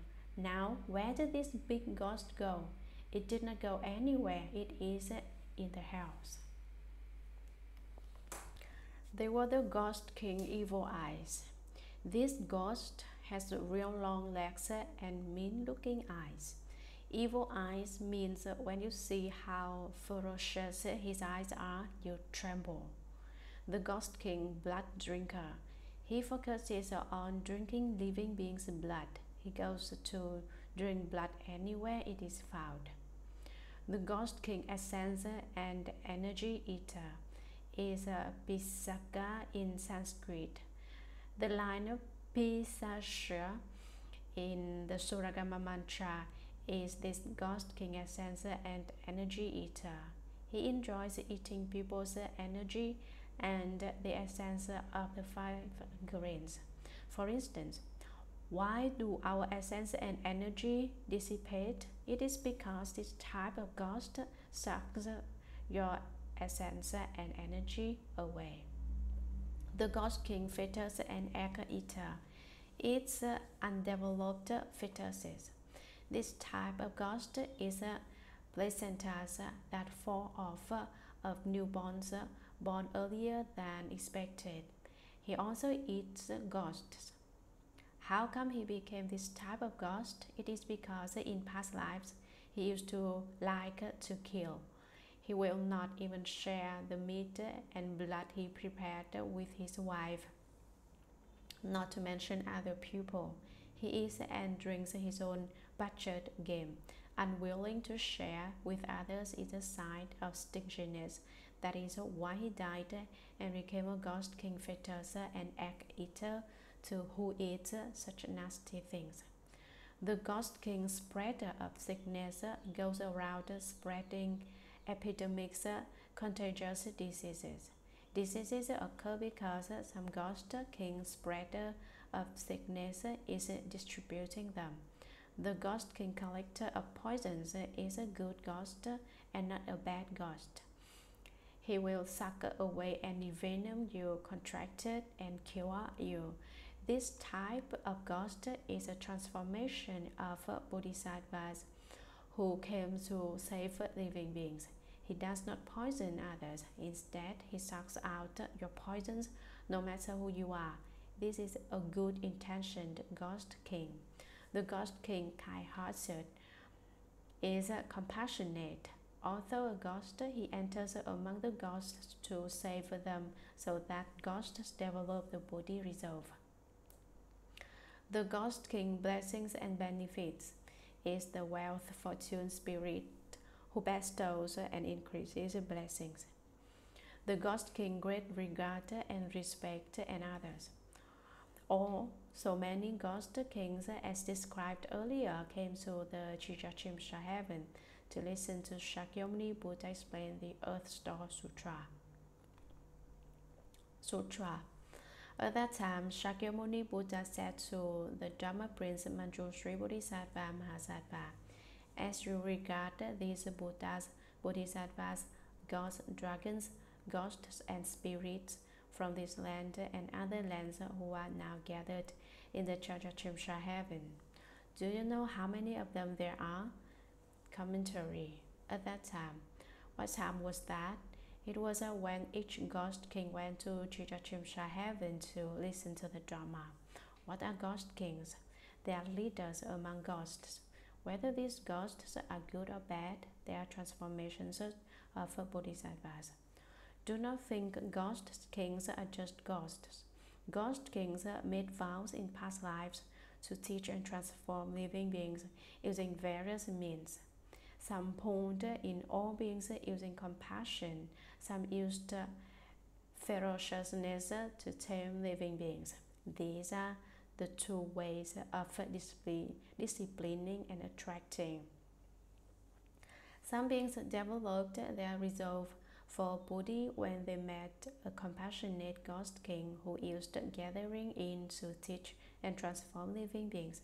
Some beings met ferocious looking ghost kings and developed their resolve for Bodhi an example of teaching and transforming living beings with disciple, discipline.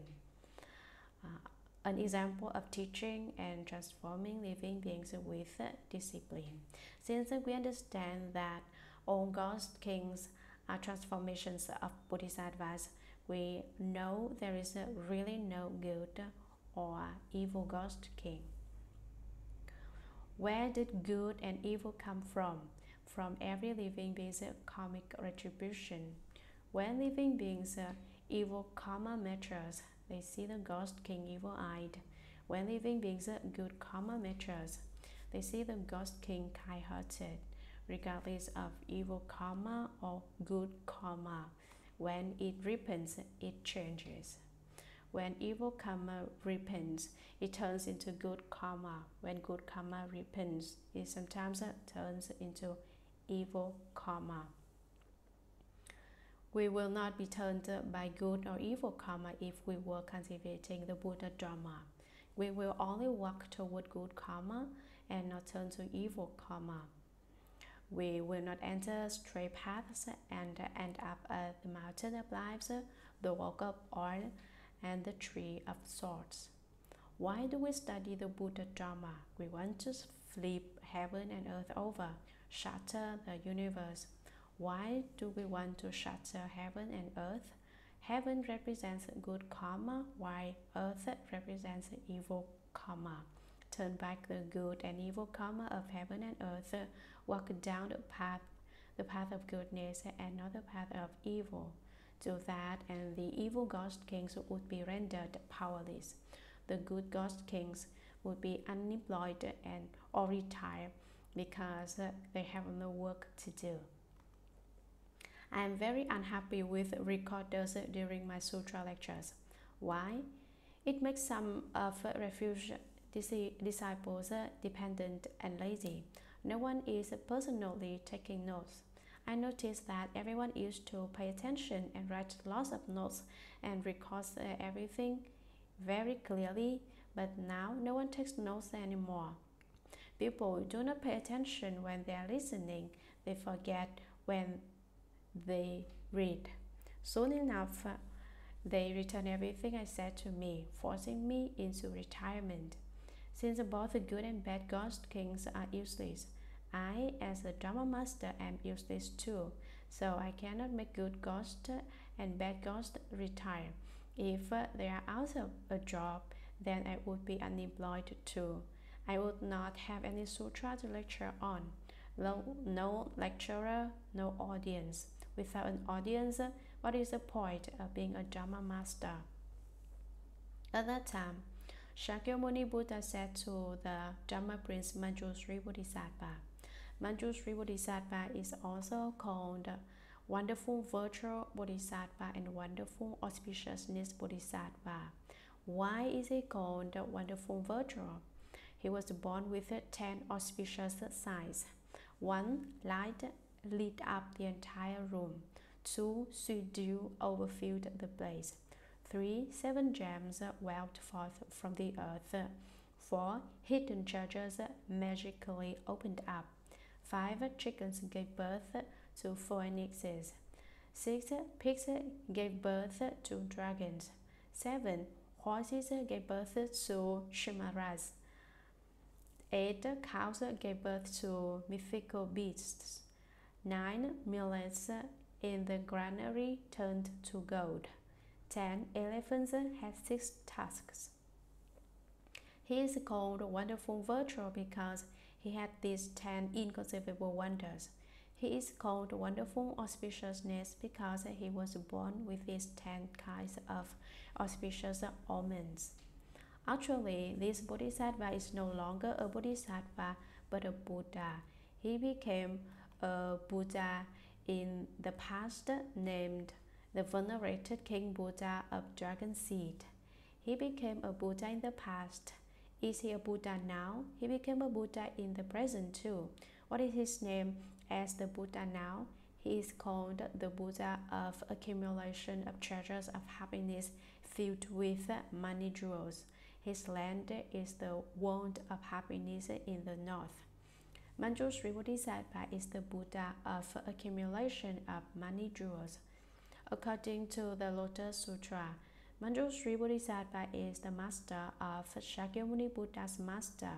What does that mean? The Buddha of light from sun and moon had eight sons.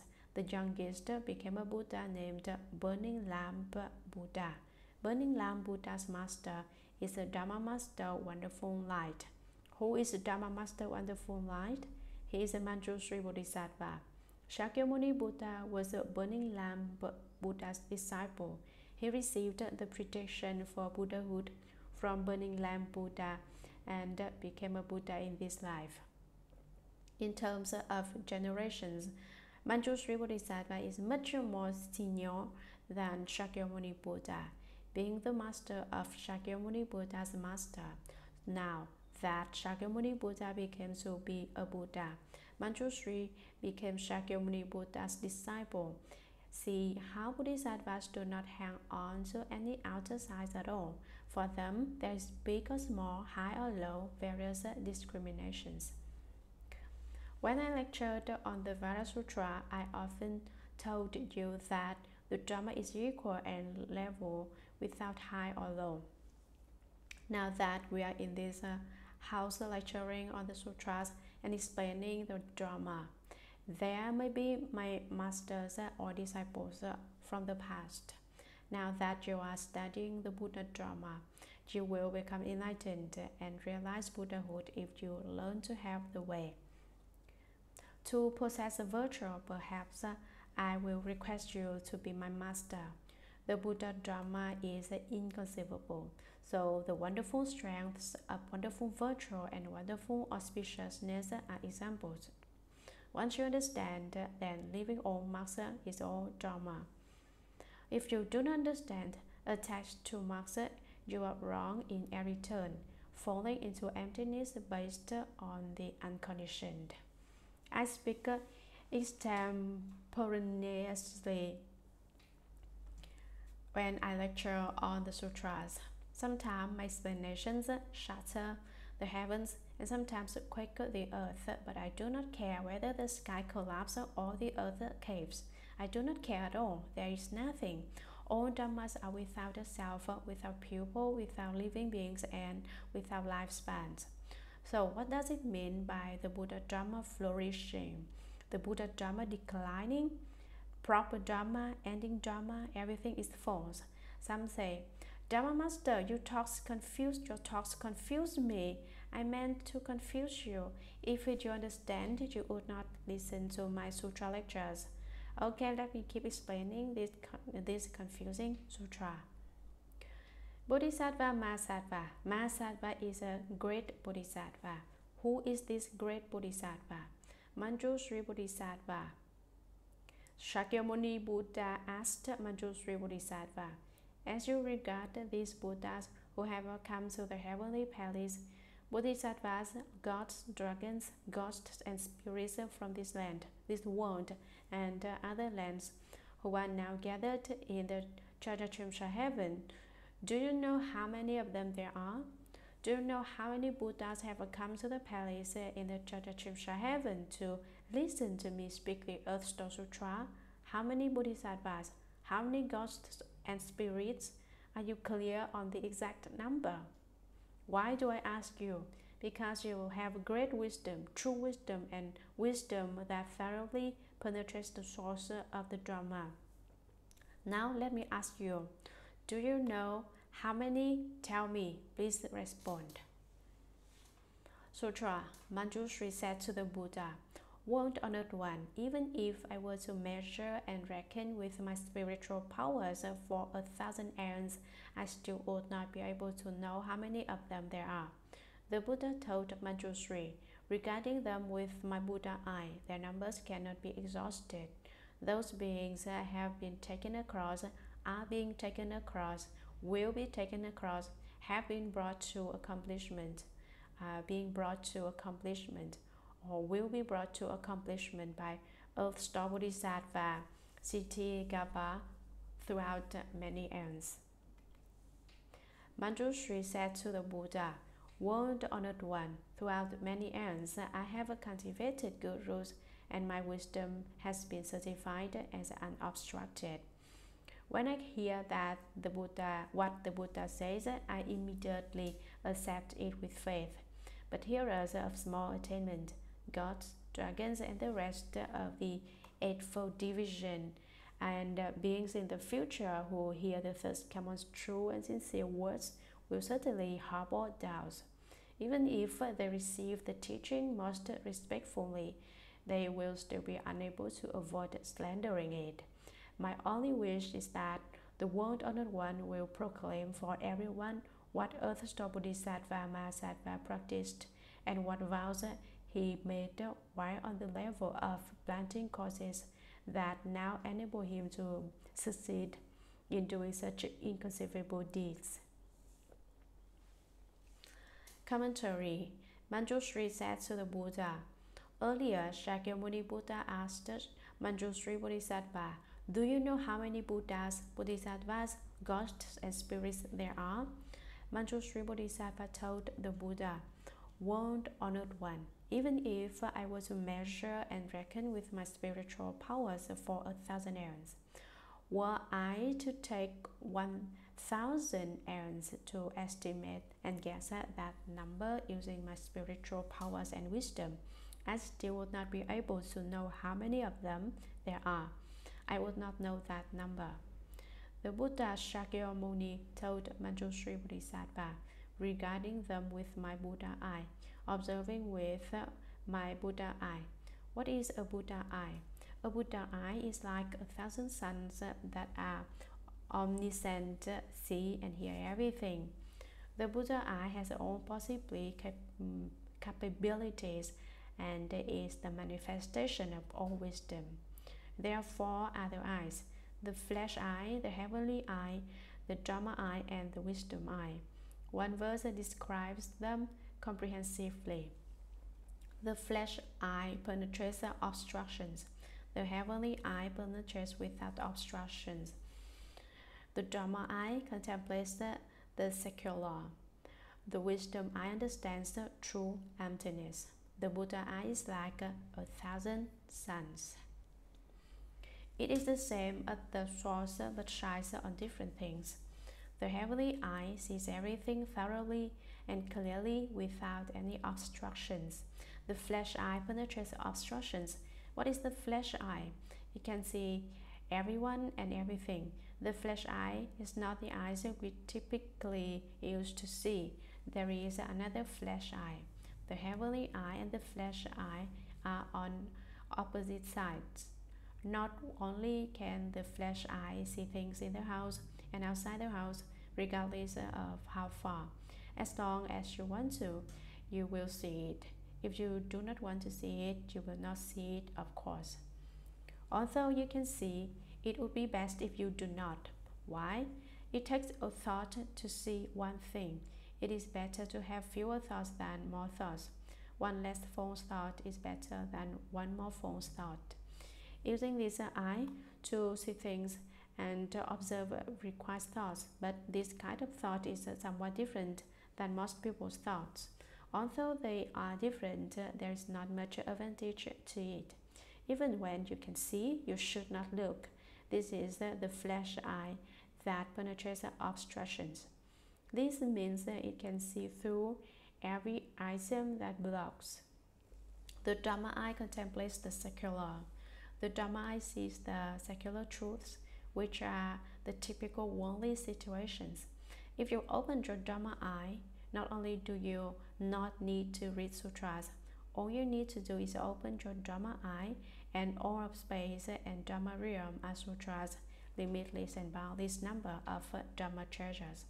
As long as you have the purity to the, to the Dharma eye, you can universally observe the true marks of all Dharmas this is the Dharma eye that contemplates the secular. The wisdom eye understands true emptiness. The wisdom eye observes emptiness.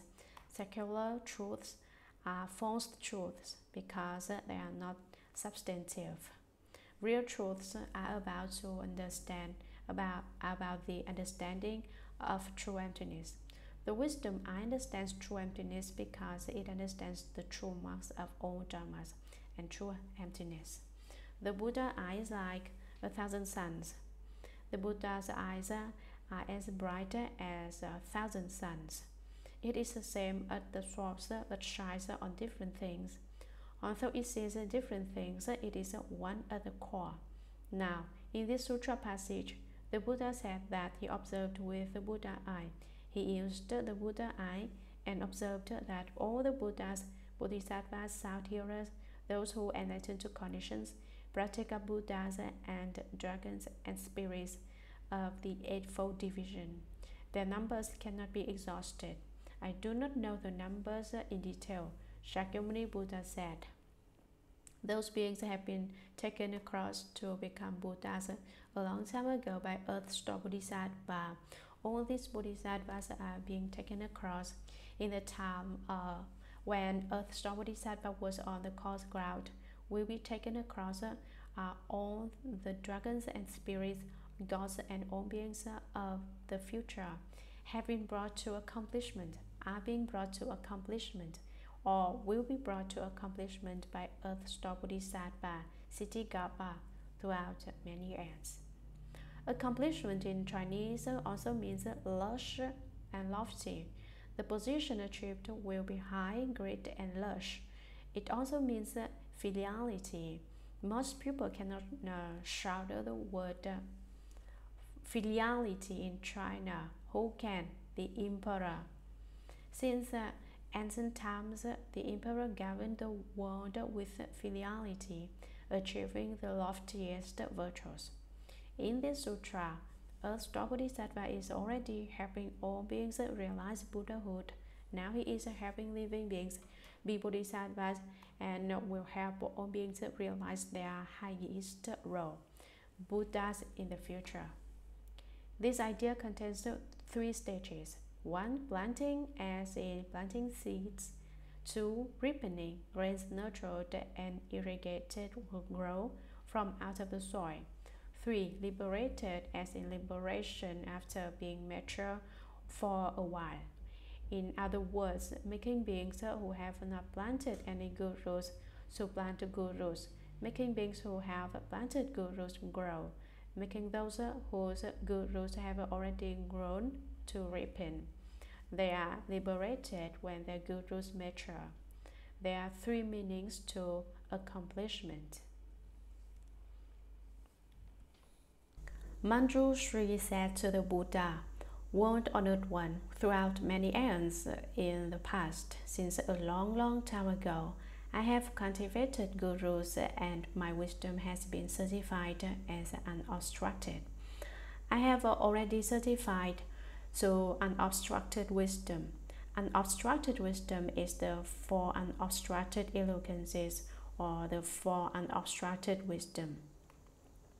The four unobstructed eloquences are 1. The unobstructed eloquence of Dharma. The Dharmas spoken are very reasonable. Though it is one principle, it can be broken down into millions and millions of principles.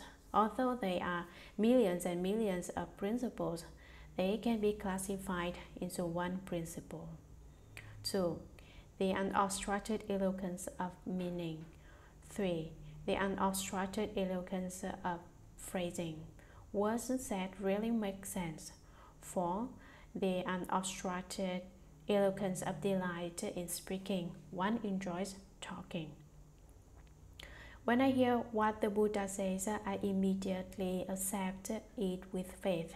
Since I, Manjushri, cultivated my Yana dharmas in the past, I believe instantaneously what the Buddha says, but hearers of small attainment, such as sound hearers, those who enlighten to conditions and positions in the Theravadan tradition, gods, dragons, and the rest of the Eightfold Division, such as Yakshas, Gandharvas, Asuras, Garudas, Kinnaras, and Mahoragas, and all beings in the future who hear the Thus Come One's true and sincere words will certainly harbor doubts.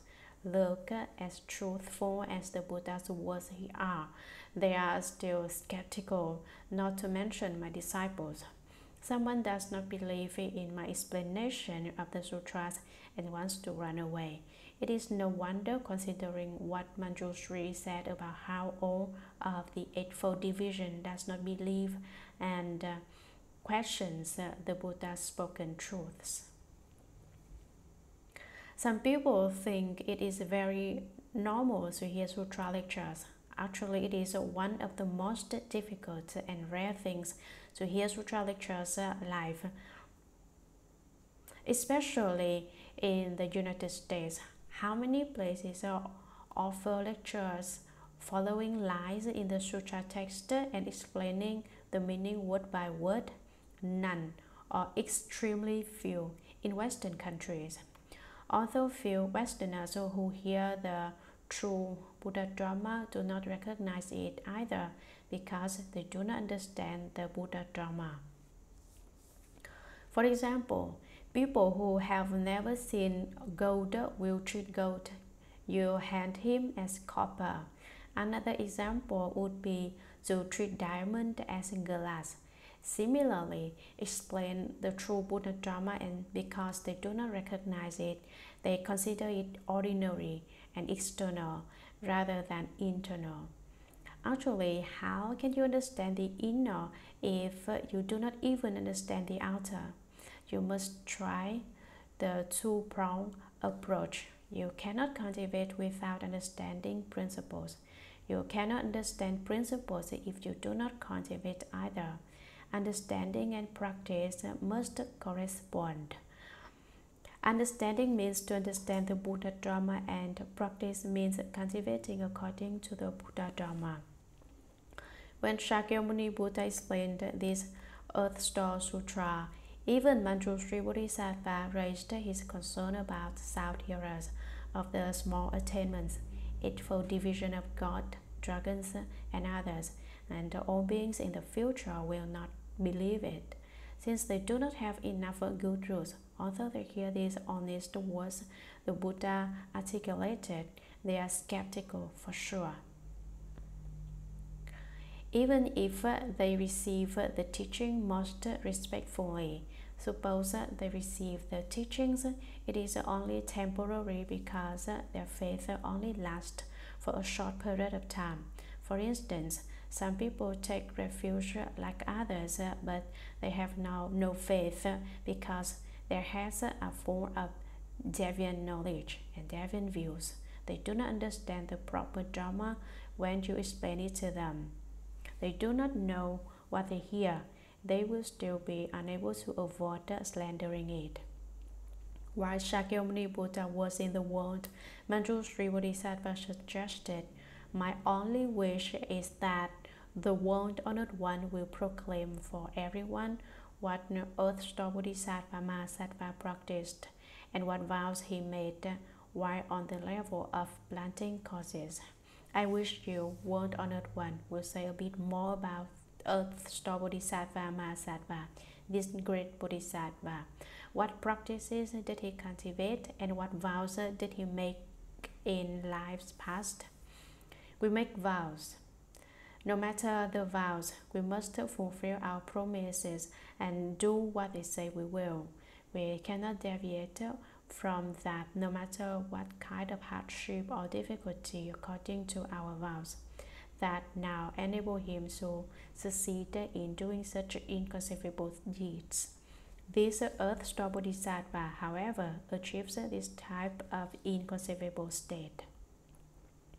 Sutra The Buddha said to Manjushri, by way of analogy, suppose that each blade of grass, tree, forest, rice plant, hemstock, bamboo, reed, mountain, rock and dust mote in a 3000 great thousand wand system was a Ganges river. Then suppose that each grain of sand in each of those Ganges rivers was a wand that and that each dust mote in each of those wands was an aeon. Then suppose that each dust mote accumulated in each of those aeons was itself an aeon. The time elapsed since Earth Store Bodhisattva was certified to the position of the tenth ground is a thousand times longer than that in the above analogy. Even longer was the time that he dwelt on the levels of Hira and Pratyeka Buddha. Commentary The Buddha said to Manjushri, Shakyamuni Buddha told Manjushri Bodhisattva, Let me give you an analogy. By way of analogy, suppose that each blade of grass, tree, forest, rice plant, hemp stalk, bamboo, reed, mountain, rock, and dust mote in a 3,000 great thousand world system was a Ganges River. We are not talking about just one of each of these items, but all the grass, all the trees, uh, rice plants, usable hemp stalks, etc. How many bamboos and reeds are there in the 3000 great thousand world system? Can you count all of them? You cannot. Lots of dust motes become mountains. There are so many things in the 3000 great thousand world system. If each item was one, what would be the total? If every blade of grass counted as one Ganges river, then the number of Ganges rivers that existed would be uncountable. Not only every blade of grass, but every tree, forest, rice plant, hemp stalk, bamboo, and reed too, to count as one Ganges river. One item is one Ganges river, two items are two Ganges rivers, three items are three Ganges rivers. Four items are four Ganges rivers. The number of grass and trees are practically infinite, so there would be infinite Ganges rivers. This means that there are so many that the figure cannot be calculated. If each item were to turn into a Ganges river, how many sand grains would be in those Ganges rivers? Then, suppose that each grain of sand in each of those Ganges rivers was in the world. If every sand grain in all those Ganges rivers were a 3,000 great thousand world, and that each dust mote in each of those 3,000 great thousand worlds was an aeon, then suppose that each of those mote accumulated in each of those aeons was itself a great aeon.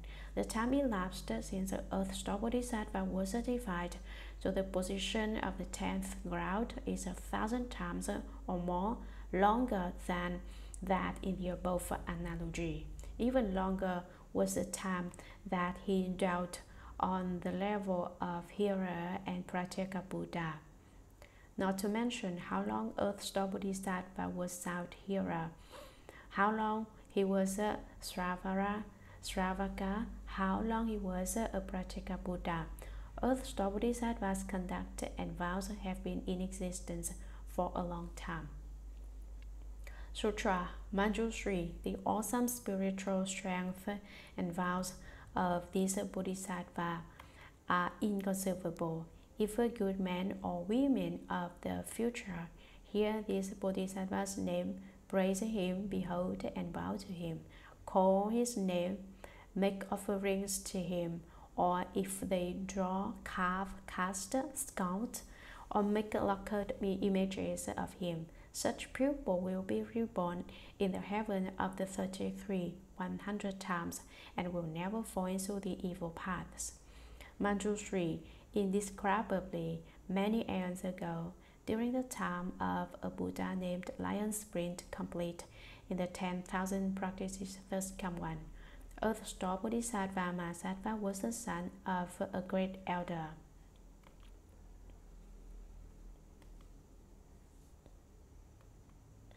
Commentary Manjushri Shakyamuni Buddha called out the awesome spiritual strength and vows of this Bodhisattva are inconceivable. Which Bodhisattva is the Buddha referring to? Earth Store Bodhisattva.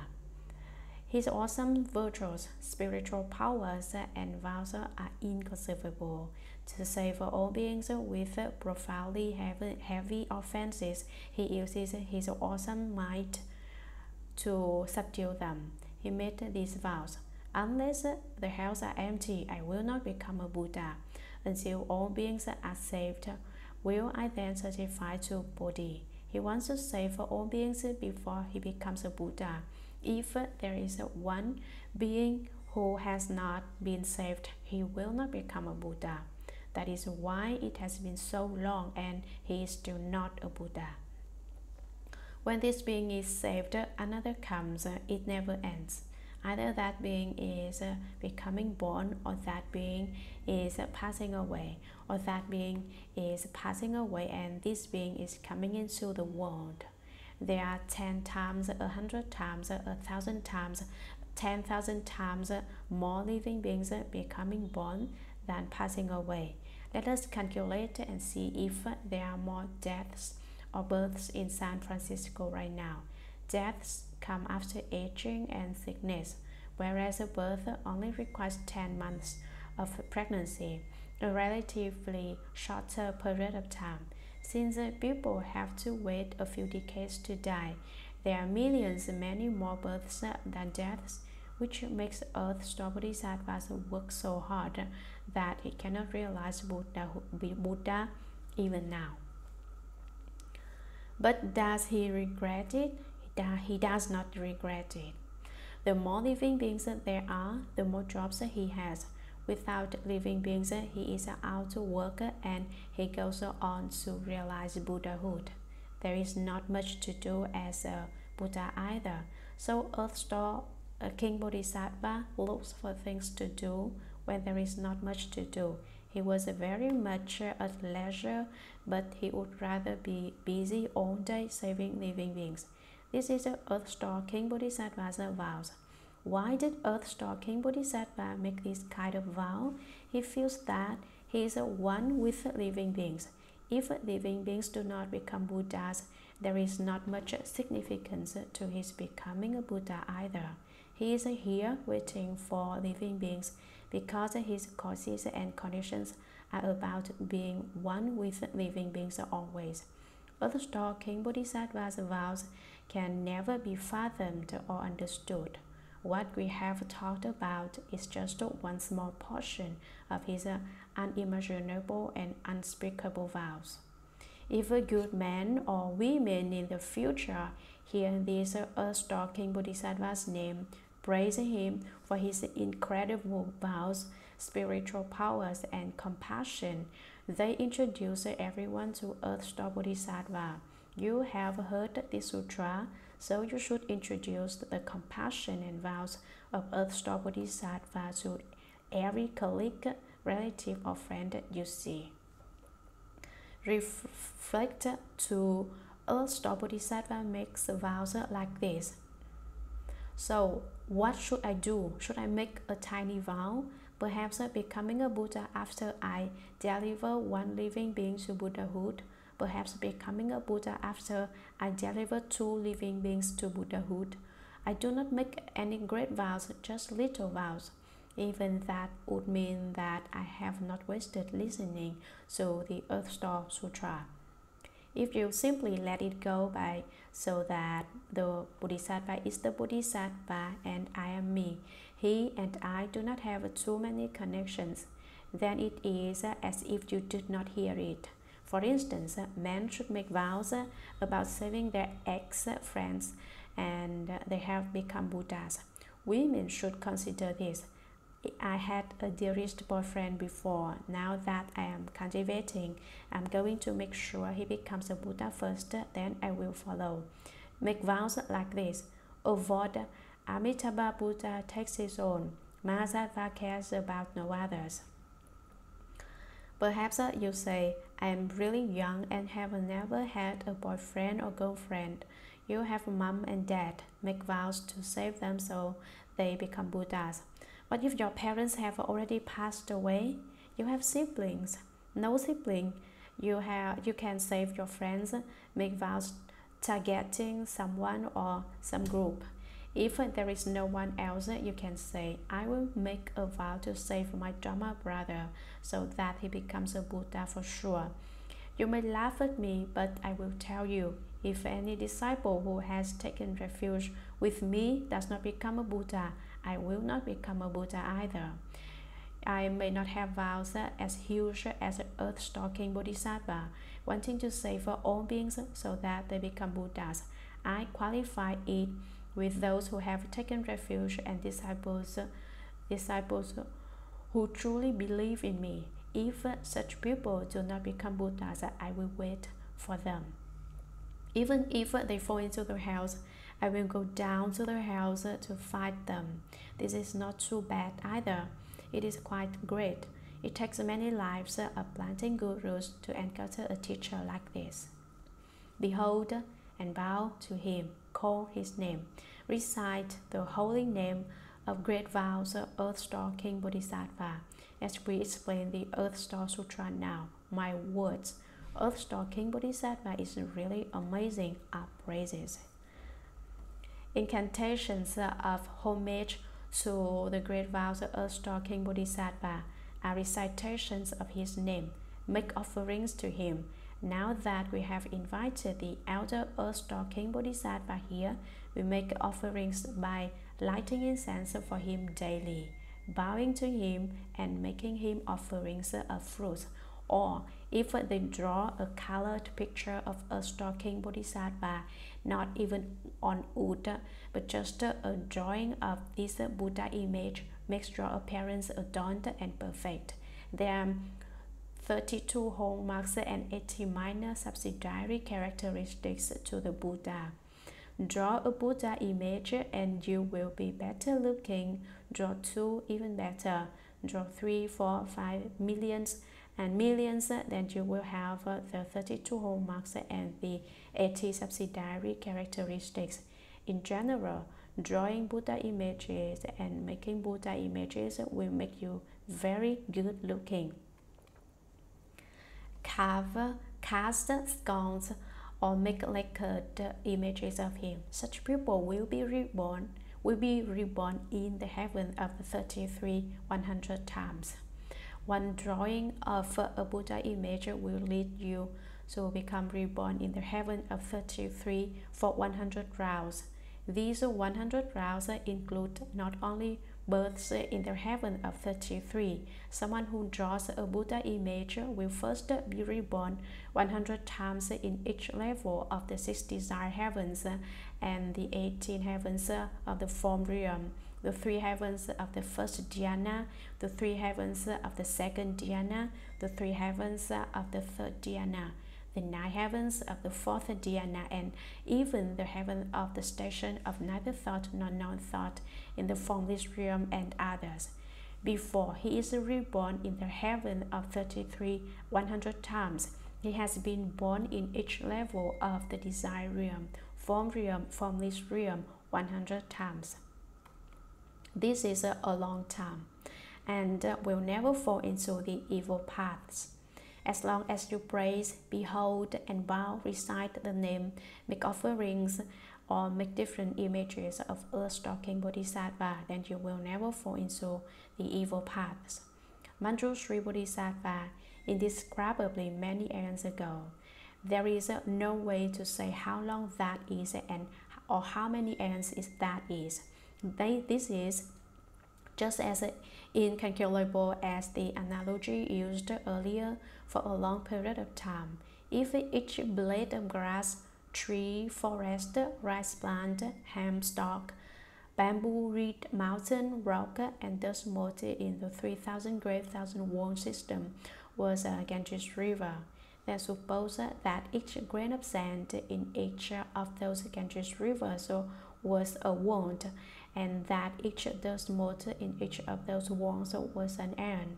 Then suppose that each dust mote accumulated in each of those aeons was itself an aeon. This number is bigger than and more difficult to calculate than the number representing the amount of force required to send a rocket to the moon. We are using math to calculate the force needed to shoot a rocket into a certain spot in space to stop it and to orbit it. After the exact figures needed for fuel, fuel have been calculated with mathematics, the rocket is shot into the atmosphere. This is calculable. However, no matter how advanced mathematics develops or how precise science gets, there is no way to calculate the number of ants that a Store King bodhisattva has gone through. During the time of a Buddha named Lion Sprint complete in the 10,000 practices thus come one. Earth Store Bodhisattva Mahasattva was the son of a great elder. At that time, there was a Buddha in the world named Lion Sprint. Lions are the king among beasts. As long as a lion roars, all the beasts are frightened into paralysis and collapse or become numb. The name of this Buddha is like a lion. Sprint is an indication of the speed at which lions run.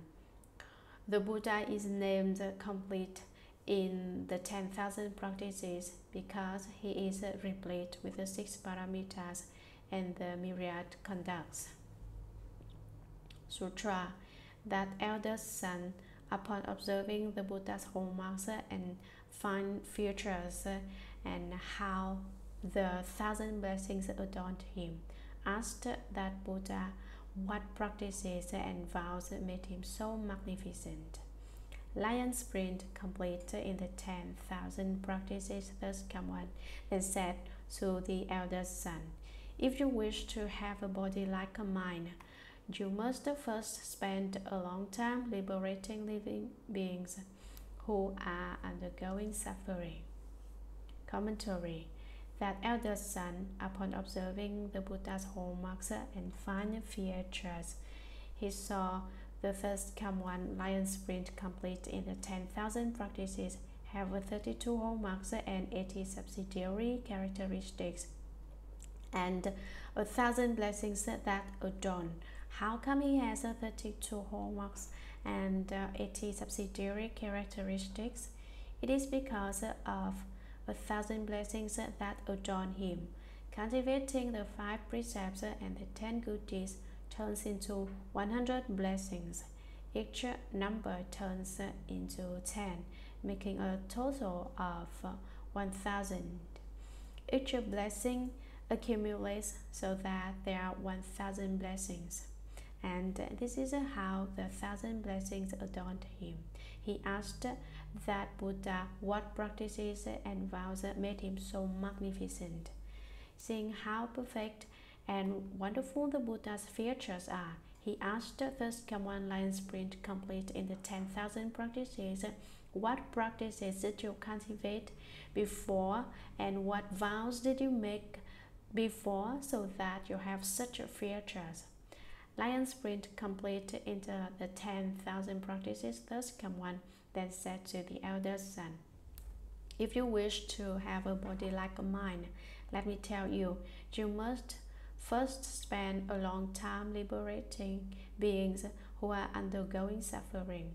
When all beings who suffer are saved, leaving behind their suffering, then your appearance will be perfect, meaning that once you save living beings so that they become Buddhas, you become Buddhas.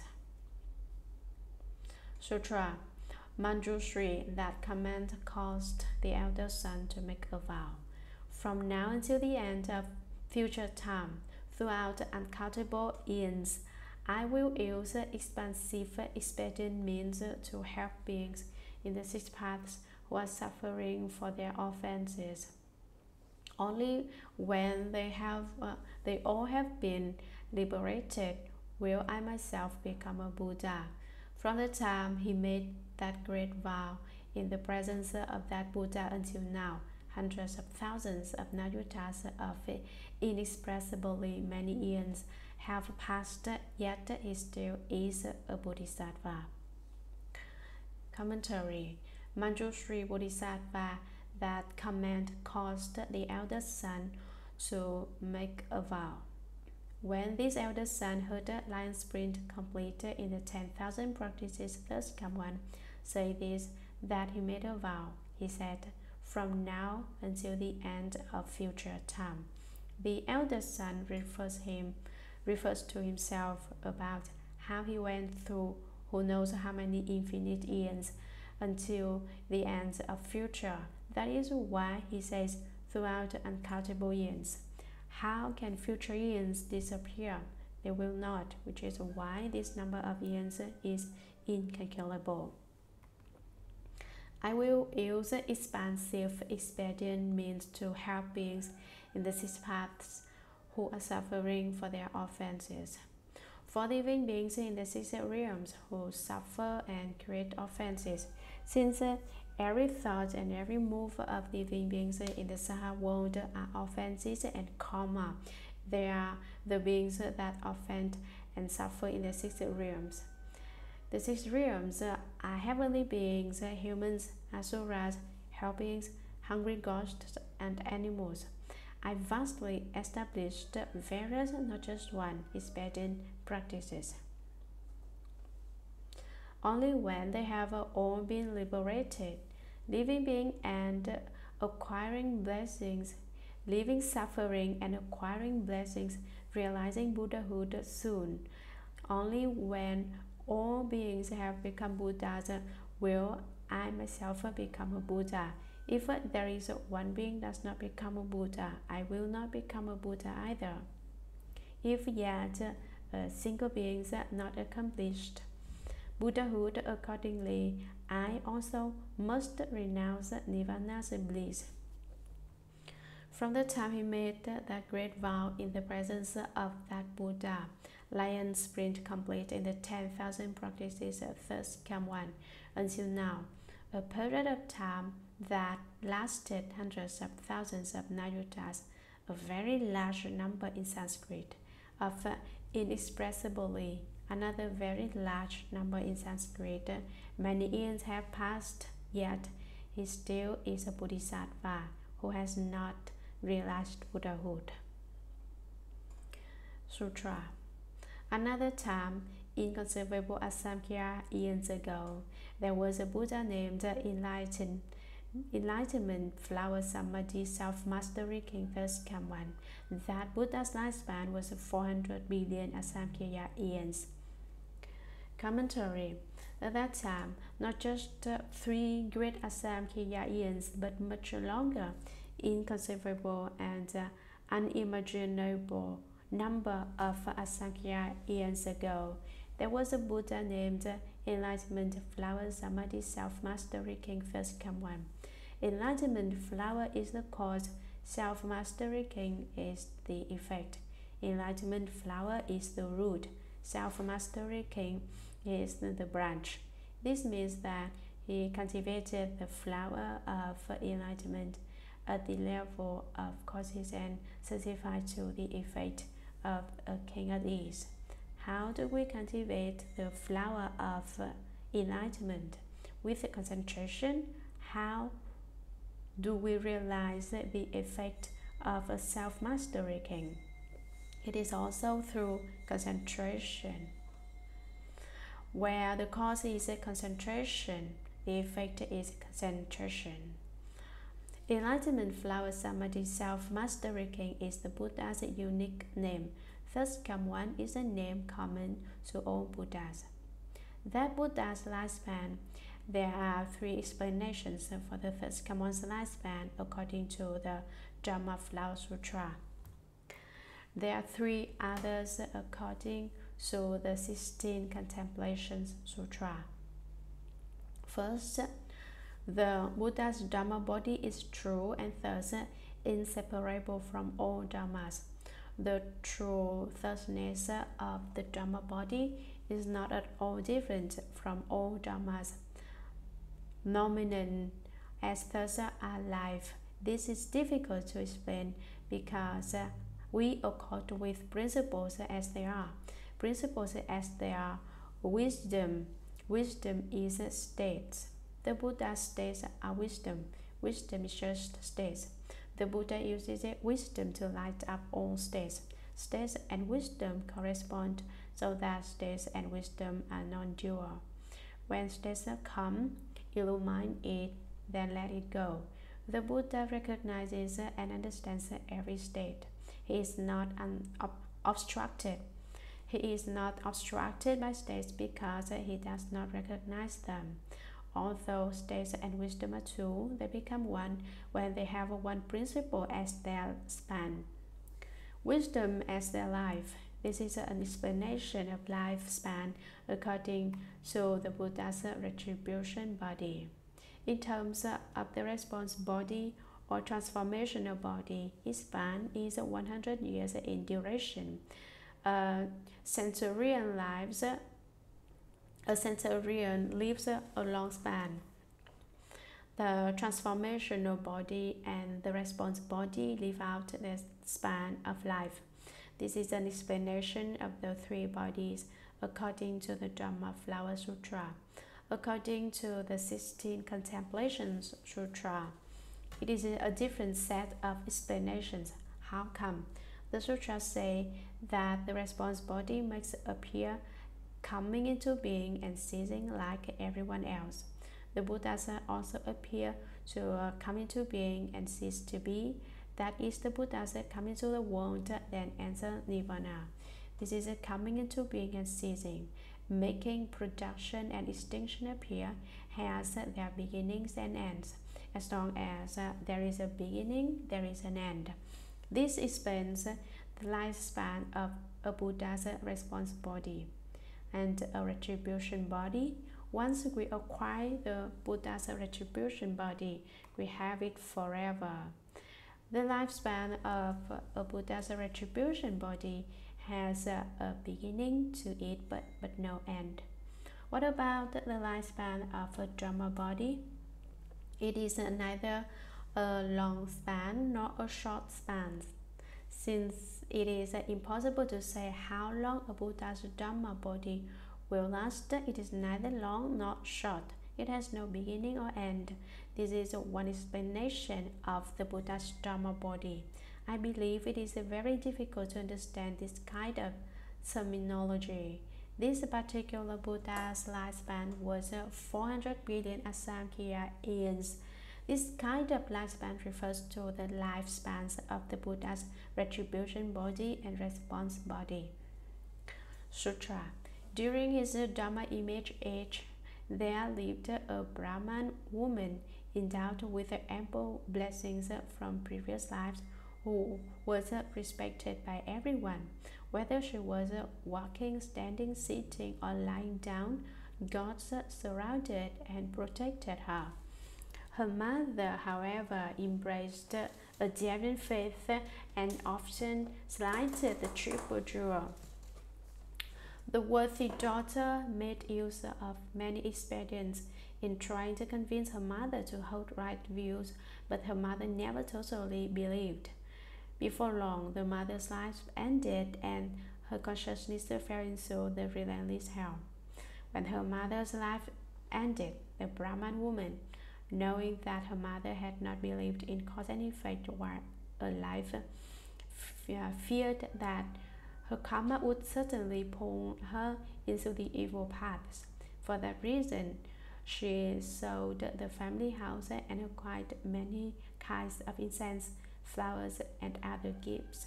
With those, she performed a great offering in that Buddha stupas and monasteries. Commentary During his Dharma image age, there are three eras to the Buddha Dharma the age of proper Dharma, the age of image Dharma, and the age of decline of Dharma. During the age of proper Dharma, most bhikshus, bhikshunis, upasakas, and upasikas cultivate sincerely and certify to the fruition. This is the age of the proper Dharma, the image Dharma, there are fewer cultivators. The focus is on the superficialities, uh, such as repairing stupas and building temples. They are firm in building temples. People all enjoy doing merit by constructing Buddhist temples and Buddhist stupas. They enjoy pursuing blessings and not wisdom. This is the, the image Dharma age where people solid in constructing temples. The proper Dharma age lasts 1000 years. The image Dharma age lasts 1000 years. The decline of Dharma age lasted 10,000 years. We are now in the age of Dharma on the decline. People during the age of Dharma on the, the decline are firm in fighting.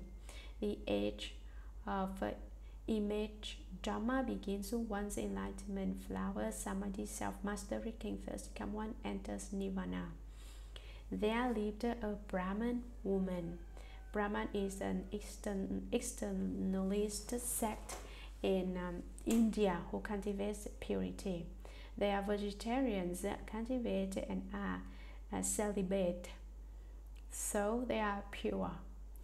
Brahmans cultivate this kind of practice of distance themselves, but they do not have the essence, the ultimate principles.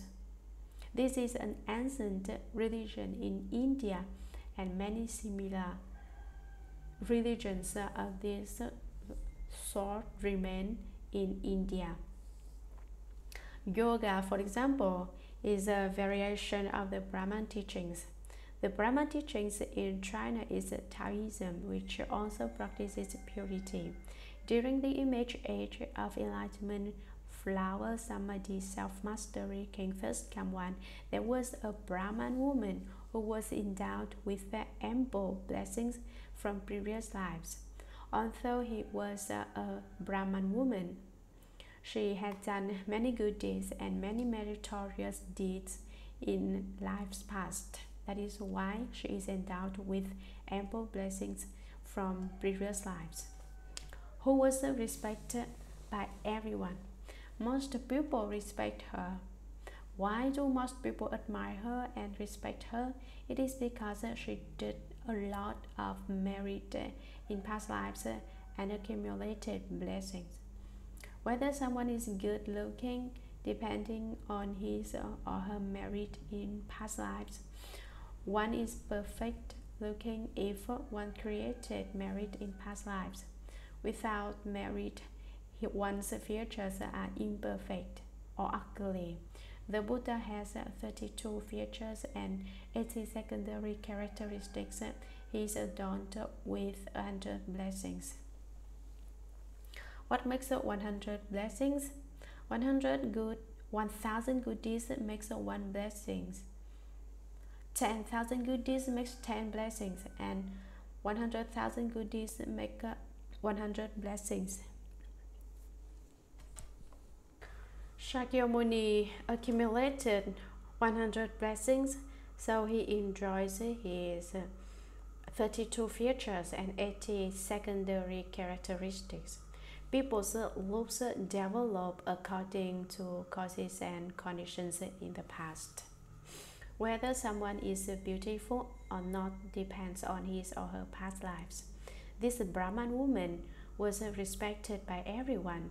Most people like to listen to what he says, to what she says, and most people agree with the things she does. Whether she was walking, standing, sitting, or lying down, God surrounded and protected her. As I said earlier, now that we have tied the boundaries, even if anyone experiences any karmic obstructions, such as being possessed, that obstruction will quit and not disturb one. Since the boundaries are locked down and you are here listening to the sutra, all the accounts temporarily quit. No one is allowed to come here to bother anyone or hassle anyone. You have to concentrate on listening to the sutra. The Dharma protecting good spirits, the Eightfold Divisions of gods, dragons, and others all protect her. Although she is protected, her mother, however, embraced a Javan faith and often slighted the triple jewel. Her mother does not believe in the proper Dharma but believes in Javan Dharmas instead. What does it mean by the belief in Javan Dharmas? This is not necessarily about believing in heretics or cults. Actually, she half believes and half questions, believing in Buddhism today and question it tomorrow. She says she believes in the triple jewel, but I have not seen any Buddha of the triple jewel or the Dharma, although there are sutras, it is no big deal. Sangha members, they are pupil too. Why should I respect some monastic? She is uh, skeptical, which is a faith in the deviant. She does not maintain any proper mindfulness, which is a deviant thought. Without proper faith, your faith is in the deviant. For instance, some externalists say, Give me one million dollars and I will sell you the role of an emperor in a future life. You think about being an emperor in a future life, so you give them a million dollars Actually, how can the role of an emperor be sold? How can you buy the role of an emperor? Perhaps you can buy the presidency in a modern democracy. You are a woman in this lifetime and not a president. But I can guarantee that you become a president in a future life if you give me one million dollars. Whether you become a president or not in the future, you will not be able to fight him and get your $1 million back. These externalists did not start an insurance company guaranteeing any of this. This is faith in the deviant. How can you buy a presidency with $1 million? That does not make any sense. Buying a presidency with a mil one million dollars may be possible. How? I can lobby people to vote for me with that one million dollars, but you have to be an American, not a foreign citizen, to do that in the United States. Explanations based on deviant faith do not make sense. Give me $100, $1,000, or $10,000 and I will guarantee that you become a man instead of woman in the future lives. You hear this and you think this is not bad. One million dollars buys a future life as a man is not too expensive. Since this is quite economical, you give some externalist teacher a million dollars. He puts the money in his pocket and goes off to drink, eat meat, and play women. When he has done everything, you cannot get off your money back. I guarantee you that I will be a man in the future. This is no guarantee, teacher. This is deviant. These are one of two tactics that swindlers use. She often slighted the triple jewel since she believes in deviant Dharma all the time. She did not believe in the proper Dharma. Deviant Dharma consists of why believe in the Buddha. You are a Buddha, just give me $65 and it will be fine. $65 buys the Buddhahood, that is a Deviant Dharma, Deviant path. How can Buddha be purchased with money? You can become a Buddha, but you do not buy Buddhahood with money. You may use money to create merit. When you accumulate uh, through merit, then you realize Buddhahood. Create merit while you cultivate, such as meditating. You should not refuse to cultivate. For instance, if Shakyamuni Buddha could have brought Buddhahood, he does not need to sit in the Himalayas for six years, sit underneath the Bodhi tree, see a bright star, and become enlightened. When he was a prince, he had so rich, he could have very well brought Buddhahood. Buddhahood is not purchased with money. Slighting the triple jewel means looking down on the triple jewel. Slender and uh, sabotaging monastics, some Cantonese people slight the triple jewel because they can understand bhikshus and bhikshunis. The worthy daughter, the Brahman woman, made use of many expedients. Expedients are for provisional explanations for people who only have a rough understanding of the Dharma. In trying to convince her mother, encouraging and enticing someone. For instance, children like uh, children like candy, so you tell them, "I have a piece of candy. Follow me, and uh, I will give you the candy." This is uh, an antecedent. This Brahma woman tells her mother something similar. Follow me and study the Buddha Dharma. The Buddha Dharma is the best. It is number one. But her mother does not believe her, encouraging and enticing her mother to uphold right views so that her mother will develop proper knowledge and proper views but her mother viewer totally believed. The Brahman woman's mother half believed and half doubt the principles she heard. Perhaps what you say contains some principle but may not be completely. Some of my refuge disciples, for example, do not believe certain principles entirely. Before long, the mother's life ended soon. Some think it is best if someone is dead because he does not know anything. He does not want to eat, dress, sleep, or work. He does not need to do anything. Although it is the best, it is also the worst. What is the worst? Death. If you do good deeds, you will become born in the three good destinies, whereas Whereas if you do evil deeds, you will become born in the three evil destinies, either hell, hungry ghosts, or animals. Yesterday, a few visitors came to Buddha hall and I told them about the responsibilities of soldiers. What responsibilities? I told them that they are bodhisattvas and asuras in the military. Bodhisattvas in the army teach and transform living beings so that living beings do not kill too many people, whereas asuras in the army encouraging living beings to kill more and more.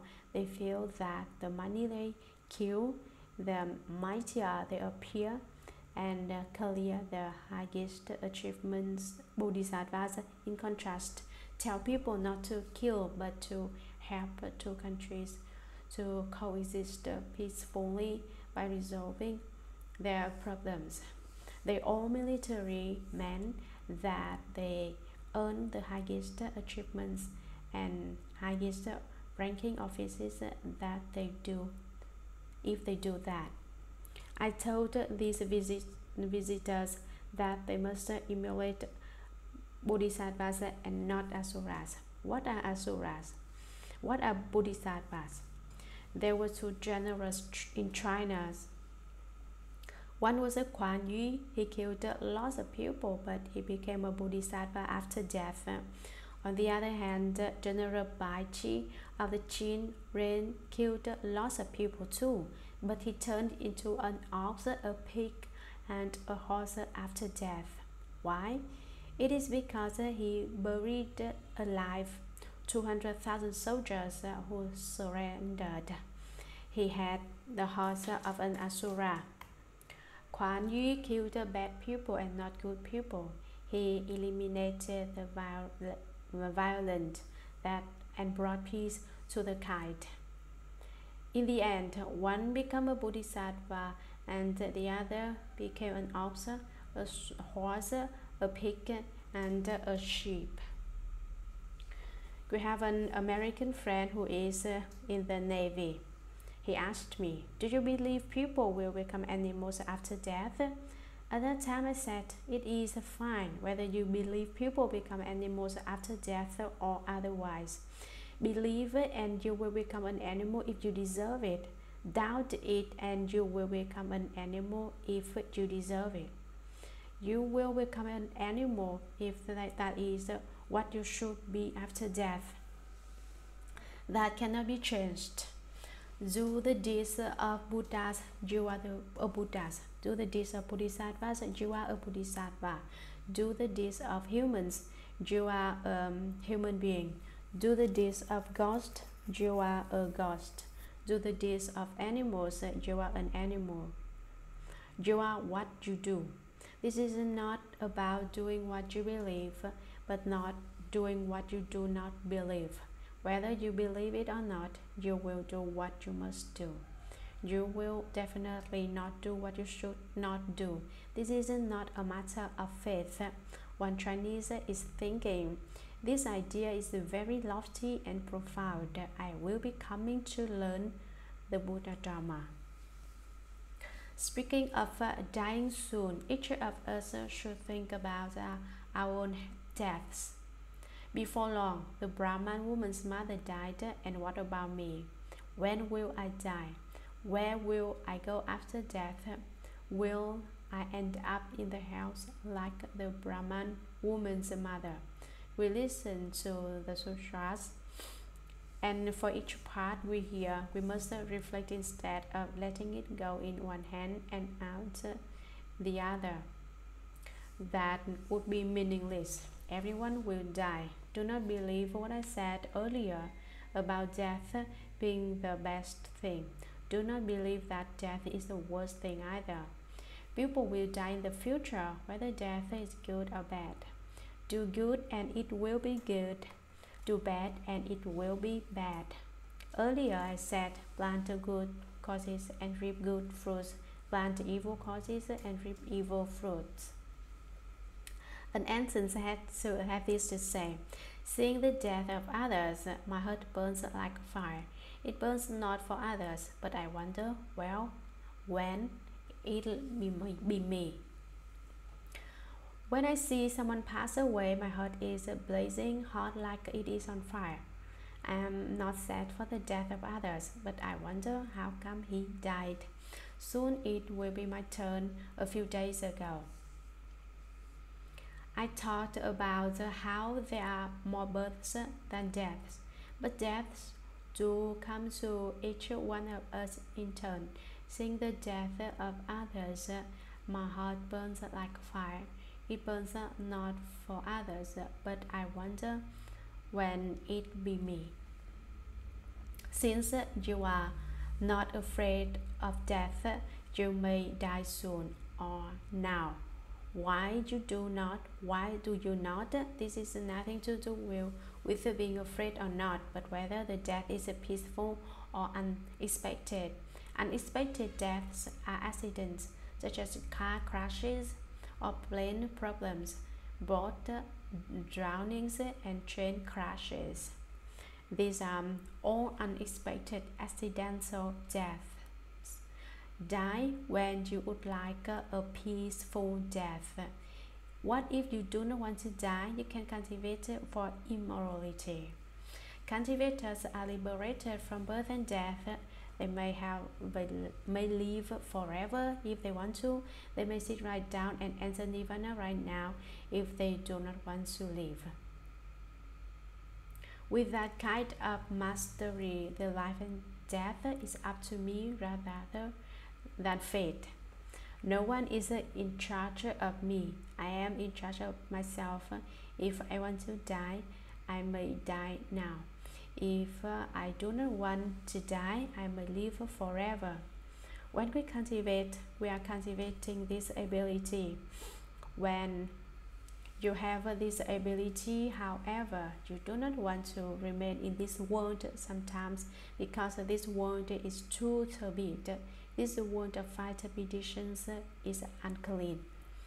Before long, her life it ended and her consciousness fell into the relentless hell. Her consciousness is her eighth consciousness. After the Brahman woman's mother died, her soul and consciousness fell into the relentless hell. What is the relentless hell? Their time is relentless, life is relentless, and bodies are relentless. This refers to how this hell is the full when one person is in it or many people are in it. We will explain the relentless hell in more detailed chapter. What does it mean by relentless? Relentless means that it is uninterrupted and continue, uh, continuous. When you are in this hell, you suffer and yet your life continues, dying, then becoming born, becoming born, then dying. This is one function of this unchanging consciousness. When her mother's life ended, the Brahman woman, knowing that her mother had not believed in cause and effect while alive, her mother did not believe that good causes will result in good effects and evil causes result in evil uh, results. Her lack of faith is an impure cause that will end in impure results. When the cause is wrong, the effect will be wrong too. Feared that her karma would certainly pull her into the evil paths. She considered the various evil karma of her created and figured that her mother will definitely become reborn in an evil destiny. For that reason, she sold the family house and acquired many kinds of expensive and famous incense, flowers, and other gifts. With those, she performed a great offering to the Buddha with incenses, flowers, lamps, candles, fruits, banners, canopies, and uh, many articles in that Samadhi self-mastery king, Buddhas, stupas, and monasteries. Sutra she saw an especial fine image of the Thus Come One enlightenment flower samadhi self-mastery king in one of the monasteries. As the Brahman woman beheld the honored countenance, she became doubly respectful while thinking to herself, Buddhas are called greatly enlightened ones who have attained all wisdom if this Buddha were in the world, I could ask him where my mother went after she died. He would certainly know. Commentary She, the Brahman woman, saw an especially fine image of the Thus Come One enlightenment flower samadhi self mastery king in one of the monasteries. As the Brahman woman beheld the honored countenance, the look of awesome virtue replete with uh, 32 hallmarks and the 80 secondary characteristics of this clay statue. statue.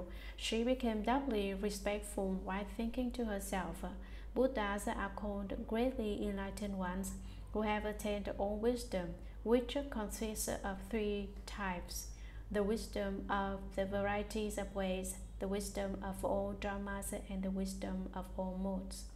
If this Buddha were in the world, I could ask him where my mother went after she died. He would certainly know where my mother went. I have a question for everyone to ponder. Although we should not think while cultivating, but everybody consider this question. Did people come to this world to eat so that we live, or do we live to eat? Sutra the Brahman woman then wept for a long time as she gazed longingly upon the Thus Come One. Suddenly, a voice in the air said, Oh, weeping worthy woman, do not be so sorrowful. I shall now show you where your mother has gone. The Brahman woman placed her palms together as she addressed space, saying, Which virtuous divinity is comforting me in my grief? Ever since the day I lost my mother, I have held her in memory day and night, but uh, there is nowhere I can go to ask about the realm of uh, her rebirth. The voice in the air spoke to the woman again. I am the one whom you behold and worship, the former enlightenment flower samadhi self-mastery king Thus Come One. Because I have seen that your regard for your mother is a double that of ordinary beings. I have come to show you where she is. Commentary The Brahman women thought the Buddha is the wisest enlightened being. Unfortunately, the Buddha has entered Nirvana now. If the Buddha were in the world and my mother passed away, I would ask the Buddha where my mother became reborn. He would definitely know. The Brahman woman then lowered her head and wept for a long time, or just a certain period of time that is not necessarily fixed. As she gazed longingly upon the Thus Come One, she could not bear to leave the Buddha.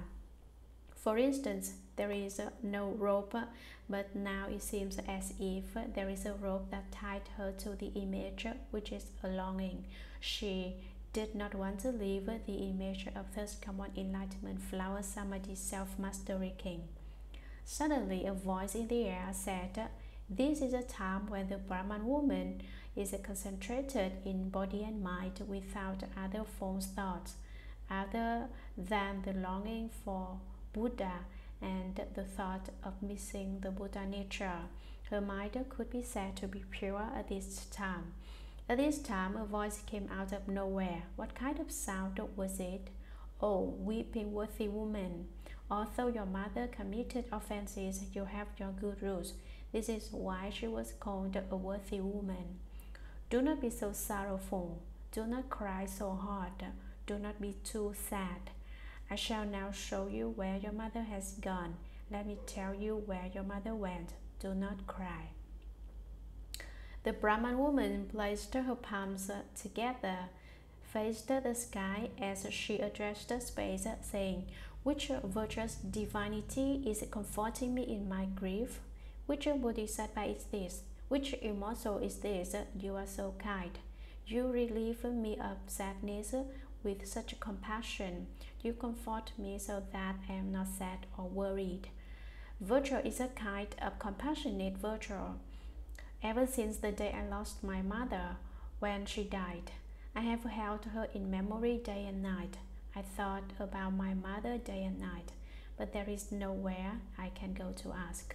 Why do I miss my mother? My mother gave me this body, so I should be filial to her.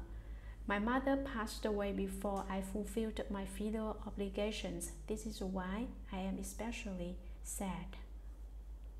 Actually, the trees wish to be still, but the wind does not stop. The children wish to care for their parents, but they are gone.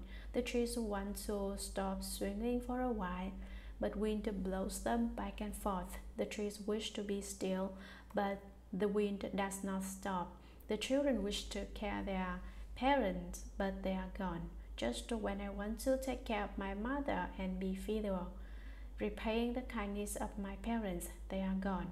So it is said, Father, Mother, your kindness is so extremely great. It is higher than the heavens.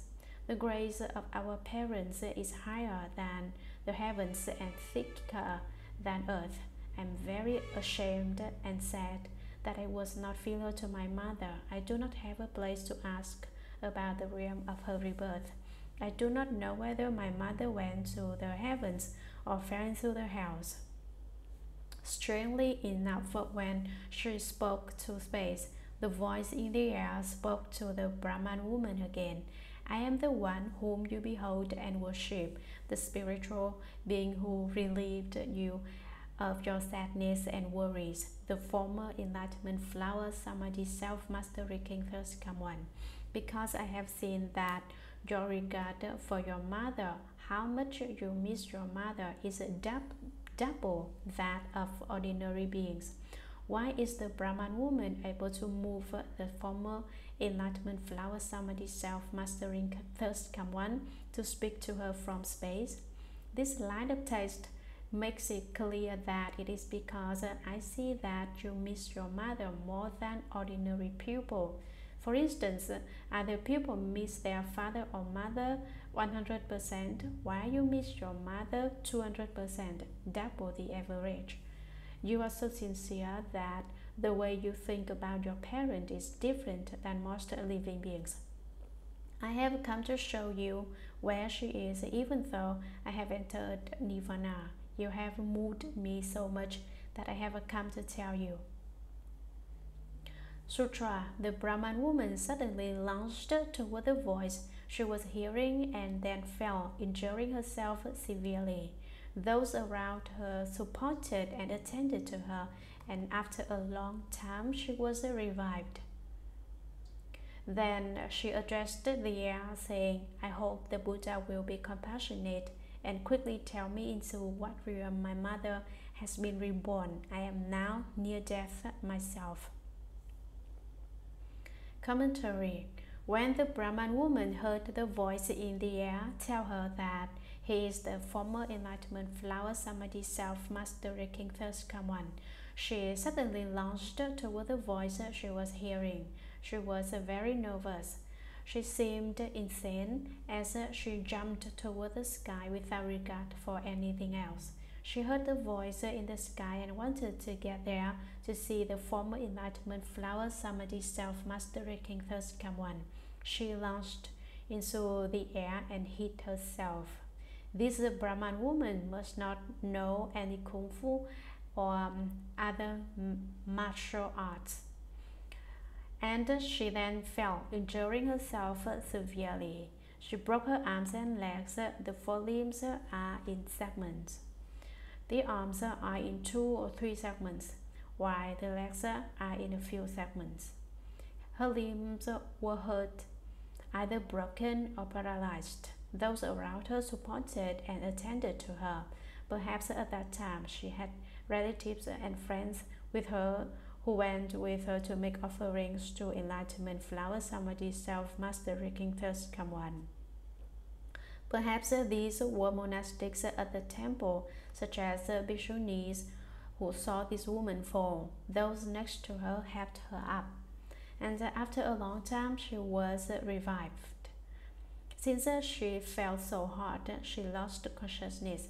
She was revived after a while, waking up as if from a sleep. When her head cleared, she still remembers how she launched into the air.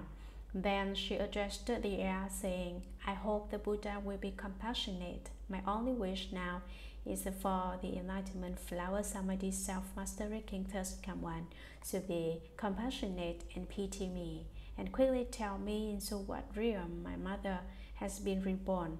Where did my mother become reborn? Why does she need to be told so quickly? I am now near death myself. Having felt like this, my body and mind are about to die soon.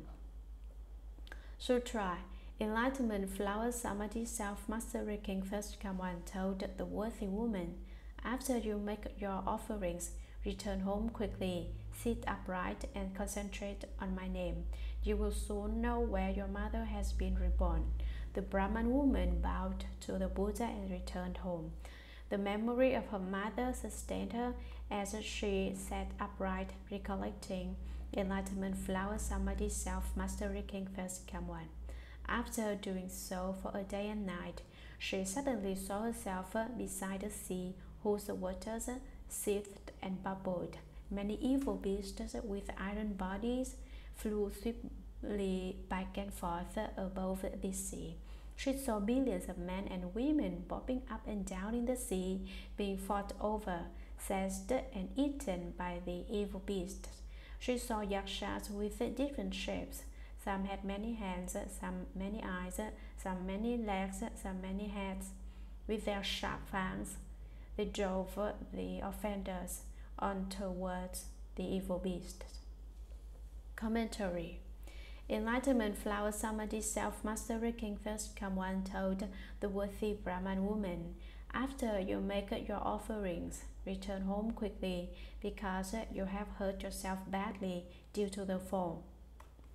What should you do once you get home? Sit upright, even though you broke your arms and legs, and concentrate on my name, Enlightenment Flower Samadhi Self-Mastery King Thus Come One. You will soon know where your mother has been reborn. The Brahman woman bowed to the Buddha and returned home. The memory of her mother sustained her, since she was so sincere in thinking about her mother. As she sat upright, recollecting enlightenment flower samadhi self-mastery King Thus-Come-One. She sat up so straight She forget her pain and her broken arms and legs. After doing so for a day and a night, she was not kneeling, she sat for 24 hours, simply reciting the Buddha's name and nothing else. At that time, she suddenly saw herself beside the sea. This was not a dream. This was a result of her utmost sincerity, her spiritual nature, her consciousness, and her, or her soul. In general, all these terms are one. The spiritual nature is the uh, eighth consciousness is the eighth consciousness in the individual. Since the Brahman woman sat for a long time, she forgot her pain and stopped everything except that one thought of the Buddha. Sincere in this thought, the, uh, the eighth conscious, consciousness left her body. She suddenly saw herself by a sea. A meditator may see certain states because the eighth consciousness leaves the body. If your five eyes are open, you will see ghosts, spirits, bodhisattvas, and Buddhas. You will not otherwise. Cultivators' spiritual nature. Eighth consciousness contains the five eyes within. If the spiritual nature leaves the physical body, the five eyes are open so that they can see different states. This holy Brahman woman must have cultivated for a long time because even though the five eyes on her physical body did not open, her eighth consciousness left the body so that she can all of a sudden see herself by the sea whose waters seethed and bubbled. This sea water is not cool but boiling hot, surging upwards. How many evil beasts are in this ocean? Never mind with that. Just know that there are many and not few. With the solid iron bodies, these evil beasts flew swiftly back and forth above the sea, chasing one another. She saw billions of men and women bobbing up and down in the sea, being fought over, seized, and eaten by the evil beasts. What do these evil beasts do? They eat these men and women, such as swallowing one man or one woman in one mouthful. These most ferocious evil beasts have big mouths and big stomachs. She saw yakshas or speedy ghosts that fly and run swiftly with different shapes. What do they look like? Some had many hands, some many eyes, some many legs, some many heads. One Yaksha ghost may have several dozen arms. One extremely ugly and vicious Yaksha ghost may have two arms but many eyes. One may have relatively few arms and eyes but many legs and feet. One Yaksha ghost may have many heads whose mouths open up like a tub that can swallow several people with one gulp. Its teeth are like swords and knives, with their sharp fangs uh, that slice as quickly as swords. They draw the offenders on toward the evil beasts. What do Yaksha ghosts do? The evil beasts look for things to eat. Since people are smarter, they sometimes run far away from evil beasts. Escaping though, they run straight into a Yaksha ghost who blocks you so that you have nowhere to run and you are chased by enemies from behind. You have no route of escape and nowhere to go. You cannot even go and spend a night at a friend's house. Sutra. Or the yakshas themselves set the offenders and twisted their heads and feet together into shapes so horrible that no one would dare even look at them for long. During that time, the Brahman woman was naturally without fear due to the power of recollecting the Buddha. A ghost king named Poisonless bowed his head in greeting and said to the worthy woman, Welcome, O Bodhisattva. What conditions bring you here? The Brahman woman asked the ghost king, What is this place? Poisonless replied, we are on the western side of the Great Iron Ring Mountain, and this is the first of the seas that encircle it. The worthy woman said, I have heard that the houses are within the iron ring. Is that actually so? Poisonless answered, Yes, the houses are here. The worthy woman asked, How have I now come to the house? Poisonless answered, If it wasn't uh, awesome spiritual strength that brought you here, then it was the power of karma. Those are the only two ways that anyone gets here. The worthy woman asked, Why is this water seething and bubbling, and why are there so many offenders and evil beasts? Poisonless replied, These are beings of Jambudvipa who did evil deeds. They have just died and passed through 49 days without any surviving relatives doing any meritorious deeds on their behalf to rescue them from their distress.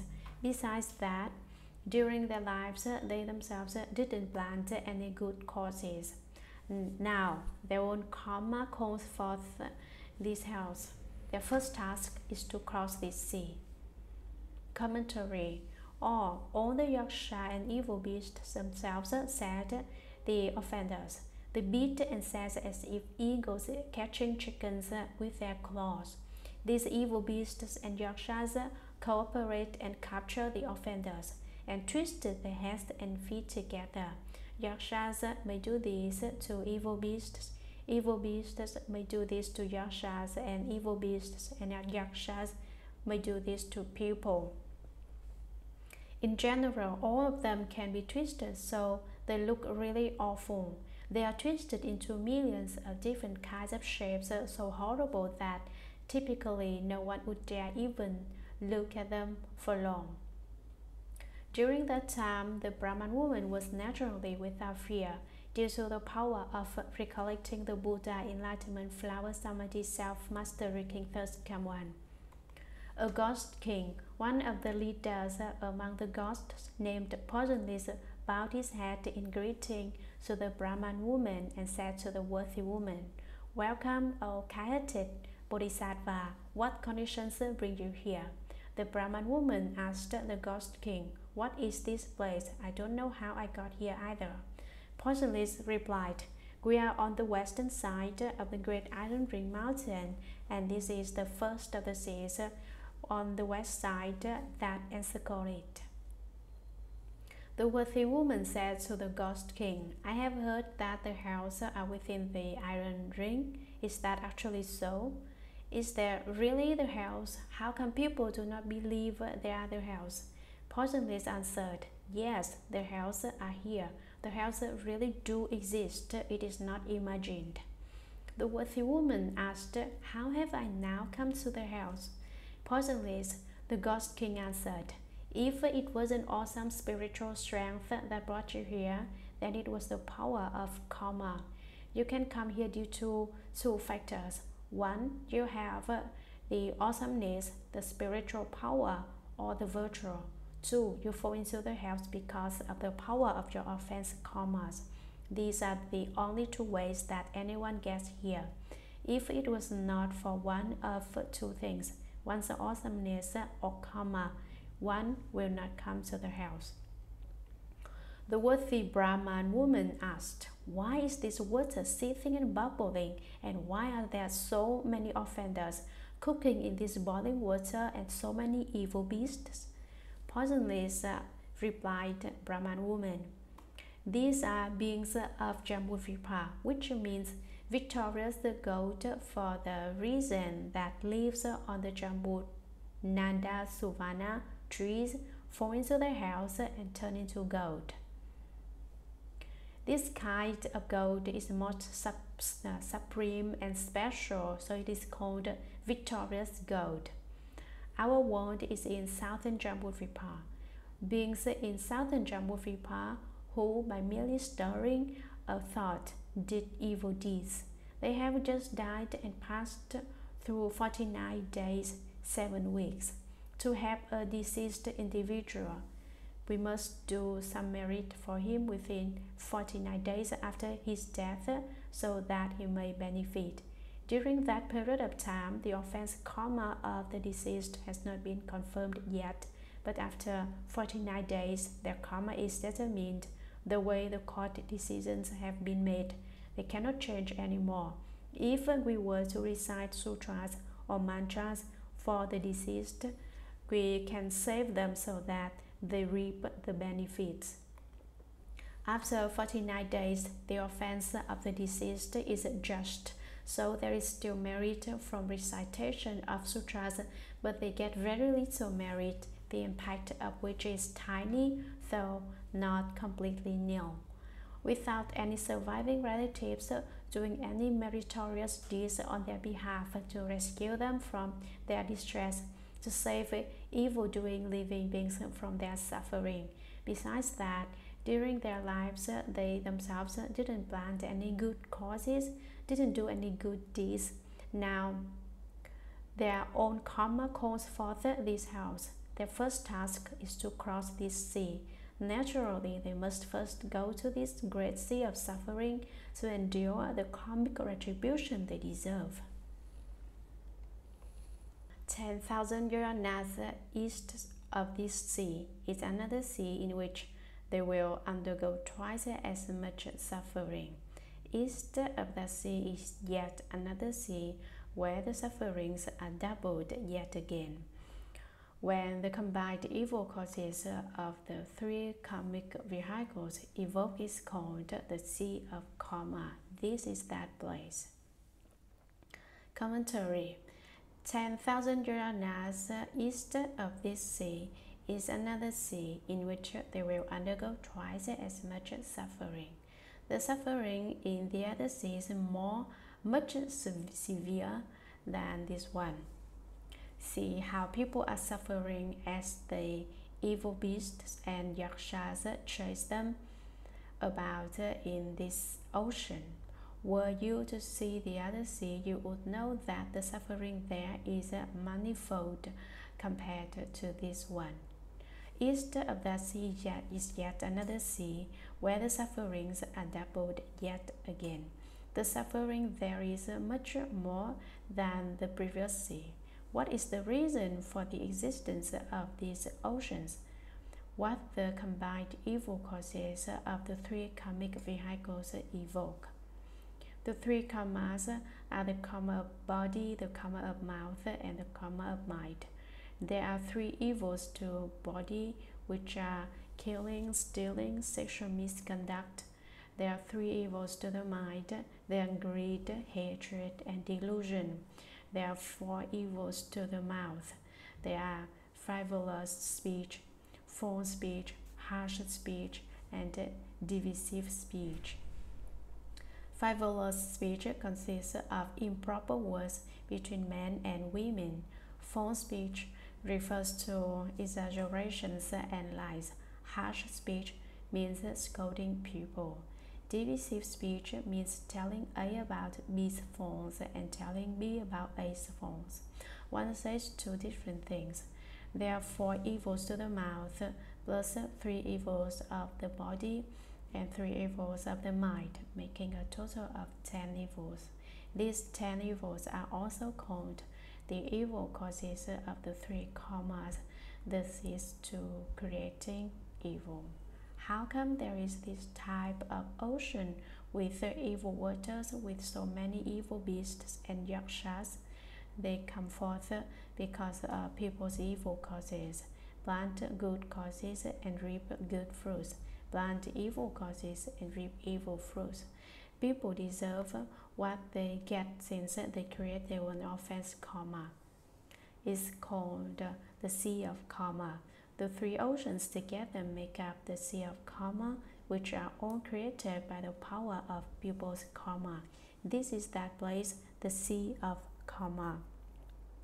Sutra The worthy woman asked the ghost king Poisonless, where are the hells? Poisonless answered, Within the three seas are hundreds of thousands of hells, each one different. Eighteen of those who are known as the great hells, 500 subsequent ones inflict limitless cruel sufferings. Following those are hundreds of thousands that inflict limitless further sufferings. The worthy woman again questioned the great ghost king. My mother died recently, and I do not know where she has gone. Commentary The worthy Brahman woman asked the ghost king poisonless, Where are the hells? Ghost king poisonless answered the Brahman woman. Within the three seas are hundreds of thousands of hells.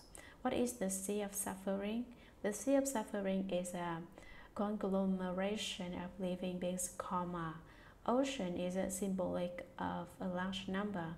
There is not an ocean necessarily. It represents the accumulation of karma that is as limitless as the great sea. These three seas are created by people's three karmas of body, mouth, and mind. So Poisonless told the Brahman woman that within the three seas are the great hells. Each one of the hells is different, replete with its unique setup. In other words, each person experiences a unique hell based on its karma. Hells are not existent and prepared before people passed away. Passed away. The hells manifest based on each individual's karma. Each experiences retribution based on his or her offense karma. For instance, there is a hell of molten copper.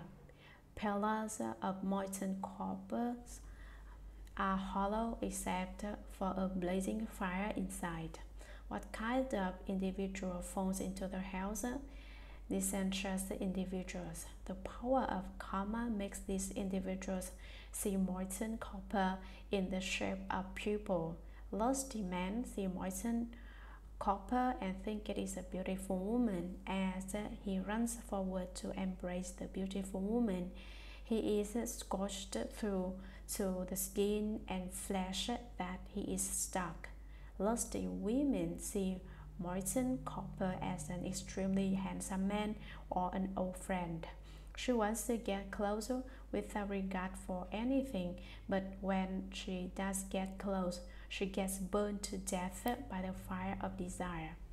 After being burned to death, a clever wind in the house that was mysteriously created revives the being in the house so that he or she experiences the same retribution repeatedly, though he or she has forgotten the results and only remembers the benefits. He or she makes the same mistake and suffers the retribution there. This is how the molten copper hell works. There are many different kinds of hells, each with each unique features. 18 of those are known as the Great Hells. Each hell has 18 separate spots. 500 subsequent ones inflict limitless cruel sufferings. Follow, following there are those are hundreds of thousands that inflict limitless further sufferings. The worthy woman again questioned the great ghost king. Oh, big brother ghost king, please instruct me out of compassion. My mother died recently and I do not know where she has gone. I do not know where my mother's uh, soul went. Big Brother Ghost King, please be kind and tell me. Sutra The Ghost King asked the worthy woman, When the Bodhisattva's mother was alive, what habits did she have? The worthy woman replied, My mother held different views and ridiculed and slandered the Triple Jewel. Even if she occasionally believed she would soon become disrespectful again. She died recently, and I still do not know where she was reborn. Poisonless asked, What was the Bodhisattva's mother's name and clan? The worthy woman replied, My parents were both Brahmans. My father's name was Shila Sudarshana. My mother's name was Yue Di Li. Poisonless placed his palms together and implored the worthy woman, Please, worthy one, quickly return home. There is no need for you to grieve further. The offender Yue Di Li was born in the heavens three days ago. It is said that she received the benefit of offerings made and blessings cultivated by her filial child who practiced giving so enlightenment flowers samadhi self-mastery come one stupas and monasteries. Not only was the Bodhisattva's mother released from the house, but all the other offenders who were destined for the relentless hell also received bliss and were reborn with her. Having finished speaking, the Ghost King put his palms together and withdrew. Commentary Ghost King Poisonless heard the Brahman woman's question about where her mother has become reborn, which are of the six destinies on the wheel of birth. The Ghost King asked the worthy woman, When the Bodhisattva's mother was alive, what habits did she have? The Ghost King saw that the Brahman woman must be able to go the house, go to the house because of the power of her awesome virtue and vows, so referred to her as a Bodhisattva. What did your mother do when she was alive? What occupation was she in? How did she act? The worthy woman replied, My mother held different views. Although she was my mother, I cannot cover her mistakes. She held deviant knowledge and deviant views, which are the five sharp servants in the areas of body, extremes, precepts, views, and deviances. Deviant view of the body. She never accepted the shorter end of the bargain. She always thought about what was best for her body. For example, she wanted nutritious, nutritious food because she was afraid of poor health. She fed herself so well so that she was nice and round. She thought it was healthy to be chubbier.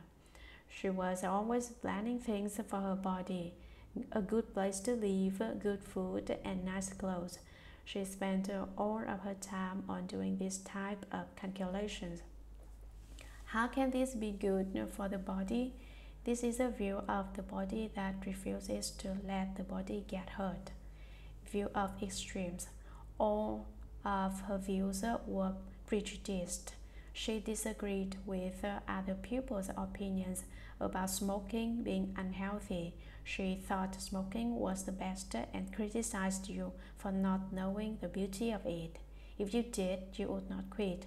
Her explanation seemed to make sense. Extreme views may be ingenious explanations with formless reasoning, but they are actually prejudiced. Viewer precepts she held different precepts such as fighting non-vegetarian Buddhists fine. She found people who do not even touch salt as people with real skill. She teased Sangha members about how, if they do not believe her, they should just try these deviant precepts. In general, she always found faults with something fine. There are no problems, but she will look with a microscope for some fault. Deviant view. For example, everyone says it is right to be filial to our parents, but she would say, why parents procreate because they sought momentary pleasures and you think they are good to you. Do not bother with your parents. They deserve to get old and die. The sooner that they die, the better. Otherwise, there is just one more consumer alive. She gave these big long explanations, arguing with you about filiality. She said it is wrong to be filial. Why be filial to elders? That is really stupid. This is a deviant view. And ridiculed and slandered the Triple Jewel. She teased and criticized. When she saw people bowing to the Buddhas, she would say, Ah, is that a Buddhist? Buddhists do everything. They are no better than anybody else. They still eat, drink, gamble, and prostitute like everyone else. What good is it to believe in the Buddhas? She piles a list of forms on Buddhists so that Buddhists seem like criminals who commit worse things than the ten evils and the five rebellious acts. This is a form of ridicule. She slandered by saying Buddhism cheats people. She said the Buddha, the Dharma, and the Sangha are all fake. The Buddha is made of clay, the Dharma is the words on paper, and Sangha members are human too. How are they different from regular people? Why should you believe them? Why should you bow to them? You are so stupid. She scolded you hard so that Buddhists are embarrassed to the point that some are afraid to let others know that they are Buddhists. One elderly man who comes to listen to the sutras on Sundays asked to take refuge with me a few years ago, but I never agreed. Why? It is because he said that he wanted to take refuge secretly so that no one knows. Taking refuge is not stealing. Why should it be secret? I do not have any secret refuges here, so I told him to think things over before taking refuge. It is so strange, but he says that since he is a Catholic with long-time Catholic friends who will call him a rebel if they knew that he believed in Buddhism. If you do not say so, you are deceiving them. That makes you even more of a criminal. He says that he's, he's still getting some charity there. How can someone like this be a Buddhist? How pathetic. Even if she occasionally believed, perhaps and supposedly she believed it was a temporary uh, and not forever. We must make vows to believe in Buddhism forever and not just temporarily like the Brahman woman's mother.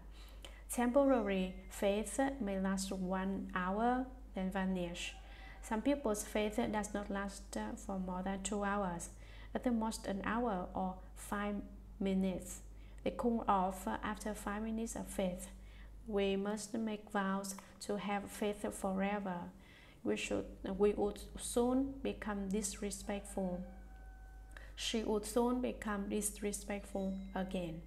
Perhaps for five minutes' time, she will go along and bow to the Buddhas, take refuge with the triple jewel, and find a teacher. But as soon as she turns around, for no particular reason at all, she no longer wishes to pay respects to the Buddhas and believe in the Buddhas. She died recently and I still do not know where she was reborn. Poisonless asked the Brahman woman for more detail because she did not say her mother's name. What was the Bodhisattva's mother's name and clan? What was your mother's surname, first name, address? Say all this clearly. The worthy Brahman woman replied, My parents were both Brahmans. There are four castes in India the Brahmans, are the clan of purity. The Kshatriyas are royalty. The Vaisyas are uh, the merchants. The Kalas are the lowest caste, including butchers, slaughterers, etc. In India, butchers could not work alongside other people but have to work on the roadside alone.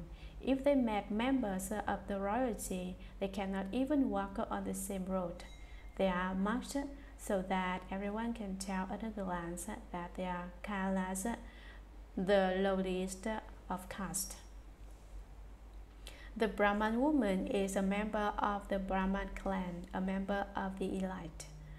Both the Indian and Great Britain were hierarchical, and that continues today. United States is democratic. People do not think hierarchically but equally. India was different. High class individuals could not converse with low class individuals. If you spoke with members of the lower class, nobil uh, nobilities looked down on you, treating you as if you were worthless. Hierarchical thought harshly divides up people. My father's name was Shila Sudarshana. Shila usually refers to the Vinaya, but here it is the it just means cool and refreshing. My mother's name was uh, Yue Li, a Sanskrit word that is not formally explained in the Buddhist sutras, but let me add some commentaries now. Yue means favor and Di means emperor. Someone that emperor's favor. In other words, this person was so pretty that even the emperor liked her. You may say that there's nothing fixed about a person's name, since uh, People's names are not fixed. You may spend it however you want as long as it is reasonable, and especially if it is Sanskrit. Do not simply claim ignorance when you see things in the sutras you do not understand. Research it with your wisdom. Once you uncover your wisdom, you will know. You may explain it in whatever way is reasonable, as long as you do not yell at people or say the negatives. Do not be so rigid.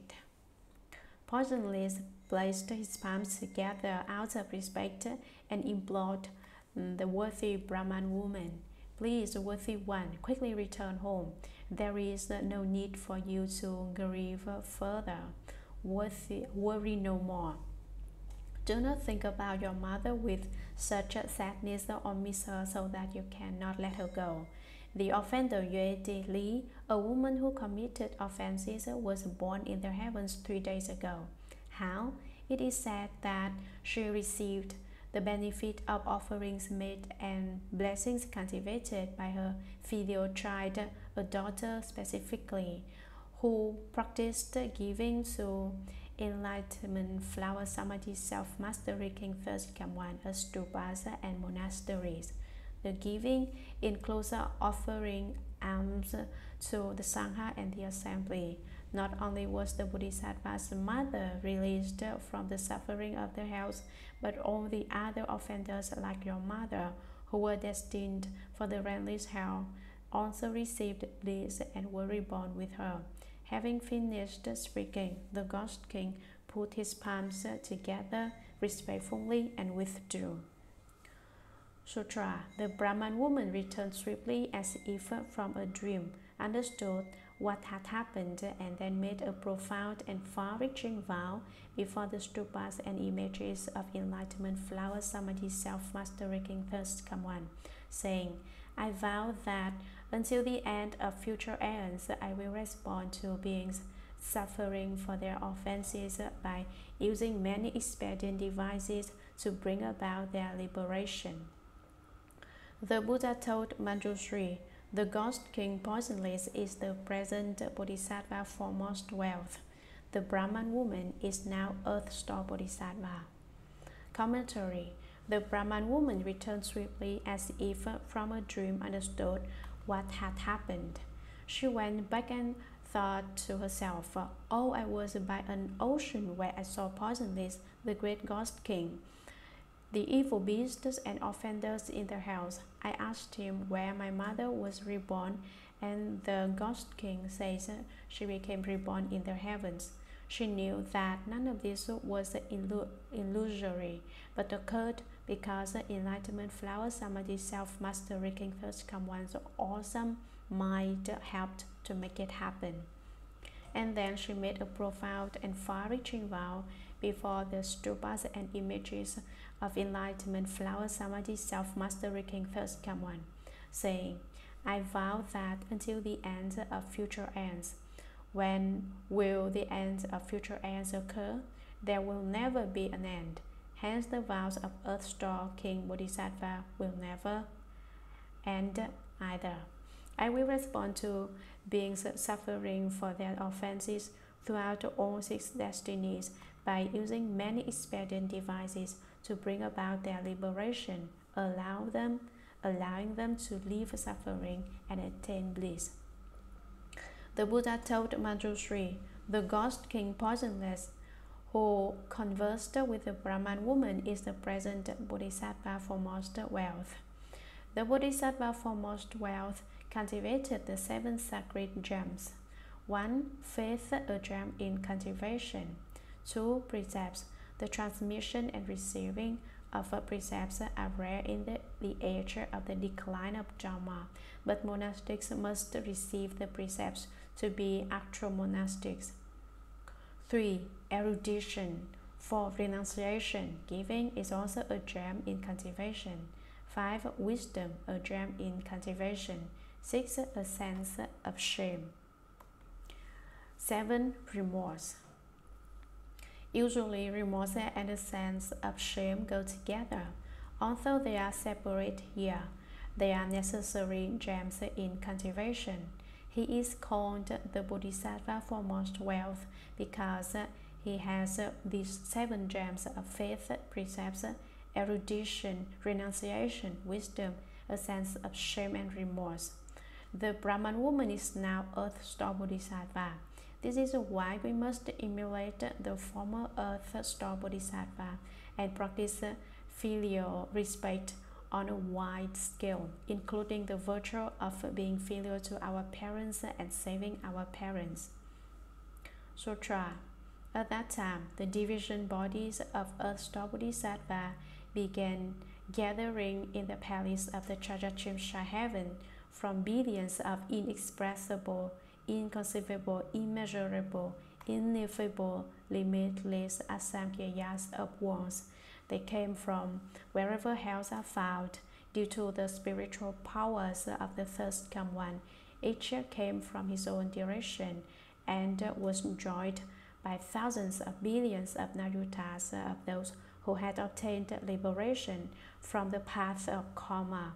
All brought incense and flowers as offerings to the Buddha. Those groups who came were irreversible from Anuttara Samyaksambodhi because they had been touched and transformed by Earth Store Bodhisattva. For long as they had wandered in birth and death, undergoing suffering within the six paths without even temporary respite. Now they had reached various levels of sagehood due to the great compassion and deep vows of Earth Store Bodhisattva. They felt joyful as they arrived at the Trayastrimsha heaven and gazed at the Thus Come One, their eyes not leaving him for a moment.